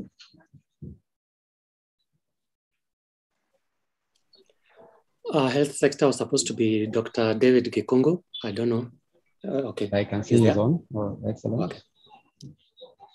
Please launch the slideshow.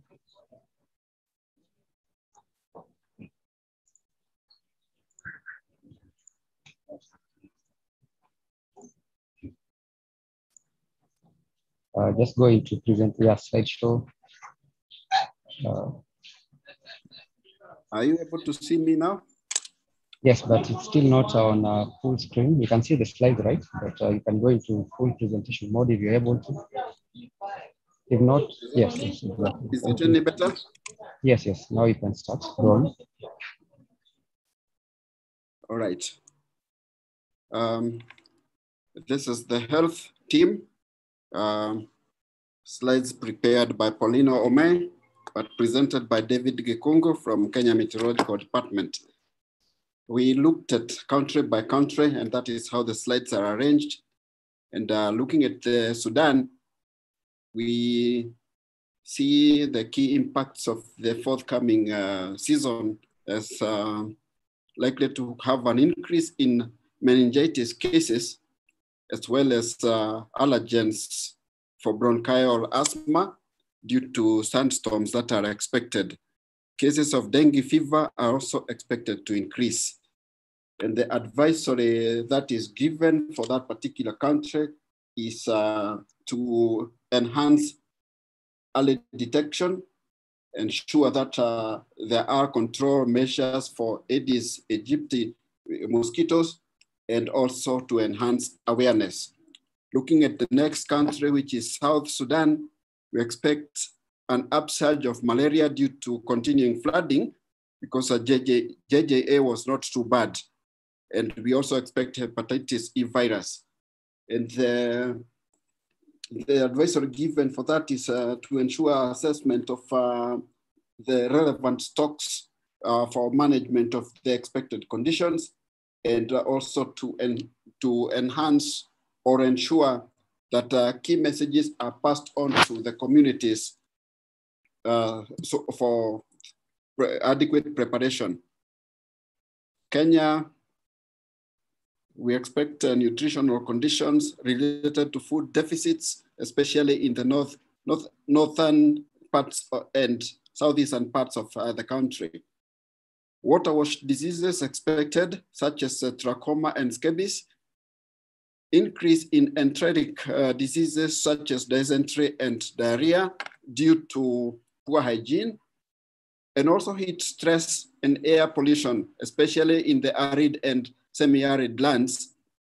We also expect reduced uh, mosquito-borne diseases such as malaria and dengue fever due to the, uh, to the expected uh, reduction in uh, rainfall and therefore the conditions that normally raise that will be reduced. And um, the advisory given for that is uh, to ensure that uh, we carry out vulnerability assessment from time to time, treatment where necessary in rising cases, and, and ensure availability of drinking water, especially in the dry areas, um, to ensure that uh, we reduce um, rather communication of risk where is necessary and also enhance public education. We go to Ethiopia. Malaria may be exacerbated in areas with heavy rainfall, where we expect uh, pockets of rainfall, coupled with a rising temperature that condition is conducive for malaria rises. Shortage of food and poor nutrition as a result of shortage of animal feeds that is expected. And uh, not notable there is that most of the communities are, are pastoralists. And there is also expectation of cholera and other diarrheal diseases associated with shortage of water. You will note that we talk about cholera when we expect uh, a lot of rainfall, excessive water flooding, and we also talk about the same when we have less because of hygiene standards that are affect uh, that that come to play in either way. And the advisories given for that is um, enhancement of health education, the importance of availing animal feeds where necessary, and also to improve water supply. Let's go to Burundi, where we find decrease in agricultural production with all its consequences on health, increase in acute malnutrition expected, decrease of vector-borne diseases like malaria, as has been mentioned about other places,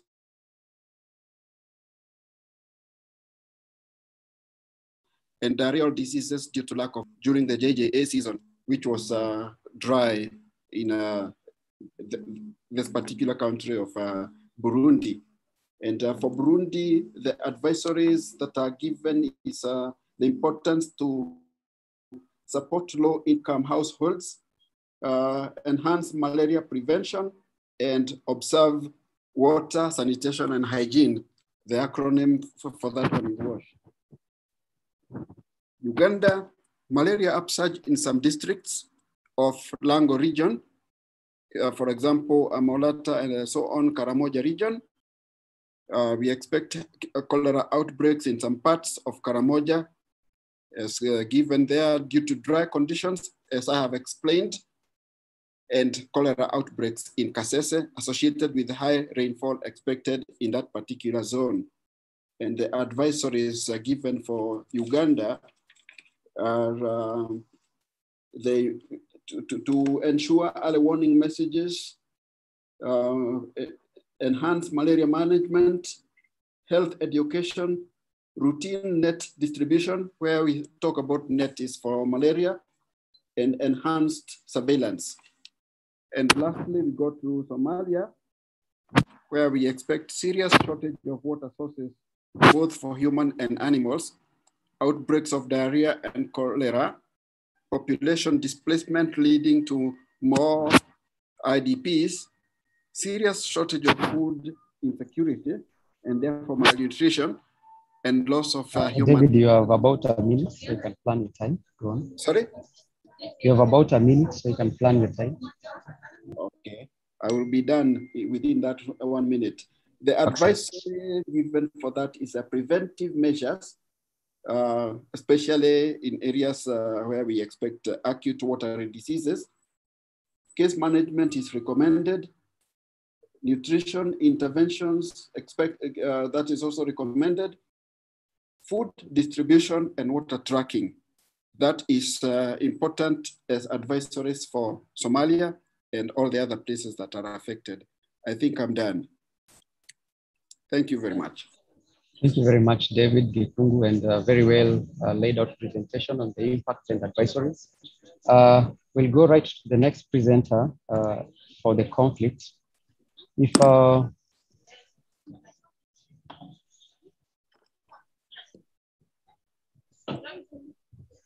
to be able to share your screen, please uh, raise, raise your hand so that the administrator can give you right to share. The presenter for conflict, since you have multiple uh, people under your name. In the meantime, I think Fiona can be sharing this uh, the presentation for conflict.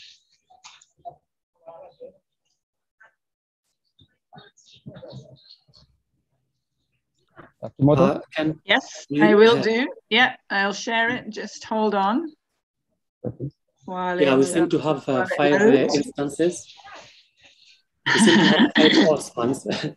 so uh, we need to know who we are going to give the presenter rights to. Osman, please, uh, if you are the one to present uh, for the sector, please raise your hand. Uh, you you'll need to raise your hand in the reactions area so that we can see which one you are. I've seen him. Okay, I've enabled. Excellent. So go ahead. Uh, thank you, thank you, uh, uh, Kim and team. So uh, let me, from the onset, uh, uh, acknowledge the contribution of four member states from Uganda, Kenya, Ethiopia, and South Sudan for contributing to this report. Um, we appreciate their expertise on this. So with the expectancy of uh, low rainfall, um, we will be anticipating for the October, November, uh, December, that there will be escalation of conflict in the IGAD region. Uh, but this can be uh, really uh, uh, uh, measures can be put rather in place to fight this, the escalation of conflict through the conduction of cross-border dialogues for the communities affected. We can also have the resource sharing, establishment of resource sharing committees, uh, because mainly of the scarcity brought uh, about by the low rainfall.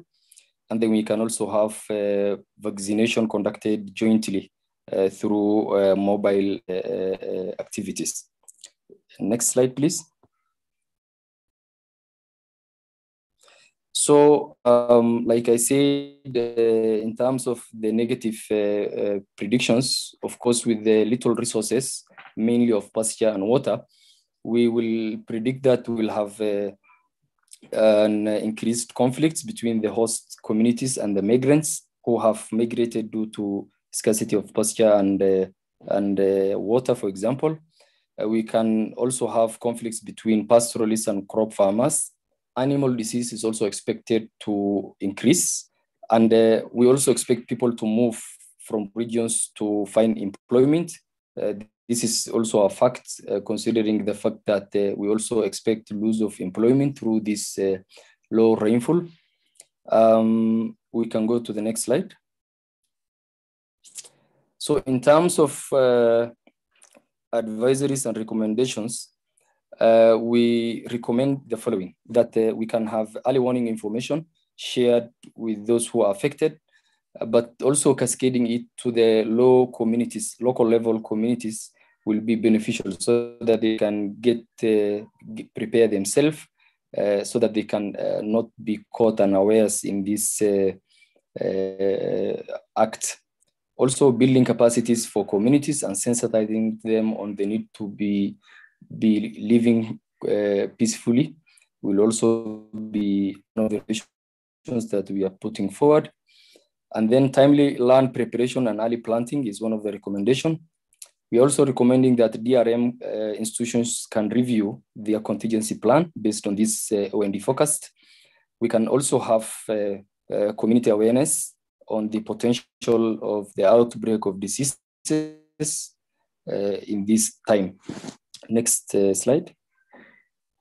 So a continuation of this recommendation suggests that decision makers, including governments, can focus on rehabilitating uh, rangeland. Government can also consider expanding uh, major irrigation canals and the IGAD ICPAC uh, agency can work in research in the area and report to government with a specific location that will be affected. Thank you. I think I'm done. like I've said, we are also ready for any clarification that is to be sought at the chat. Thank you. Thank, thank you very much, Hamoud, and for the concise presentation. There are already questions coming in in the chat that are linking your area and some of the comments that you made also on downscaling. So please engage the uh, participants in the chat also. Uh, we'll have now the water, resources and energy uh, sector presenting. Uh, so the person presenting, please welcome. Mohammed Hassan, welcome. Thank you very much, Kenneth. Am I clear? Am I audible? Yes, now you're audible. You can go and right Can you see my share. slide also? Very clear. Thank you. Yeah, thank go you on. very much. Uh, I'd like to present on behalf of the water and energy sector and also thank all those who attended uh, yesterday's session where this summary uh, came from.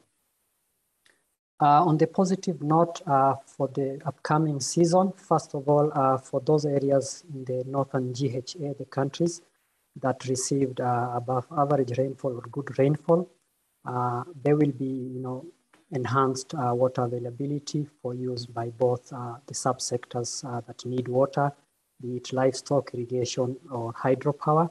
And these are mainly Ethiopia, South Sudan, and Sudan.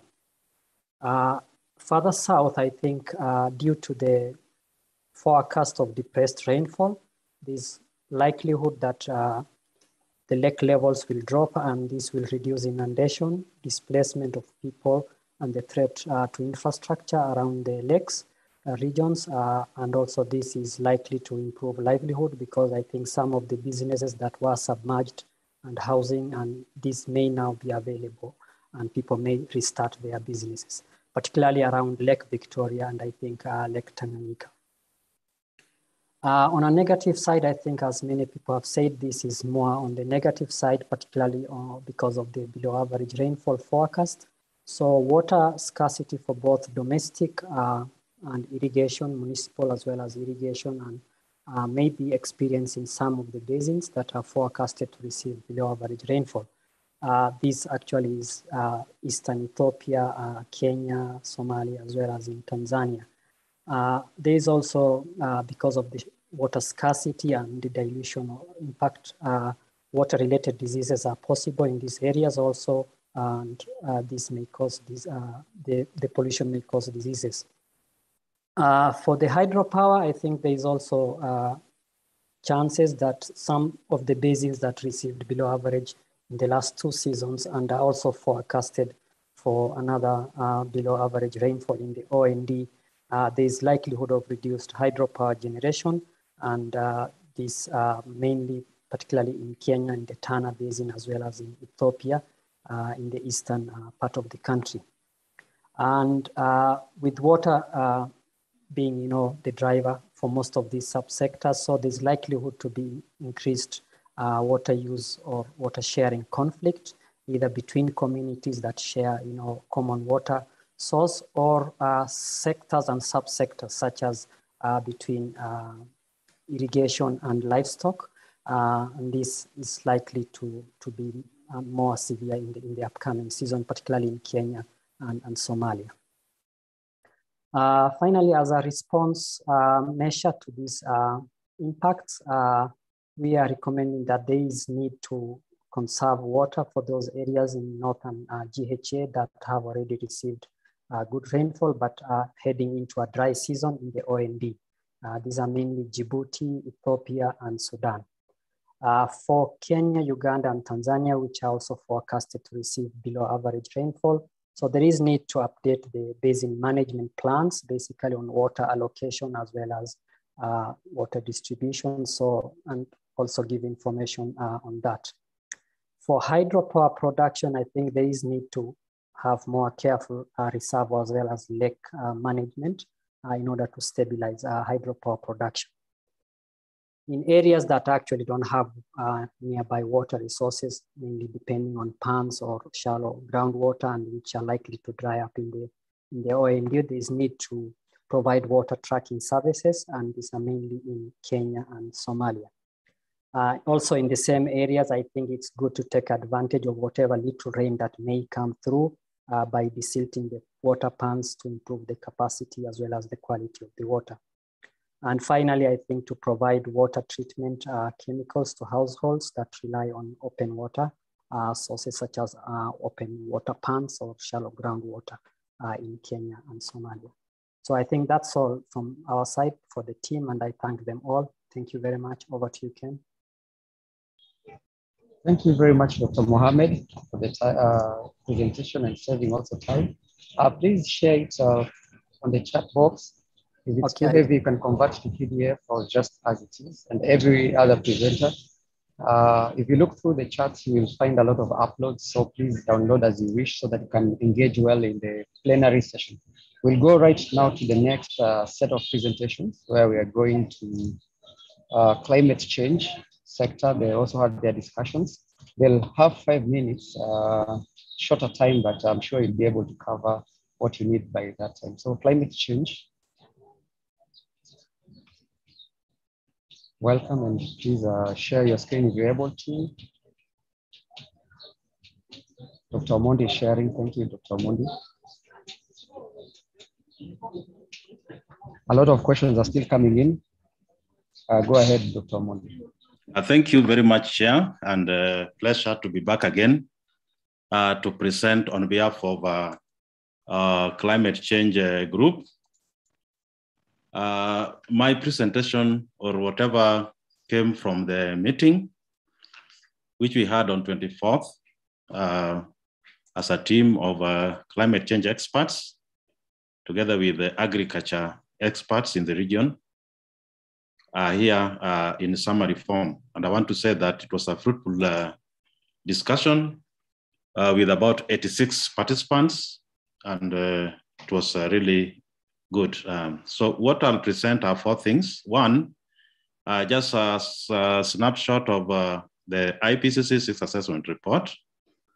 And I'll also uh, give a, a small uh, discussion or report on the outcome of the meeting uh, between the agriculture team and uh, climate change. The slide did not change. Sorry? The slide has not changed. Sorry? You're still on slide one here. Okay, I'm being reminded to move this and uh, uh, move my slides, okay? So um, the first thing uh, I want to show is uh, a, a, a, summary of what the AR6 report is all about. Somebody did a very nice uh, capture of the whole report, a globe that is burning.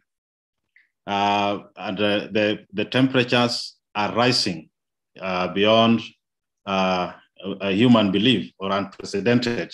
So you can see uh, it has already caused a lot of uh, problems, burning, a lot of heat and forest burning. We remember recently a lot of fire outbreak in Europe, Algeria, and all these are uh, because of the increasing temperature. If you look at the graph down here, it is showing uh, rising temperatures. So uh, the report is out, the, the, the, Uh, uh, uh, the first report, and a lot of information on the increasing human impact in the report. C carbon dioxide concentration is highest in the 2 million years, and the last decade being hotter than any other period, and so on. The next thing that uh, we deliberated on as uh, climate change experts and agriculture was the, some of the impacts that this climate change has had over the region. So we are all aware that currently we just have the first uh, uh, assessment report out, or the sixth one. The others are yet to come out, but the agriculture team uh, across the board uh, realized that uh, there's a lot of enhanced agroforestry practices taking place just to help adapt well to the agriculture. And if you look at uh, the photograph that I've shown here is a typical agroforestry practices in Burundi. Uh, uh, the across board again in the region or member states of IGAD, uh, there is an effort to improve rangeland, rangeland management. Most countries in the IGAD region are also getting into climate smart agriculture practices just to improve the production and also uh, limit the amount of uh, greenhouse gases that will go into space because of the agricultural practices.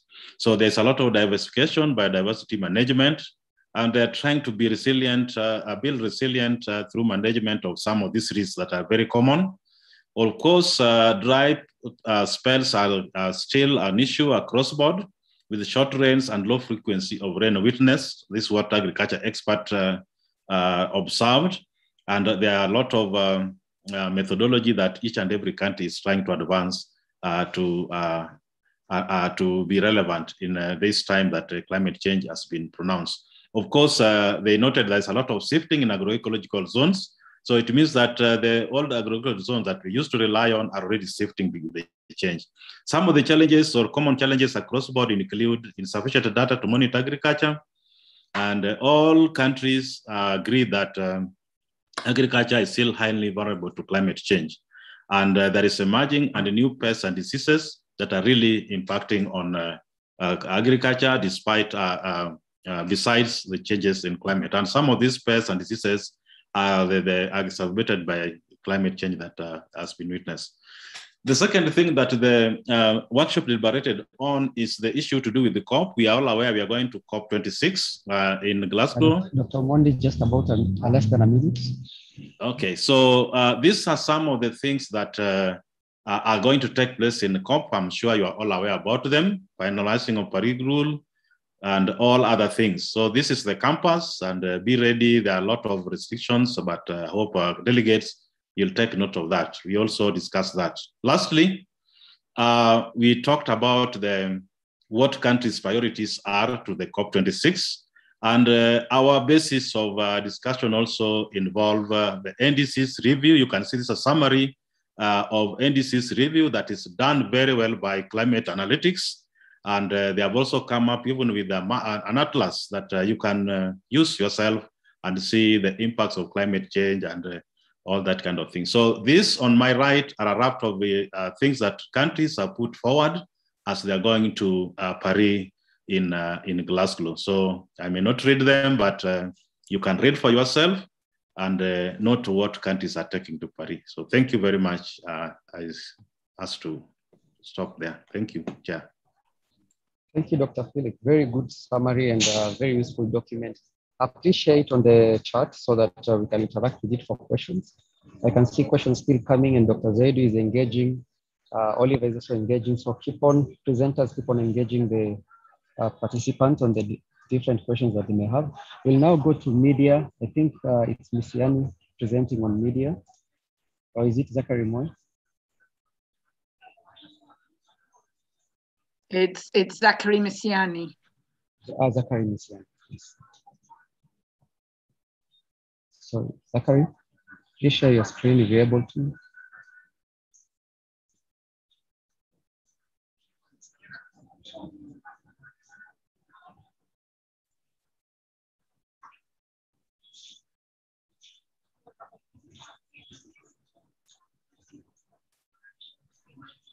Is Zachary there? Do, do you need Zachary, me to share there? screen? Okay, Fiona, please share your screen, uh, the presentation on his behalf. And uh, are you are you there, Zachary? Unmute yourself so that we know you're there as we load the presentation.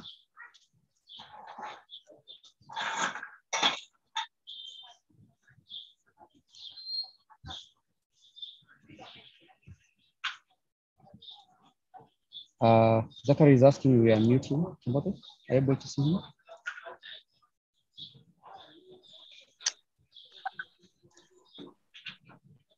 Uh, we seem to have had two Zacharys, so it's only one of them who was Now- unmuted. So the other one can proceed. It's okay. Good afternoon, all members. This is Zachary Misiani from Kenya Met Department. I'm doing the presentation on the behalf of the media, public water service, and the communication focal points from each countries. For the last two days, we have been working. For example, once the the seasonal weather outlook has been released, this is the group usually do a lot of the dissemination of this weather to the various users.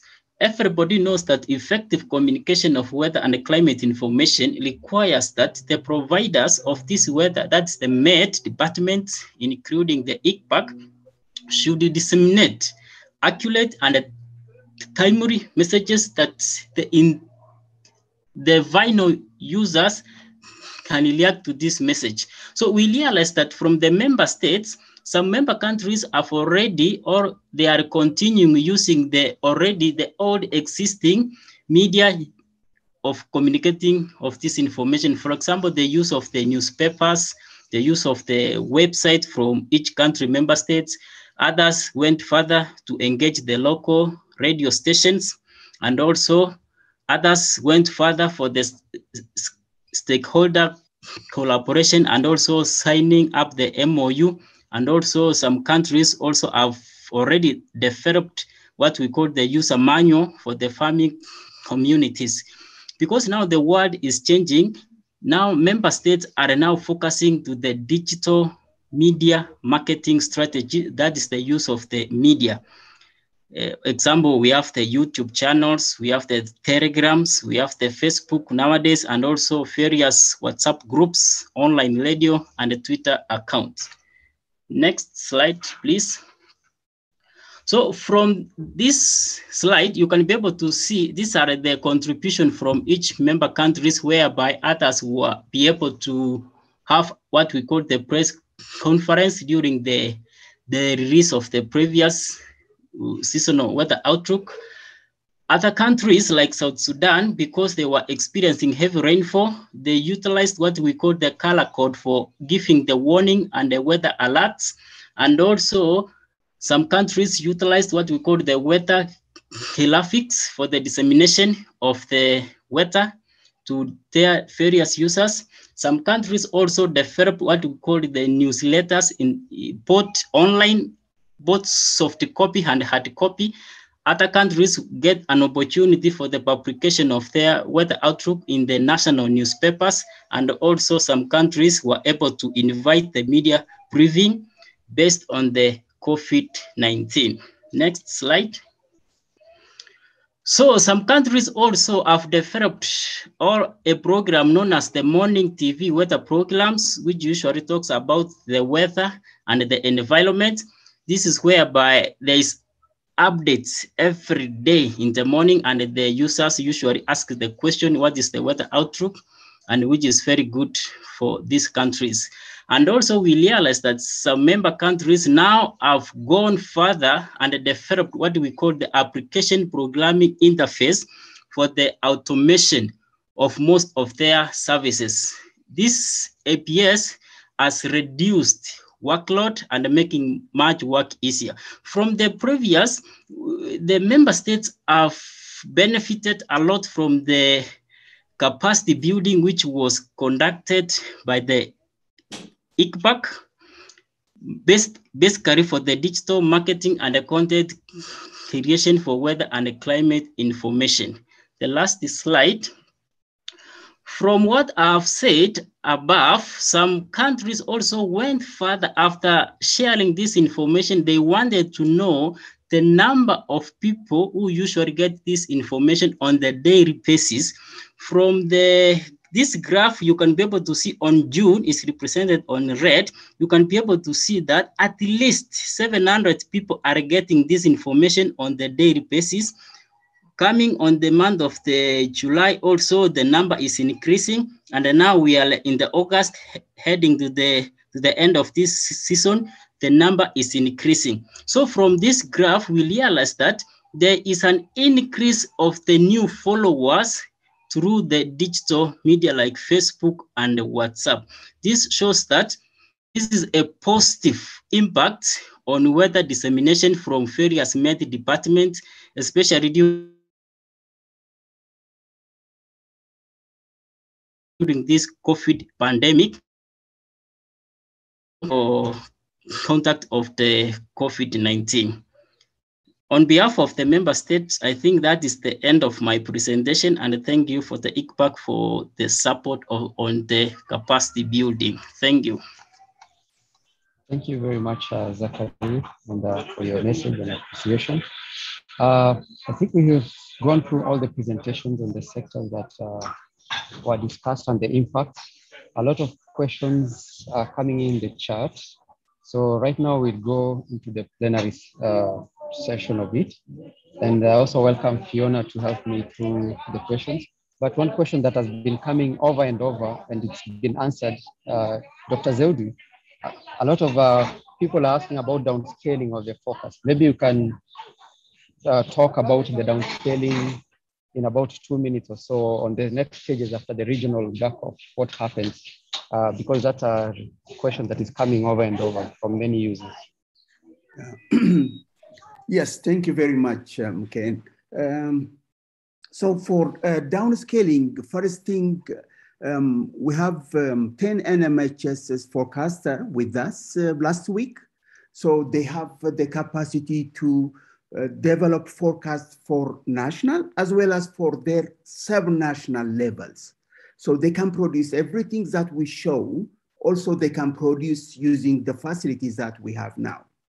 In addition to that, the ICPAC plans to do a sub-regional um, IGAD cluster workshop on climate, uh, a climate forum and user engagement, which we had uh, experienced before for the Karamoja.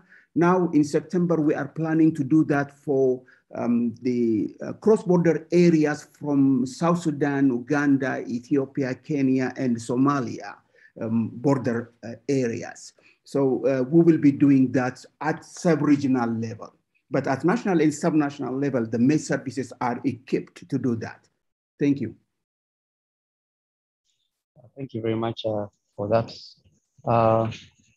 Just to going through the charts, there's one chart that has no one, I've not seen anyone address. Uh, question Priscilla asked about uh, in the region, most member states have the country programming papers that were initiated under IDDRSI IGAD drought resilience, disaster resilience, and sustainability initiative. Could they be reviewed? I'm guessing that goes to Julie, who was uh, uh, checking through the DRM. Will you know about that and uh, able to answer on that, Julie? Mm. Are you around, Julie? Yes, yes. Thank you, Ken. And uh, that I'll wish Dr. Ahmed will be able to have more information on, on the IDDRSI aspect. So kindly, Kim, you'd allow Dr. Ahmed to, to speak on this matter. Dr. Ahmed, are you able to be unmuted so that you can talk about it, IDDRSI? Uh, thank you very much, uh, Ken. Uh, with regards to the IDDRSI, currently there is uh, an ongoing discussion on the second phase, uh, and I'm sure all those points are uh, going to be considered.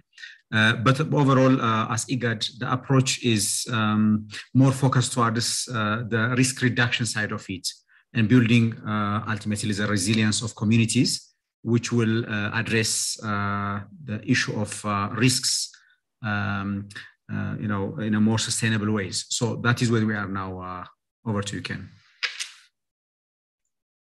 Thank you very much, Dr. Ahmed. I hope it's clear for Priscilla.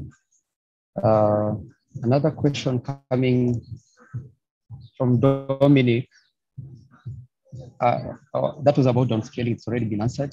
Alor asked about conflict over water and pasture expected in South Sudan, and there was a very good uh, response from Mohammed Hassan, which I think, Dr. Mohammed, if you if you are willing to just highlight, because a lot of countries are going through uh, potentially might go through the same same conflict due to water scarcity this season.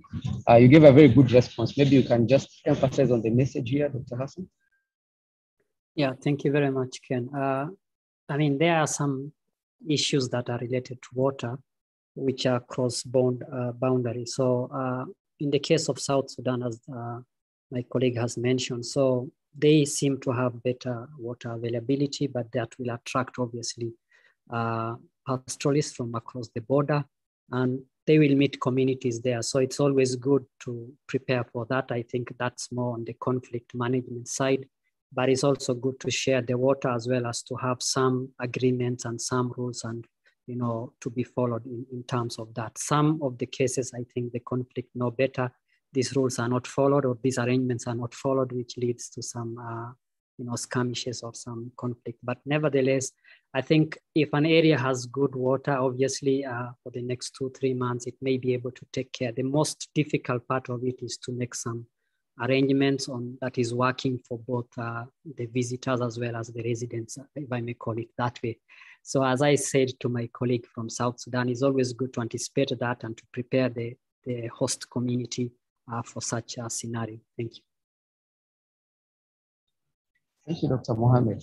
Uh, there is a question to Dr. Philip by Stefan, which uh, he's answered, but uh, I, I also thought many more people could benefit from the clarification. How can ICPAC explore the impact of anthropogenic climate change on seasonal extremes, if there's an opportunity to bridge the gap between the decadal model analysis and how we can go about reconciling disparities between the observed trends and projections from modeling community.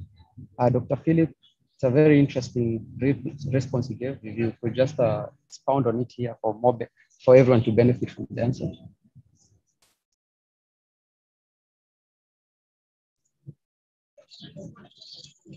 Are you are you around, Dr. Philip? Able to unmute yourself? Okay, now I've unmuted. Thank you, Chair, and uh, thank you, Stefan, for the questions. And uh, I want to combine uh, the two with what was asked in the morning or the, in the previous session. Uh, there is a lot of concern from uh, scientific community that uh, very few uh, research work is coming from our region and Africa uh, in general. And uh, the question in the morning was about the insight on the trends of uh, uh, climate variability in the last decade uh, from member state. IPC mentioned the lack of data and they do not even have confidence with the four papers that were from the Northern Eastern Africa and Southeastern Africa region that went into the analysis. So uh, for us to get uh, uh, well-balanced information from climate change, we need to have a lot of research work done. And particularly, we need to use the few data points that we have in the region to be able to carry out research. Remember, currently we have a lot of uh, uh, satellite information that is proxy, and we cannot say with certainty, this, with certainty that these are real observed data member states have got real observed data that can really be used to uh, carry out uh, informative research. So I remember one time uh, in 2010, we had member states coming to ICPAC with their daily rainfall data and daily temperature, maximum and minimum. And that is the time that we did a lot of analysis and we were able to inform uh, confidently the climate variability and change within the region because we use real observed data. So my advice or my encouragement is to member state that uh, let's use the data points that we have uh, for the uh, analysis and then our region will be well informed in terms of the issue of climate change. So I've just uh, responded to Stefan. He wanted to know um, uh, whether uh, we combine, whether we have clear information about the decadal change over the region and, and, and rainfall. So uh, if you remember again, Stefan, we have uh, some studies that were done on decadal, but ended up in 2010. It means that we need to have more data points from the member states so that we continue with this analysis.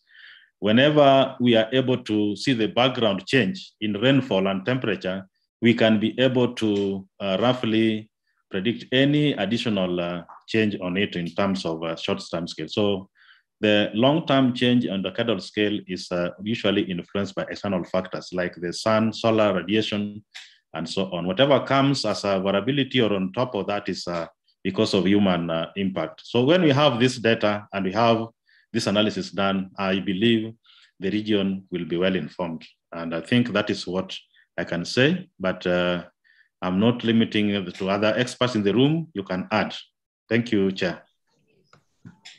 Thank you very much, Dr. Philip. That's a very comprehensive answer that uh, touched on, uh, I think, even beyond what uh, Stefan asked on also data and the impact. Uh, there's one interesting discussion point on uh, agriculture. If uh, Oliver, you're there, Dr. Sabiti asked about the advisory on increasing the acreage planted or reducing it. his argument is that if you increase it, you have more chances of getting more harvest uh, but your advisory was introducing. Maybe you can um, talk about that, Oliver.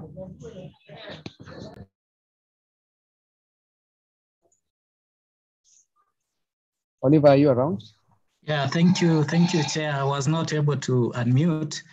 Um, uh, and thank you for that question from uh, actually Dr. Sabiti. Uh, and actually from the general implication that we gave for the sector is that uh, there are actually poor prospects for the uh, uh, agricultural uh, production for this coming season.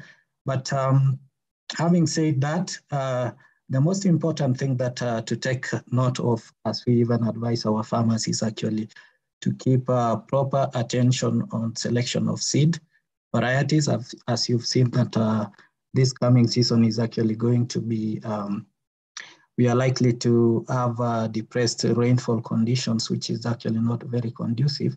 But we need to really give uh, proper attention on selection of, even if, uh, as we talk of even increasing or decreasing the acreage, we need to, the most important thing is to give um, uh, proper attention to selection of seed varieties and also diversification to other livelihood sources, which was actually part of the part of the advisories that uh, we gave.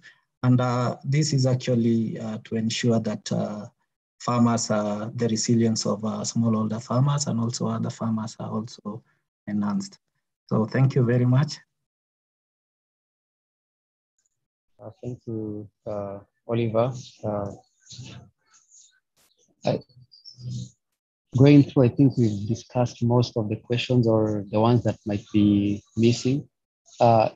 There are still presentations that might be missing, not uploaded. Please upload them, presenters, uh, so that people can download them early enough uh, before they upload it still in the site. The same presentation will all be available on the ICPAC site on the GHACOF, and you can also get a zip of all uh, presentations. There was one interesting also question from uh, Adugna Gemeda. If, if he was asking if we can have insights on the trends on climate variability in the last instance. And uh, one of the IPCC reports, as had been mentioned earlier, lacks evidence in this region, unlike Southern Africa. Uh, and uh, a reference was given there by Andrew Coleman. But in the same way, Will uh, Dr. Philip have a reaction on that, on the IPCC report lacking evidence for this region? Any research planned for this area?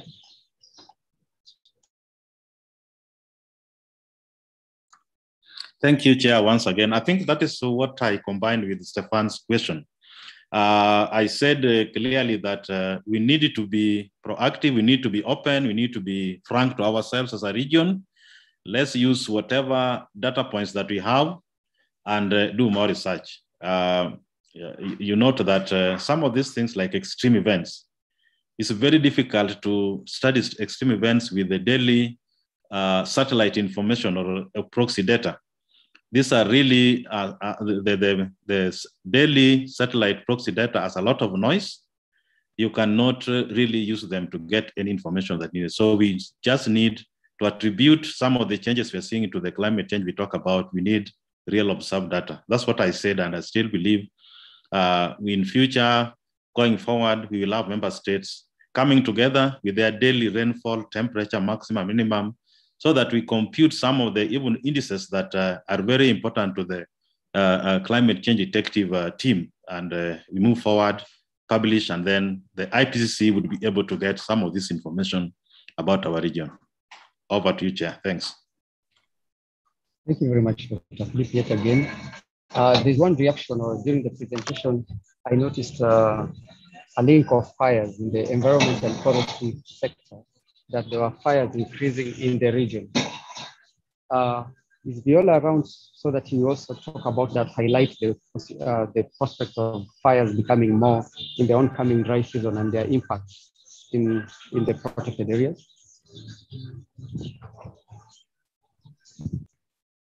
Uh, thank you very much, uh, Chair. Yes, I'm here, Kenneth. Um, so I think it was reported by Tanzania and Kenya as well, especially for Kenya, especially in Tsavo West and Chyulu, that there has been a lot of fires. And then from the graphs that were shared um, with Eugene in the morning in terms of the JJS uh, uh, impacts, you could see that from the graphs that were created based on Earth observation data, you could see that the number of fires exceeds by a very large margin the long-term average number of fires in this fire season as well. And then given the fact that OND is expected to be drier uh, than usual, then we expect an increase of fires, not just uh, Kenya, Tanzania, but probably in South Sudan as well. Um, so I think one of the recommendations that came out is for uh, park managers, for example, or uh, officers in charge of forests to come up or to to prepare fire management uh, policies or practices or strategies to tackle the fire, but also to revamp or enhance capacity of um, the officers on the ground, um, of, the, uh, of the officers on the ground to tackle uh, the fire that are expected to be on the increase. Uh, yeah, thank you, Kenneth. I think that is all regarding that aspect. Thank you, Viola, for that. Uh, so fire, the fire season about to start also in many countries, uh, Sudan, South Sudan, parts of Kenya, southern Ethiopia. So very good advisories that we expect in this season. I think with that, uh, I'd like to wrap up this session for now. This session so that we, we can now keep on time. It's been very exciting and very good engaging with everyone here. Good questions coming and the presenters. I was uh, my name is Kenneth Mwangi, chairing this session and being rapporteured by Ju Julie from IFAC. And we thank you for the time. I'll just hand it now to, the, to, to Fiona so that she can guide us on how we do the next session. Thank you very much, everyone. Fiona? Fantastic. Thanks so much, Ken. Um, great job and great job to all of the um, presenters, the sector heads, climate change, um, media really, really interesting and rich information and very important for all of us to take back to our countries and build this into the, the work that we are doing and communicate with our colleagues and, and National Met and so on. Um, thanks all for putting your presentations in the chat as well, so they're available. Um, we're now moving on to the partnership session. So we have some rapid fire, short, presentations from five different projects. So a little bit on um, what's happening um, in ICPAC, and related pro projects that relate to ICPAC that are either ongoing or closing or just starting up. So kind of information session and I will hand over to Linda to, to take us through. Over to you, Linda. Uh, thank you very much, Fiona. Uh, as you mentioned, this is um, the session where we look at some of the projects that have come up or have been ongoing since the last um, time we met. And we, like Fiona has mentioned, we have a number of uh, presentations. All the presentations have uh, been lined up. So for the presenters, we'll have uh, Viola and team on the East African Drought Watch, who will be followed by Hussein talking about ClimSA, and then Abebe, you'll come in with Down to Earth. Doreen will tell us about the new Desert Locust platform, and finally we'll finish with um, John Mungai from WISER. So um, if we can have a presentation up, then I can welcome um, Viola to begin to start us off in this session. Well, the presentation will be given by Alfred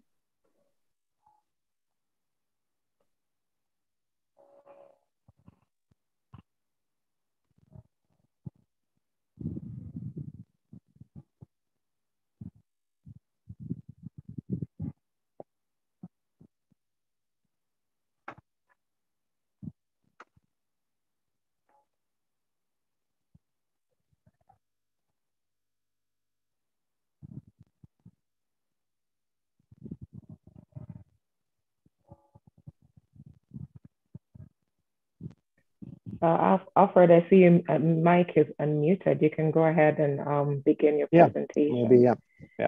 Maybe Viola has a problem. Hello, I'm Alfred de Jager. I work for the Joint Research Center of the European Commission. And we made a project together with uh, ICPAC on setting up a drought watch system uh, in uh, for the East African region. So basically what you saw in many of the presentations comes back in this system. You go to the next slide. Uh, sorry, okay. Alfred. Yeah. I will. You are there. okay, here we go. Yeah, here we are again.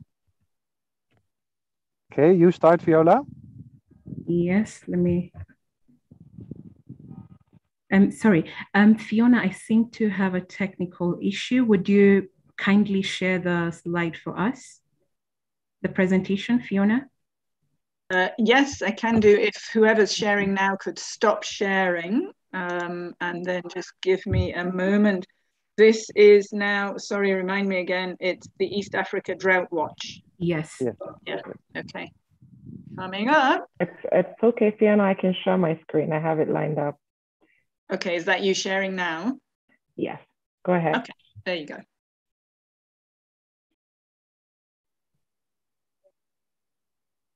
Okay, Viola. Okay. Um, Do you want to continue or shall I? No, you go? can continue. You can continue. Okay. Yeah. All right. So, firstly, apologies for the technical hitch. Um, as Alfred has mentioned, that this is one of the projects that uh, ICPAC has been doing with the Joint Research Center, and uh, we have been developing the East Africa Drought Watch, we have, which we have been working on over the past year. And as you have seen, uh, East Africa region is highly vulnerable to extreme weather and climate events. This include drought and floods as well.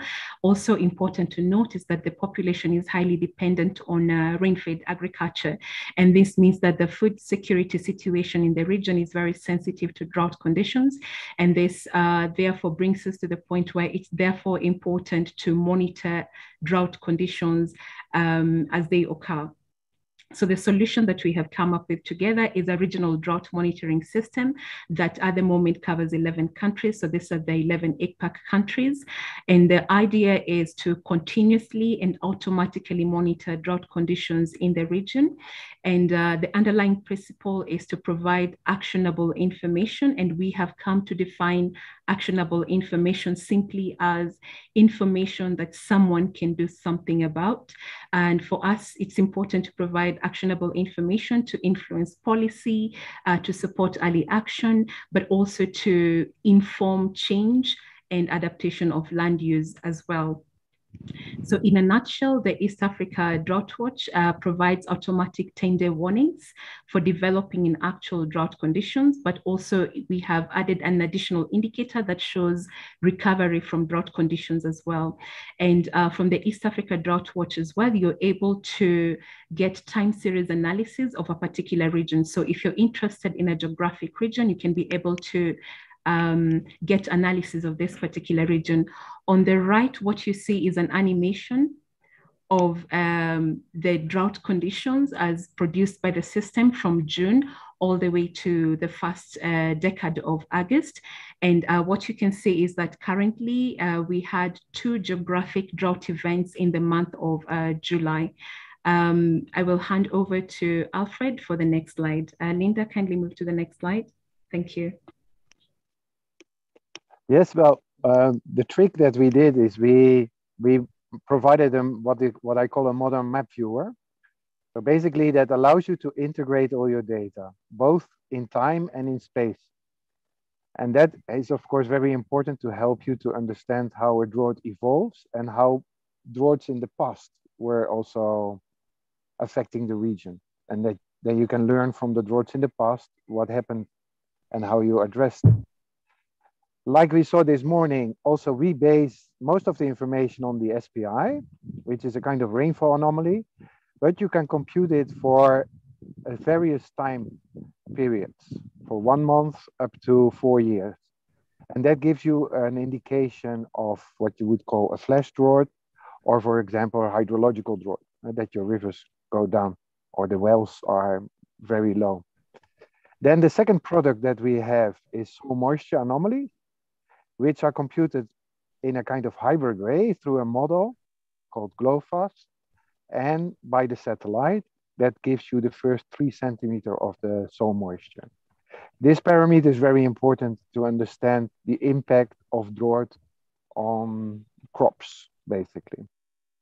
Then, and we had this discussion also, we have another product that is computing the vegetation response. Basically, if a plant is not growing well, then he will reflect in a different way the light. And you can detect it with, with the satellite. And if these three parameters confirm each other, then we really say, okay, we have a problem in the area and you can do this thing automatically.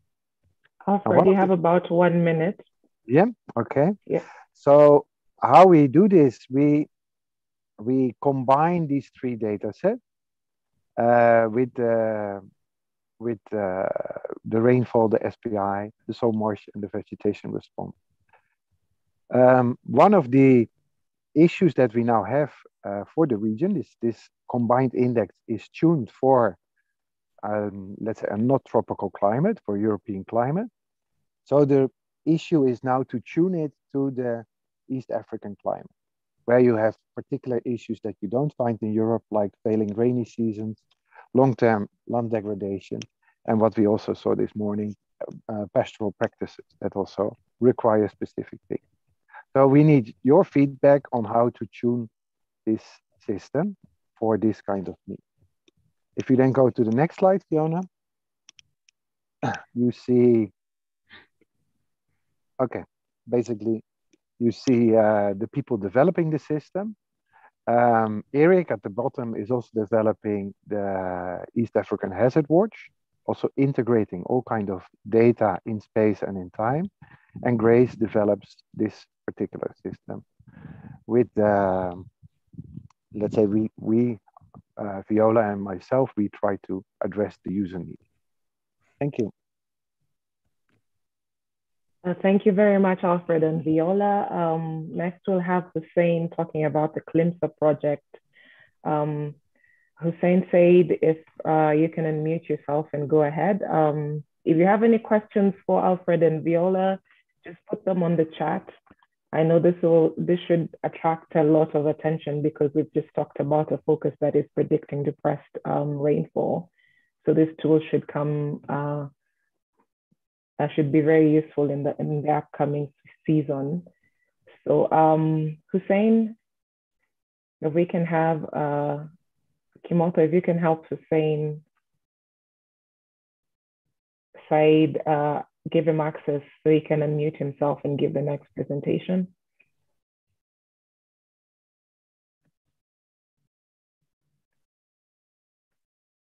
Um, Kimoth, are you here?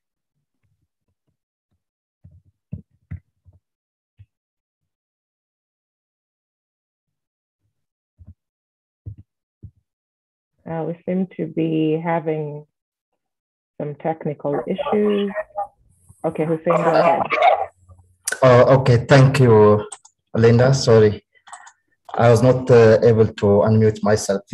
Yeah, good uh, afternoon, uh, everyone. I'm going to present about uh, the ICPAC component of the Climate Service and Related Applications ClimSA program.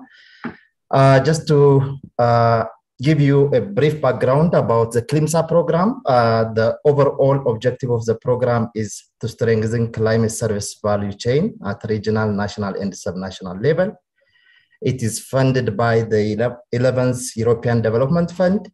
The funding amount is 8 million euro. Uh, the action signed in December 2019 and the implementation started in January 2020.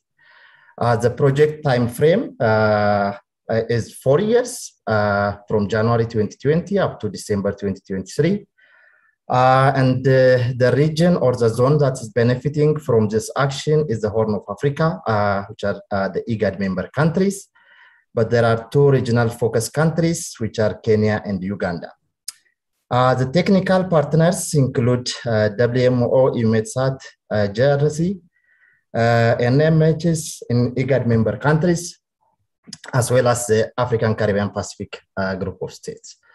Um, the action has five result areas which are aligned with the uh, five GFCS pillars, uh, which has a, a, user interface platform component, a climate service information system, observation modeling, and the capacity development uh, cross-cutting, uh, as well as the uh, mainstreaming um, climate information into uh, decision making. Next slide. Uh, to to highlight just some of the achievements in each result area under result area one, uh, which is improved interaction between users, researchers, and climate service providers. Uh, we supported uh, the establishment of a national framework for climate service for Kenya. We have also contributed to the GHA Climate Outlook Forums uh, co-production activities as well as the user feedback assessment. We also provide uh, new and improved climate products to the FSNWG group, uh, which is a, uh, a, a regional uh, user interface platform for agriculture and food security sector, which is on monthly and on need basis also supported the uh, Kenya Meteorology Department in organizing the first and second National Climate Outlook Forums. Uh, next, on result area two, which is effective provision of climate service at regional and national levels, uh, we started developing uh, new uh, climate products. The one you saw like the flexible forecast, the probability of exceedance, as well as this uh, standardized precipitation index.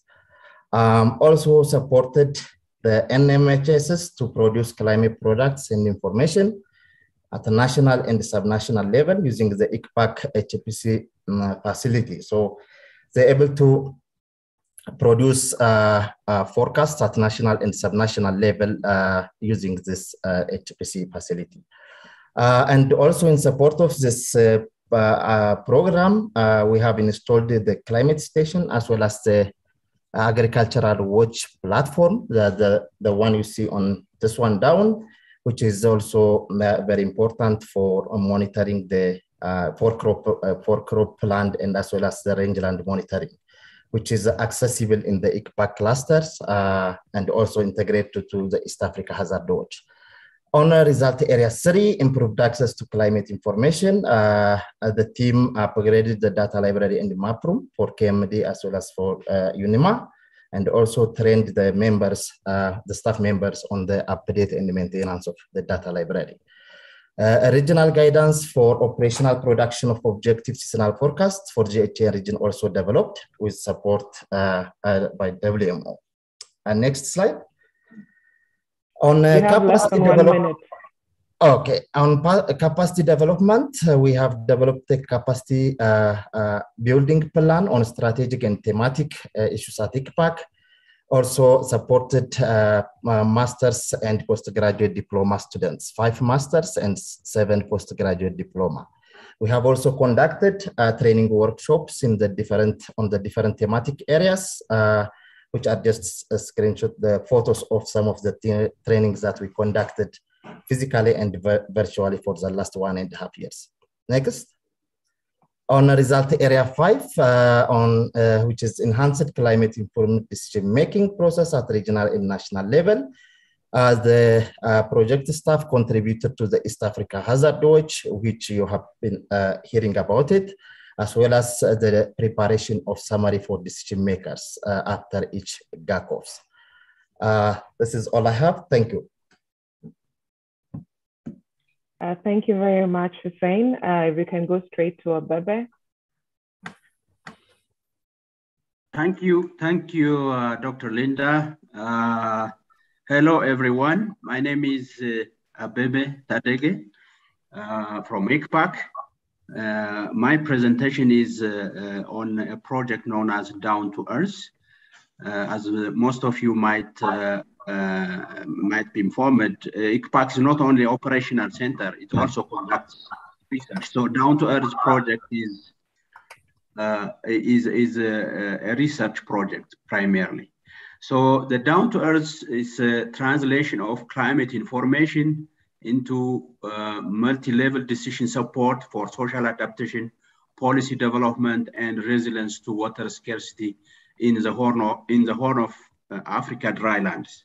And the focus of the project is on water scarcity and food insecurity challenges in rural communities within the Horn of Africa drylands, uh, HAD for short, with a geographical, a geographical focus on drylands of Kenya, Somalia, and Ethiopia. The duration of the project is uh, uh four years, uh, and funding is about 6.65 million euro contributed through uh, the EU Horizon 2020 program uh, on the, in the component of climate services uh, for Africa.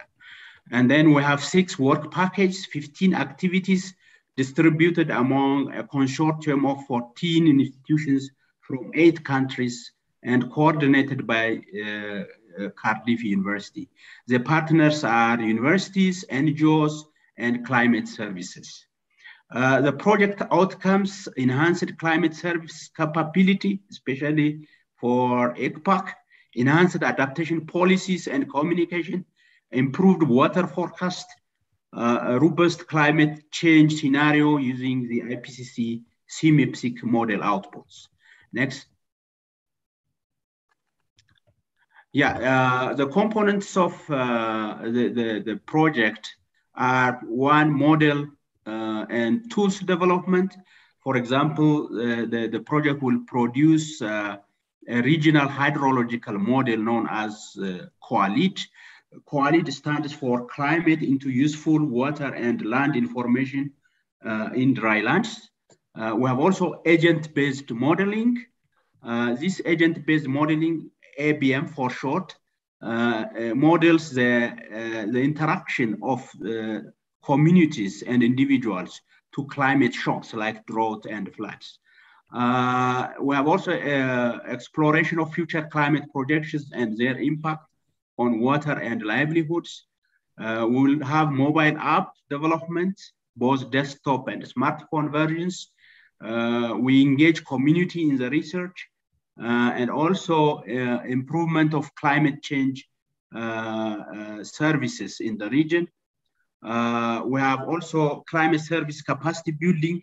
That's a key component. We'll have a, a, series of trainings for, for the member countries, especially the three countries, and we'll have dissemination and communication uh, component as well. Uh, just to, this graphic shows you how uh, a, a forecast, for example, the objective forecast provided by the climate modeling team can be used as an input for the COALIT model. And then the COALIT model can provide uh, uh, outputs like soil moisture and groundwater. This is quantitative uh, information on soil moisture and uh, groundwater. And that can be analyzed and provided to uh, decision making. And the, all of this exercise will help us uh, improving uh, the climate services provided by ICPAC. And term, uh, we are already one year in the project. Uh, like I said, it is a, a four-year project. We are in one year. What has, has been achieved so far? Kickoff meeting of the project was held. Website is already uh, up and running. Uh, communication and dis dissemination plan is already developed.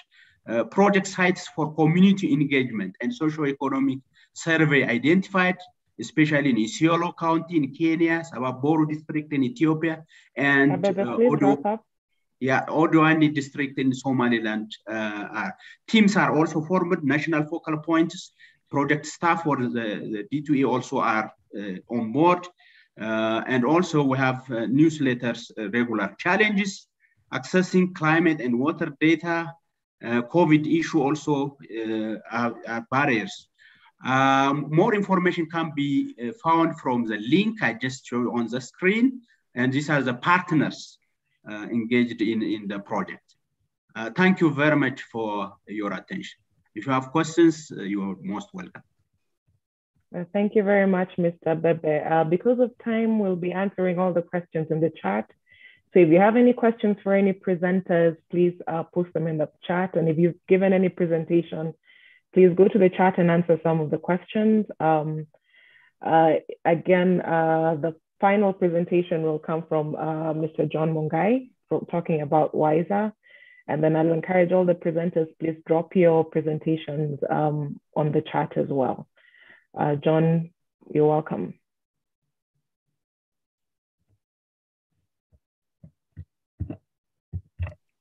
Madam Chair, I think uh, you forgot the interregional platform on Desert Locust. Or does it come after John?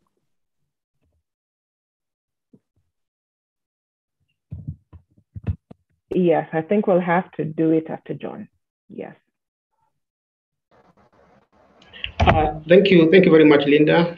And uh, welcome to this uh, very short uh, presentation on WISER. We have been on the ground since 2016 and all our projects are closing this year. Some of them have already closed actually. And the thing is that we've been trying to bring about transformational change in the quality and uh, accessibility and use of uh, climate information in the region.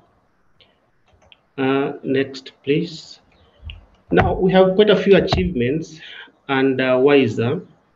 But since this is uh, the theme for this uh, GHACOF is resilience and climate, we chose just a few indicators here on resilience to show you uh, what we have achieved in this regard.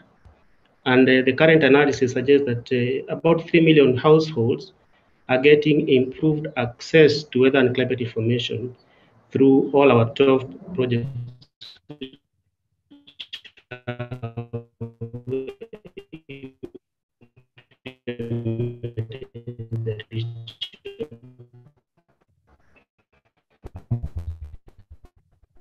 I'm not sure if it's just on my side, but uh, John, we seem to be having a problem with your connection. Yeah, same here. 489,000. Uh, sorry, John, we have a problem with you. Actually using, because it's one thing to access. Hello, John? John, you keep breaking up. It's another one to use. So about half a million of those then the survey we undertook this year improved resilience due, uh, and we've also accrued uh, some about 200 million pounds. Uh, and one may ask how. Hello, can you hear Sorry, me? A method you, of yes, uh, it's okay. Continue. Up. You can continue. Just keep going. Oh yes, we have developed a method uh, of doing resilience uh, indicators and so forth because many projects stop at uh, output level or outcome level or even impact, but we're going to step further to, to give indications of resilience and uh, how to guide on how to you can do resilience uh, is being developed and be shared probably in the next day, uh. Next, please.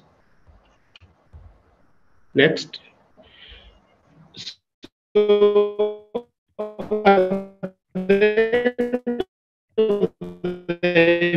WISER project about April time, we have all the projects, the funders, and other people interested in weather and climate information together.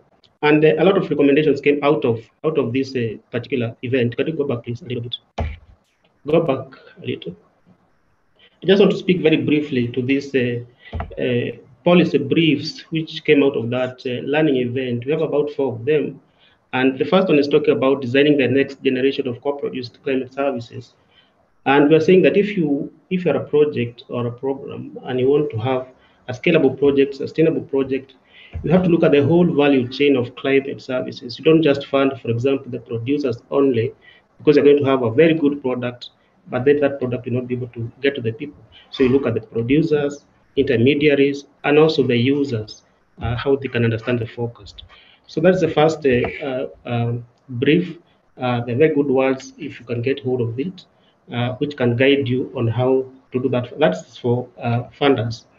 We have another one on co-production. Co-production is a byword which I think uh, mostly was not existing much before I came into the region. And all our projects have co-production elements in them.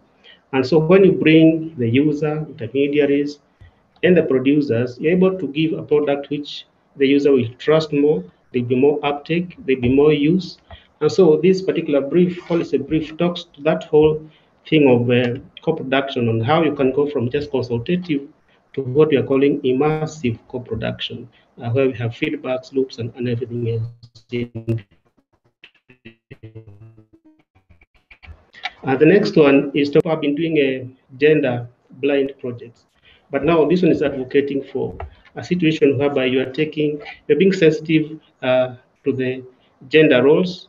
Um, so there's a whole brief on how to, to wear, uh, so to speak, a gender lens in your projects and programs. And the last one speaks to national met, meteorological and hydrological services.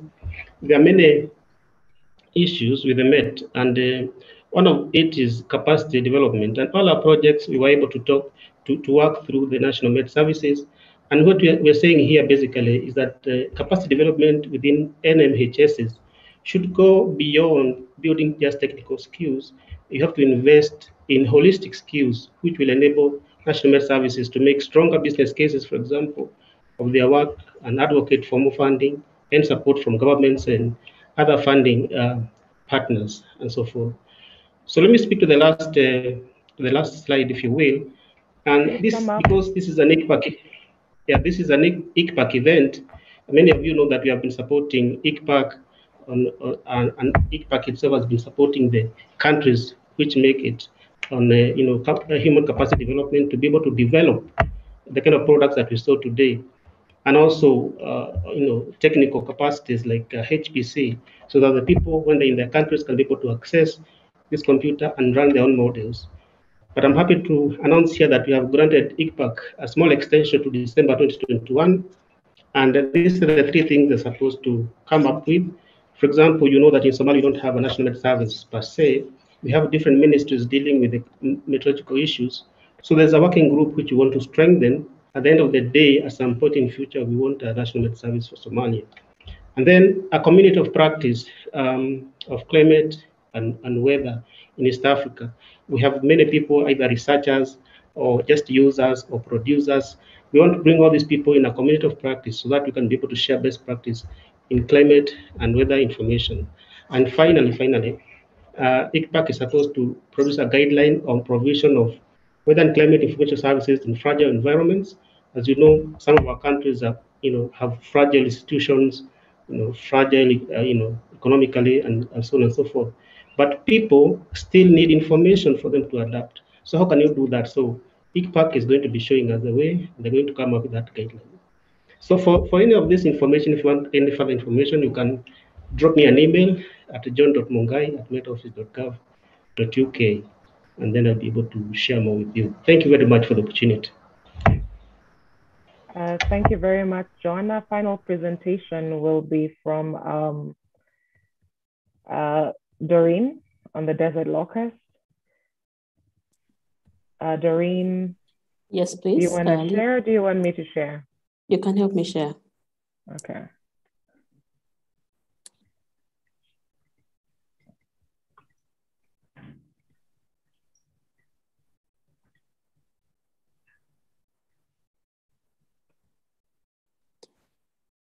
Okay, so IGAD is implementing a new three-year project that is going to help set up an interregional platform on the sustainable management of desert locust and other transboundary pests in the in the region. And the project is being funded by the world bank. It will run from july it is running from july 2021 to august 2024 and it's part of the world bank the world bank's emergency locust response pro program phase that is also supporting south sudan to respond to the desert locust invasion the goal of the platform uh, that is going to be formed will be to strengthen synergies, sustain sustained management and control of desert locusts and other transboundary pests in the region. But uh, the platform will not be only extended to the IGAD countries, but also to other countries like Yemen and Saudi Arabia that are current, that are really, really frontline countries for desert locusts in, and into our region. But um, the management of the platform will involve member states, those countries that are also affected, as well as other partners.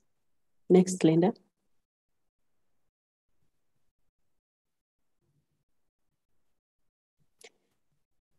So what, what in the in the, in the three years next?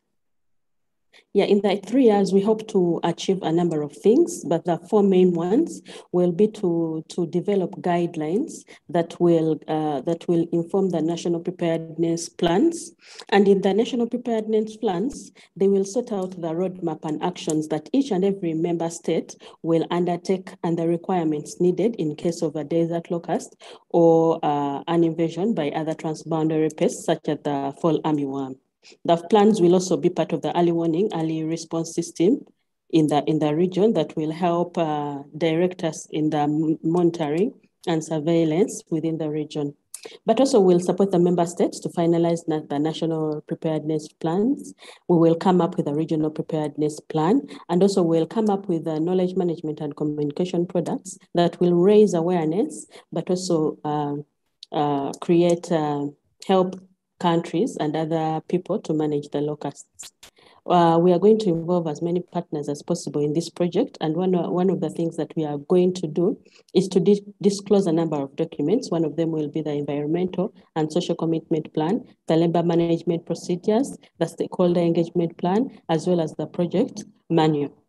This will be made available through the ICPAC, IGAD, and World Bank websites, as well as through email and other, so, and other social media programs. So we welcome you to uh, partner with us as we implement this pro project. Thank you very much. Uh, thank you very much, Doreen, for being straight to the point and bringing us to our last presentation of today. Again, if you have any questions for any of the uh, presenters, please uh, feel free to use a chat box. I want to welcome um, Fiona to tell us about this afternoon's side events as we come to a close and get ready to the main um, event, which is on the release of the forecast. So Fiona, if you could just take us through what's happening this afternoon uh, before I invite uh, Mr. Peru to take us to the conclusion of this session. Great, thanks so much. Thanks, Linda. And thanks to all the presenters, really interesting projects. Um, we don't have time for any um, to and fro in the in this meeting. Um, luckily, the first side event at um, actually the I think the second side event, first and second side events in the list uh, will also touch on the the East Africa Drought Hazard Watch. Um, but this afternoon, so any questions, please keep using the chat box um, and look them up on um, on the web and so on. Um, we're about to close, but to announce that at 2.30 up to 4 o'clock, we will have four side events. They are all happening at the same time. Um, the first two are the East Africa Climate Hazard Watch and the Agricultural Monitoring for Eastern Africa. Um, in, if you are interested in these two side events, you must stay on this same Zoom link that we're on now and uh, you'll have at 2.30 you'll have the opportunity to select um, the breakout room um, for the for the um, event that you want to join. So these two east africa climate hazards watch agricultural monitoring in eastern africa they are ICPAC products and they'll take you through practical sessions. Um, you need to stay on this link and pick the breakout room for the one you want to join we have a third side event also starting at 2.30, which is the review, going through the reviewed version of IGAD's regional climate change strategy. Philip will be leading that. Um, I will post this Zoom link into the chat box as well as soon as I stop sharing. Um, some people have already registered for this, um, but you're also welcome to join if you're interested in the IGAD regional climate change strategy and the review of it. Um, you need to come off this Zoom meeting and then open uh, the new Zoom link, uh, which is here, and I'll share in the chat. And our final fourth one is the Climate Data Managers Working Group. It's a working group, so it's by invitation only for those of you who are in the working group. Paulina Omei is your contact person, and you should have already received the Zoom link um, in your invitation to this working group meeting. So these are very much um, like the kind of working groups and side events that we would normally have at a face-to-face -face GHACOF.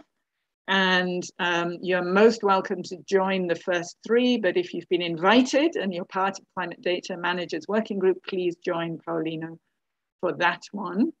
I'll stop sharing now and I'll paste the, um, the climate change links here in the chat box for the Zoom link for the climate change meeting. Um, otherwise, we are closing here. Thank you so much um, to everybody for your great participation this morning. Thank you to all the speakers. Thank you to everyone who asked questions. Um, I hope you did get answers. Um, you can still keep asking your questions in the chat. If you haven't had answers, you could chase. Thank you uh, to the speakers for, um, for your answers. Um, it's been a very rich morning, and I would like now to hand over to um, Mr. Atheru to take us into the closing session. Over to you, Mr. Atheru. Okay, thank you very much, uh, Fiona, for very nice uh, facilitation.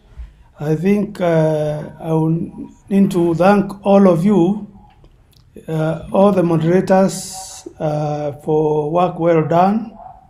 Uh, I think it has been a very nice day. Uh, we are on time, I think, uh, and we are going to, I think, go to the main event now. But of course, we are reminded for afternoon. So kindly prepare to join the respective uh, side events. Mine is very simple, uh, is to welcome uh, the Director of ICPAC, Dr. Guleid Artan, uh, to release the GHACOF 59 statement. Dr. Guleid Artan, if you are here, you can begin uh, the statement. Do you have good data inside? Hello? I think he's here, but he seems to be, let's see if he may be muted.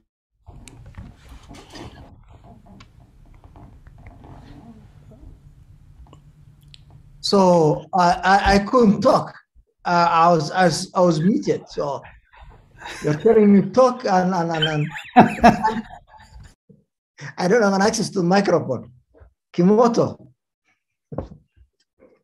You are uh, loud and clear, Dr. Artan. Now, now, now I'm loud and clear. I can see. Thank you. Thank you, Fiona. And thank you, all of you. Actually, uh, let's give an applause to the all the presenters and, and, and, and the chairs of the various uh, um, uh, sessions. Thank you very much and, and to the organizing committee uh, for job well done. Uh, now let me read uh, the uh, press release for GHACOF 59. drier than usual conditions are forecasted in Tanzania, Burundi, Rwanda, Kenya, Somalia, Ethiopia, and Eritrea. August 26, 2021, Nairobi. The upcoming rainfall season, October to December, is an important season for Uganda, Kenya, northern Tanzania, southern and central Somalia, and uh, southern Ethiopia and South Sudan, much of Rwanda and much of Rwanda and Burundi. For some of those countries, this is the main farming season and it represents up to 70% of the total annual rainfall. A drier than usual season is forecasted across Eastern Africa from October to December 2021, in particular in Tanzania, Burundi, Rwanda, Kenya, southern and central Somalia, uh, and northwestern Somalia also, southern and southwestern Ethiopia, and the Red Sea coast of northern Eritrea. Of particular concern are the drier than usual conditions forecasted over across uh, the border area of Kenya and Somalia, where this season actually is quite, quite important. 2021 is, is being un, unexpected to continue to be a drier than usual year for the majority of the region. Observations of rainfall over the past month, months reveal that the region has been facing rainfall deficits in many parts of Central and Southern Eastern Africa. This is forecasted to remain until December 2021.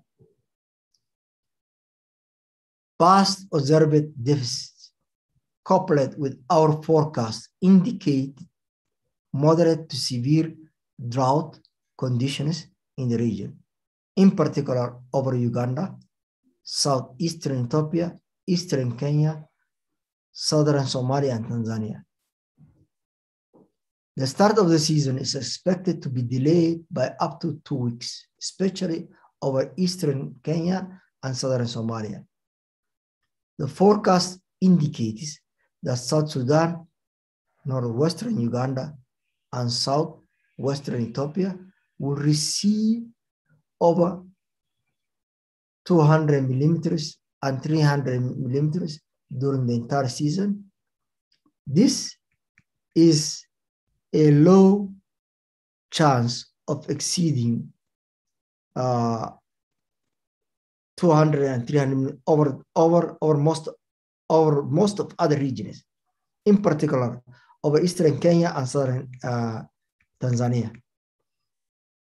Besides the drier conditions, warmer than usual temperatures are expected across the region, in particular in eastern Kenya, Somalia, eastern parts of Ethiopia, and, and eastern Sudan.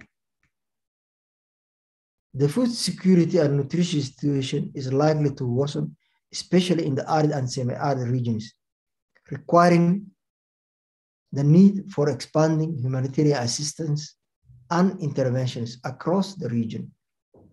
Generally, generally poor rains, late onset, coupled with other non-climatic conditions, uh, with other non-climatic drivers like COVID-19, economic shocks, and conflict, present poor prospects for farming across the region. Considering the ongoing simultaneous humanitarian emergencies impacting the region, including the pandemic, the regional and national authorities are encouraged to use this seasonal forecast to develop contingency plans and to update them with weekly and monthly forecasts provided by ICPAC and the National Meteorological Services.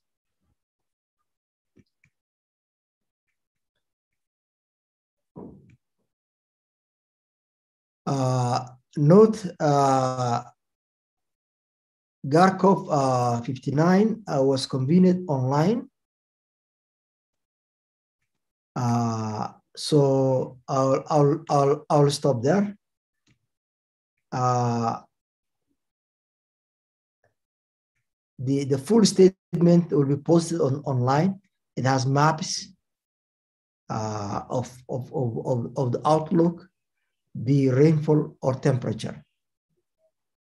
Uh, with those words, I, I now I can go to my concluding remarks for, for the meeting.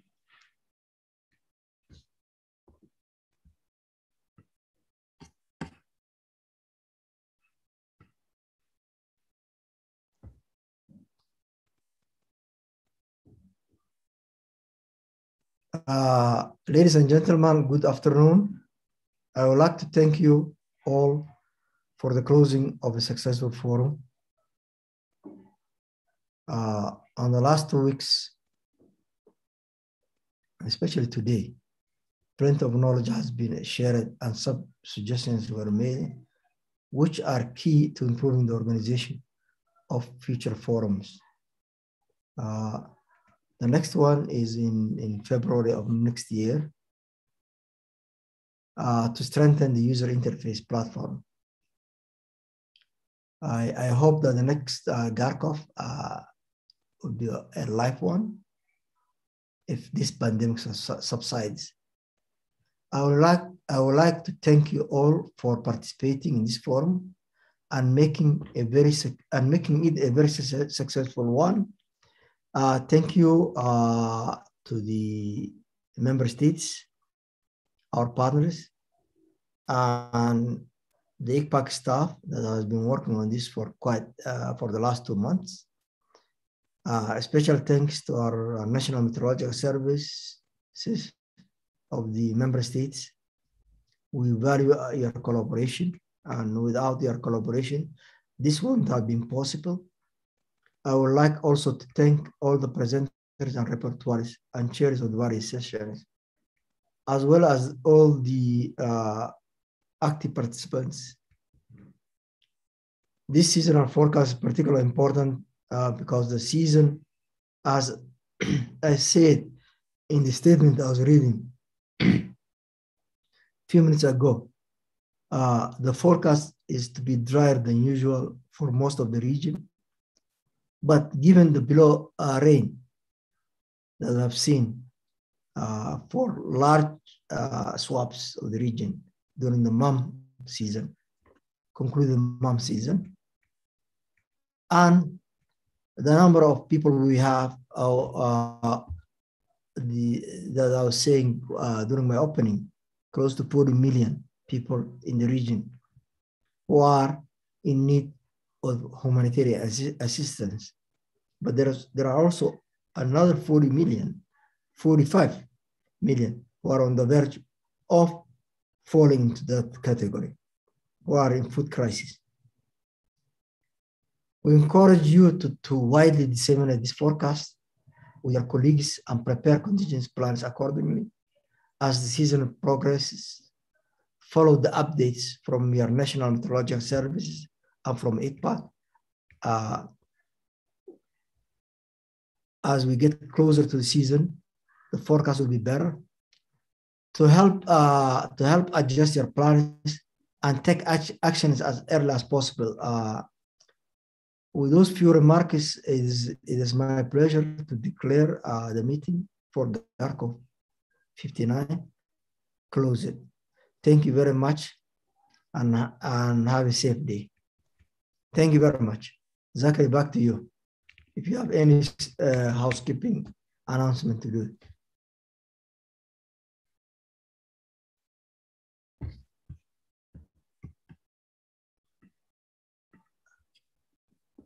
I am not sure, uh, Zachary. I can also come in and say oh, thank you very much.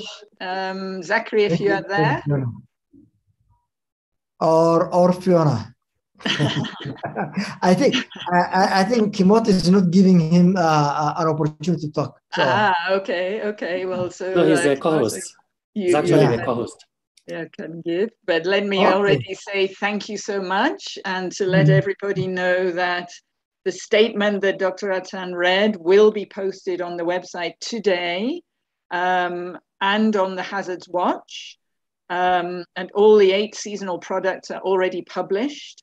Um, and there'll be a press release statement in about two hours from now. So everything will be on the websites today. Go to the ICPAC website, Hazards Watch website. You will find everything. In terms of the press release statement, the official statements coming out from today's GHACOF 59. Um, thank you so much, Dr. Artan, for, for reading it out for us. Um, Zachary, will you come in at this point? Hello. Uh, Hello, yes. yes. Go ahead, Zachary. Yeah, I think uh, the, the issue maybe we need to clarify is whether the signed events are starting 2 or 2.30 because uh, there is one we're saying 2.30, the others 2. We may need to. Um, they're all starting at 2.30. So we Oh. have time for a lunch break. Okay. So 2.30, but as we said, if you're joining any of the first two, um, then stay on this Zoom link. You don't need to, so we won't close the Zoom link. We've closed GHACOF 59, it's over, it's done. Um, but don't close, don't leave this Zoom link. Um, if you want to join uh, one of the, either the um, uh, Hazards East Africa Ha- Climate Hazards Watch or the Agricultural Monitoring, stay right here and be back before 2.30 so that you can join the breakout room you want to join. If you are joining the climate change one or the data managers group, then, um, then you can leave this Zoom meeting and you go to the link we've posted uh, for the climate change one or the invite to the other one. Um, Abu Bakr, would you like to also say anything at this point?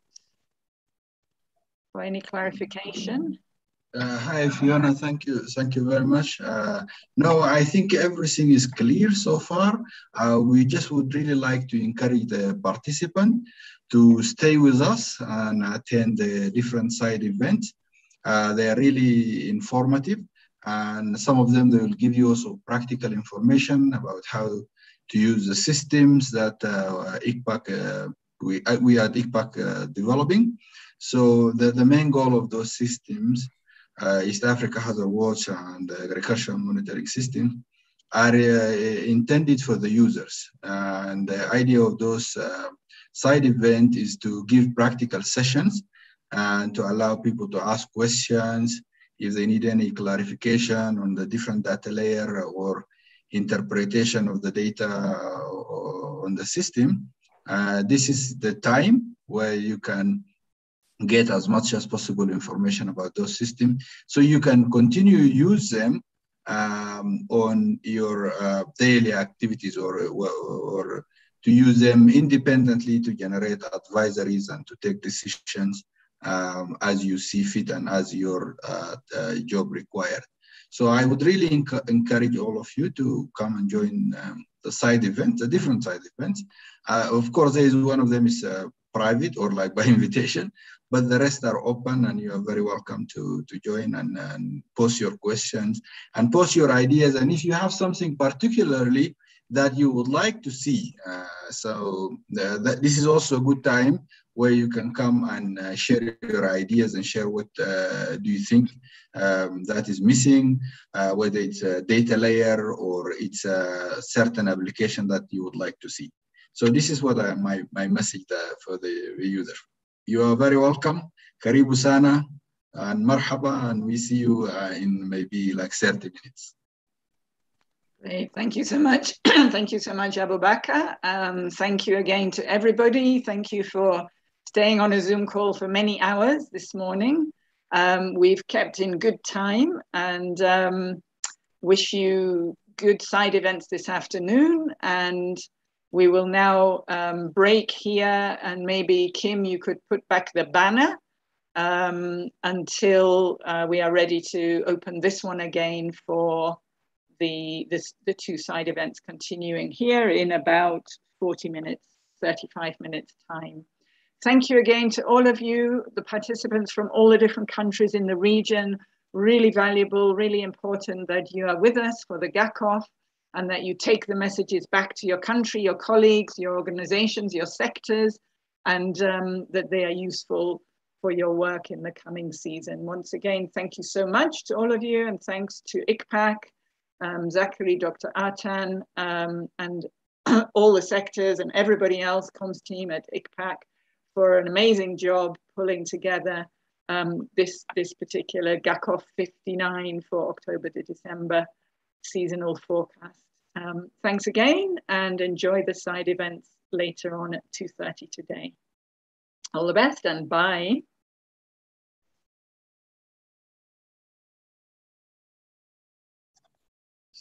Thank you very much, Fiona. Well done.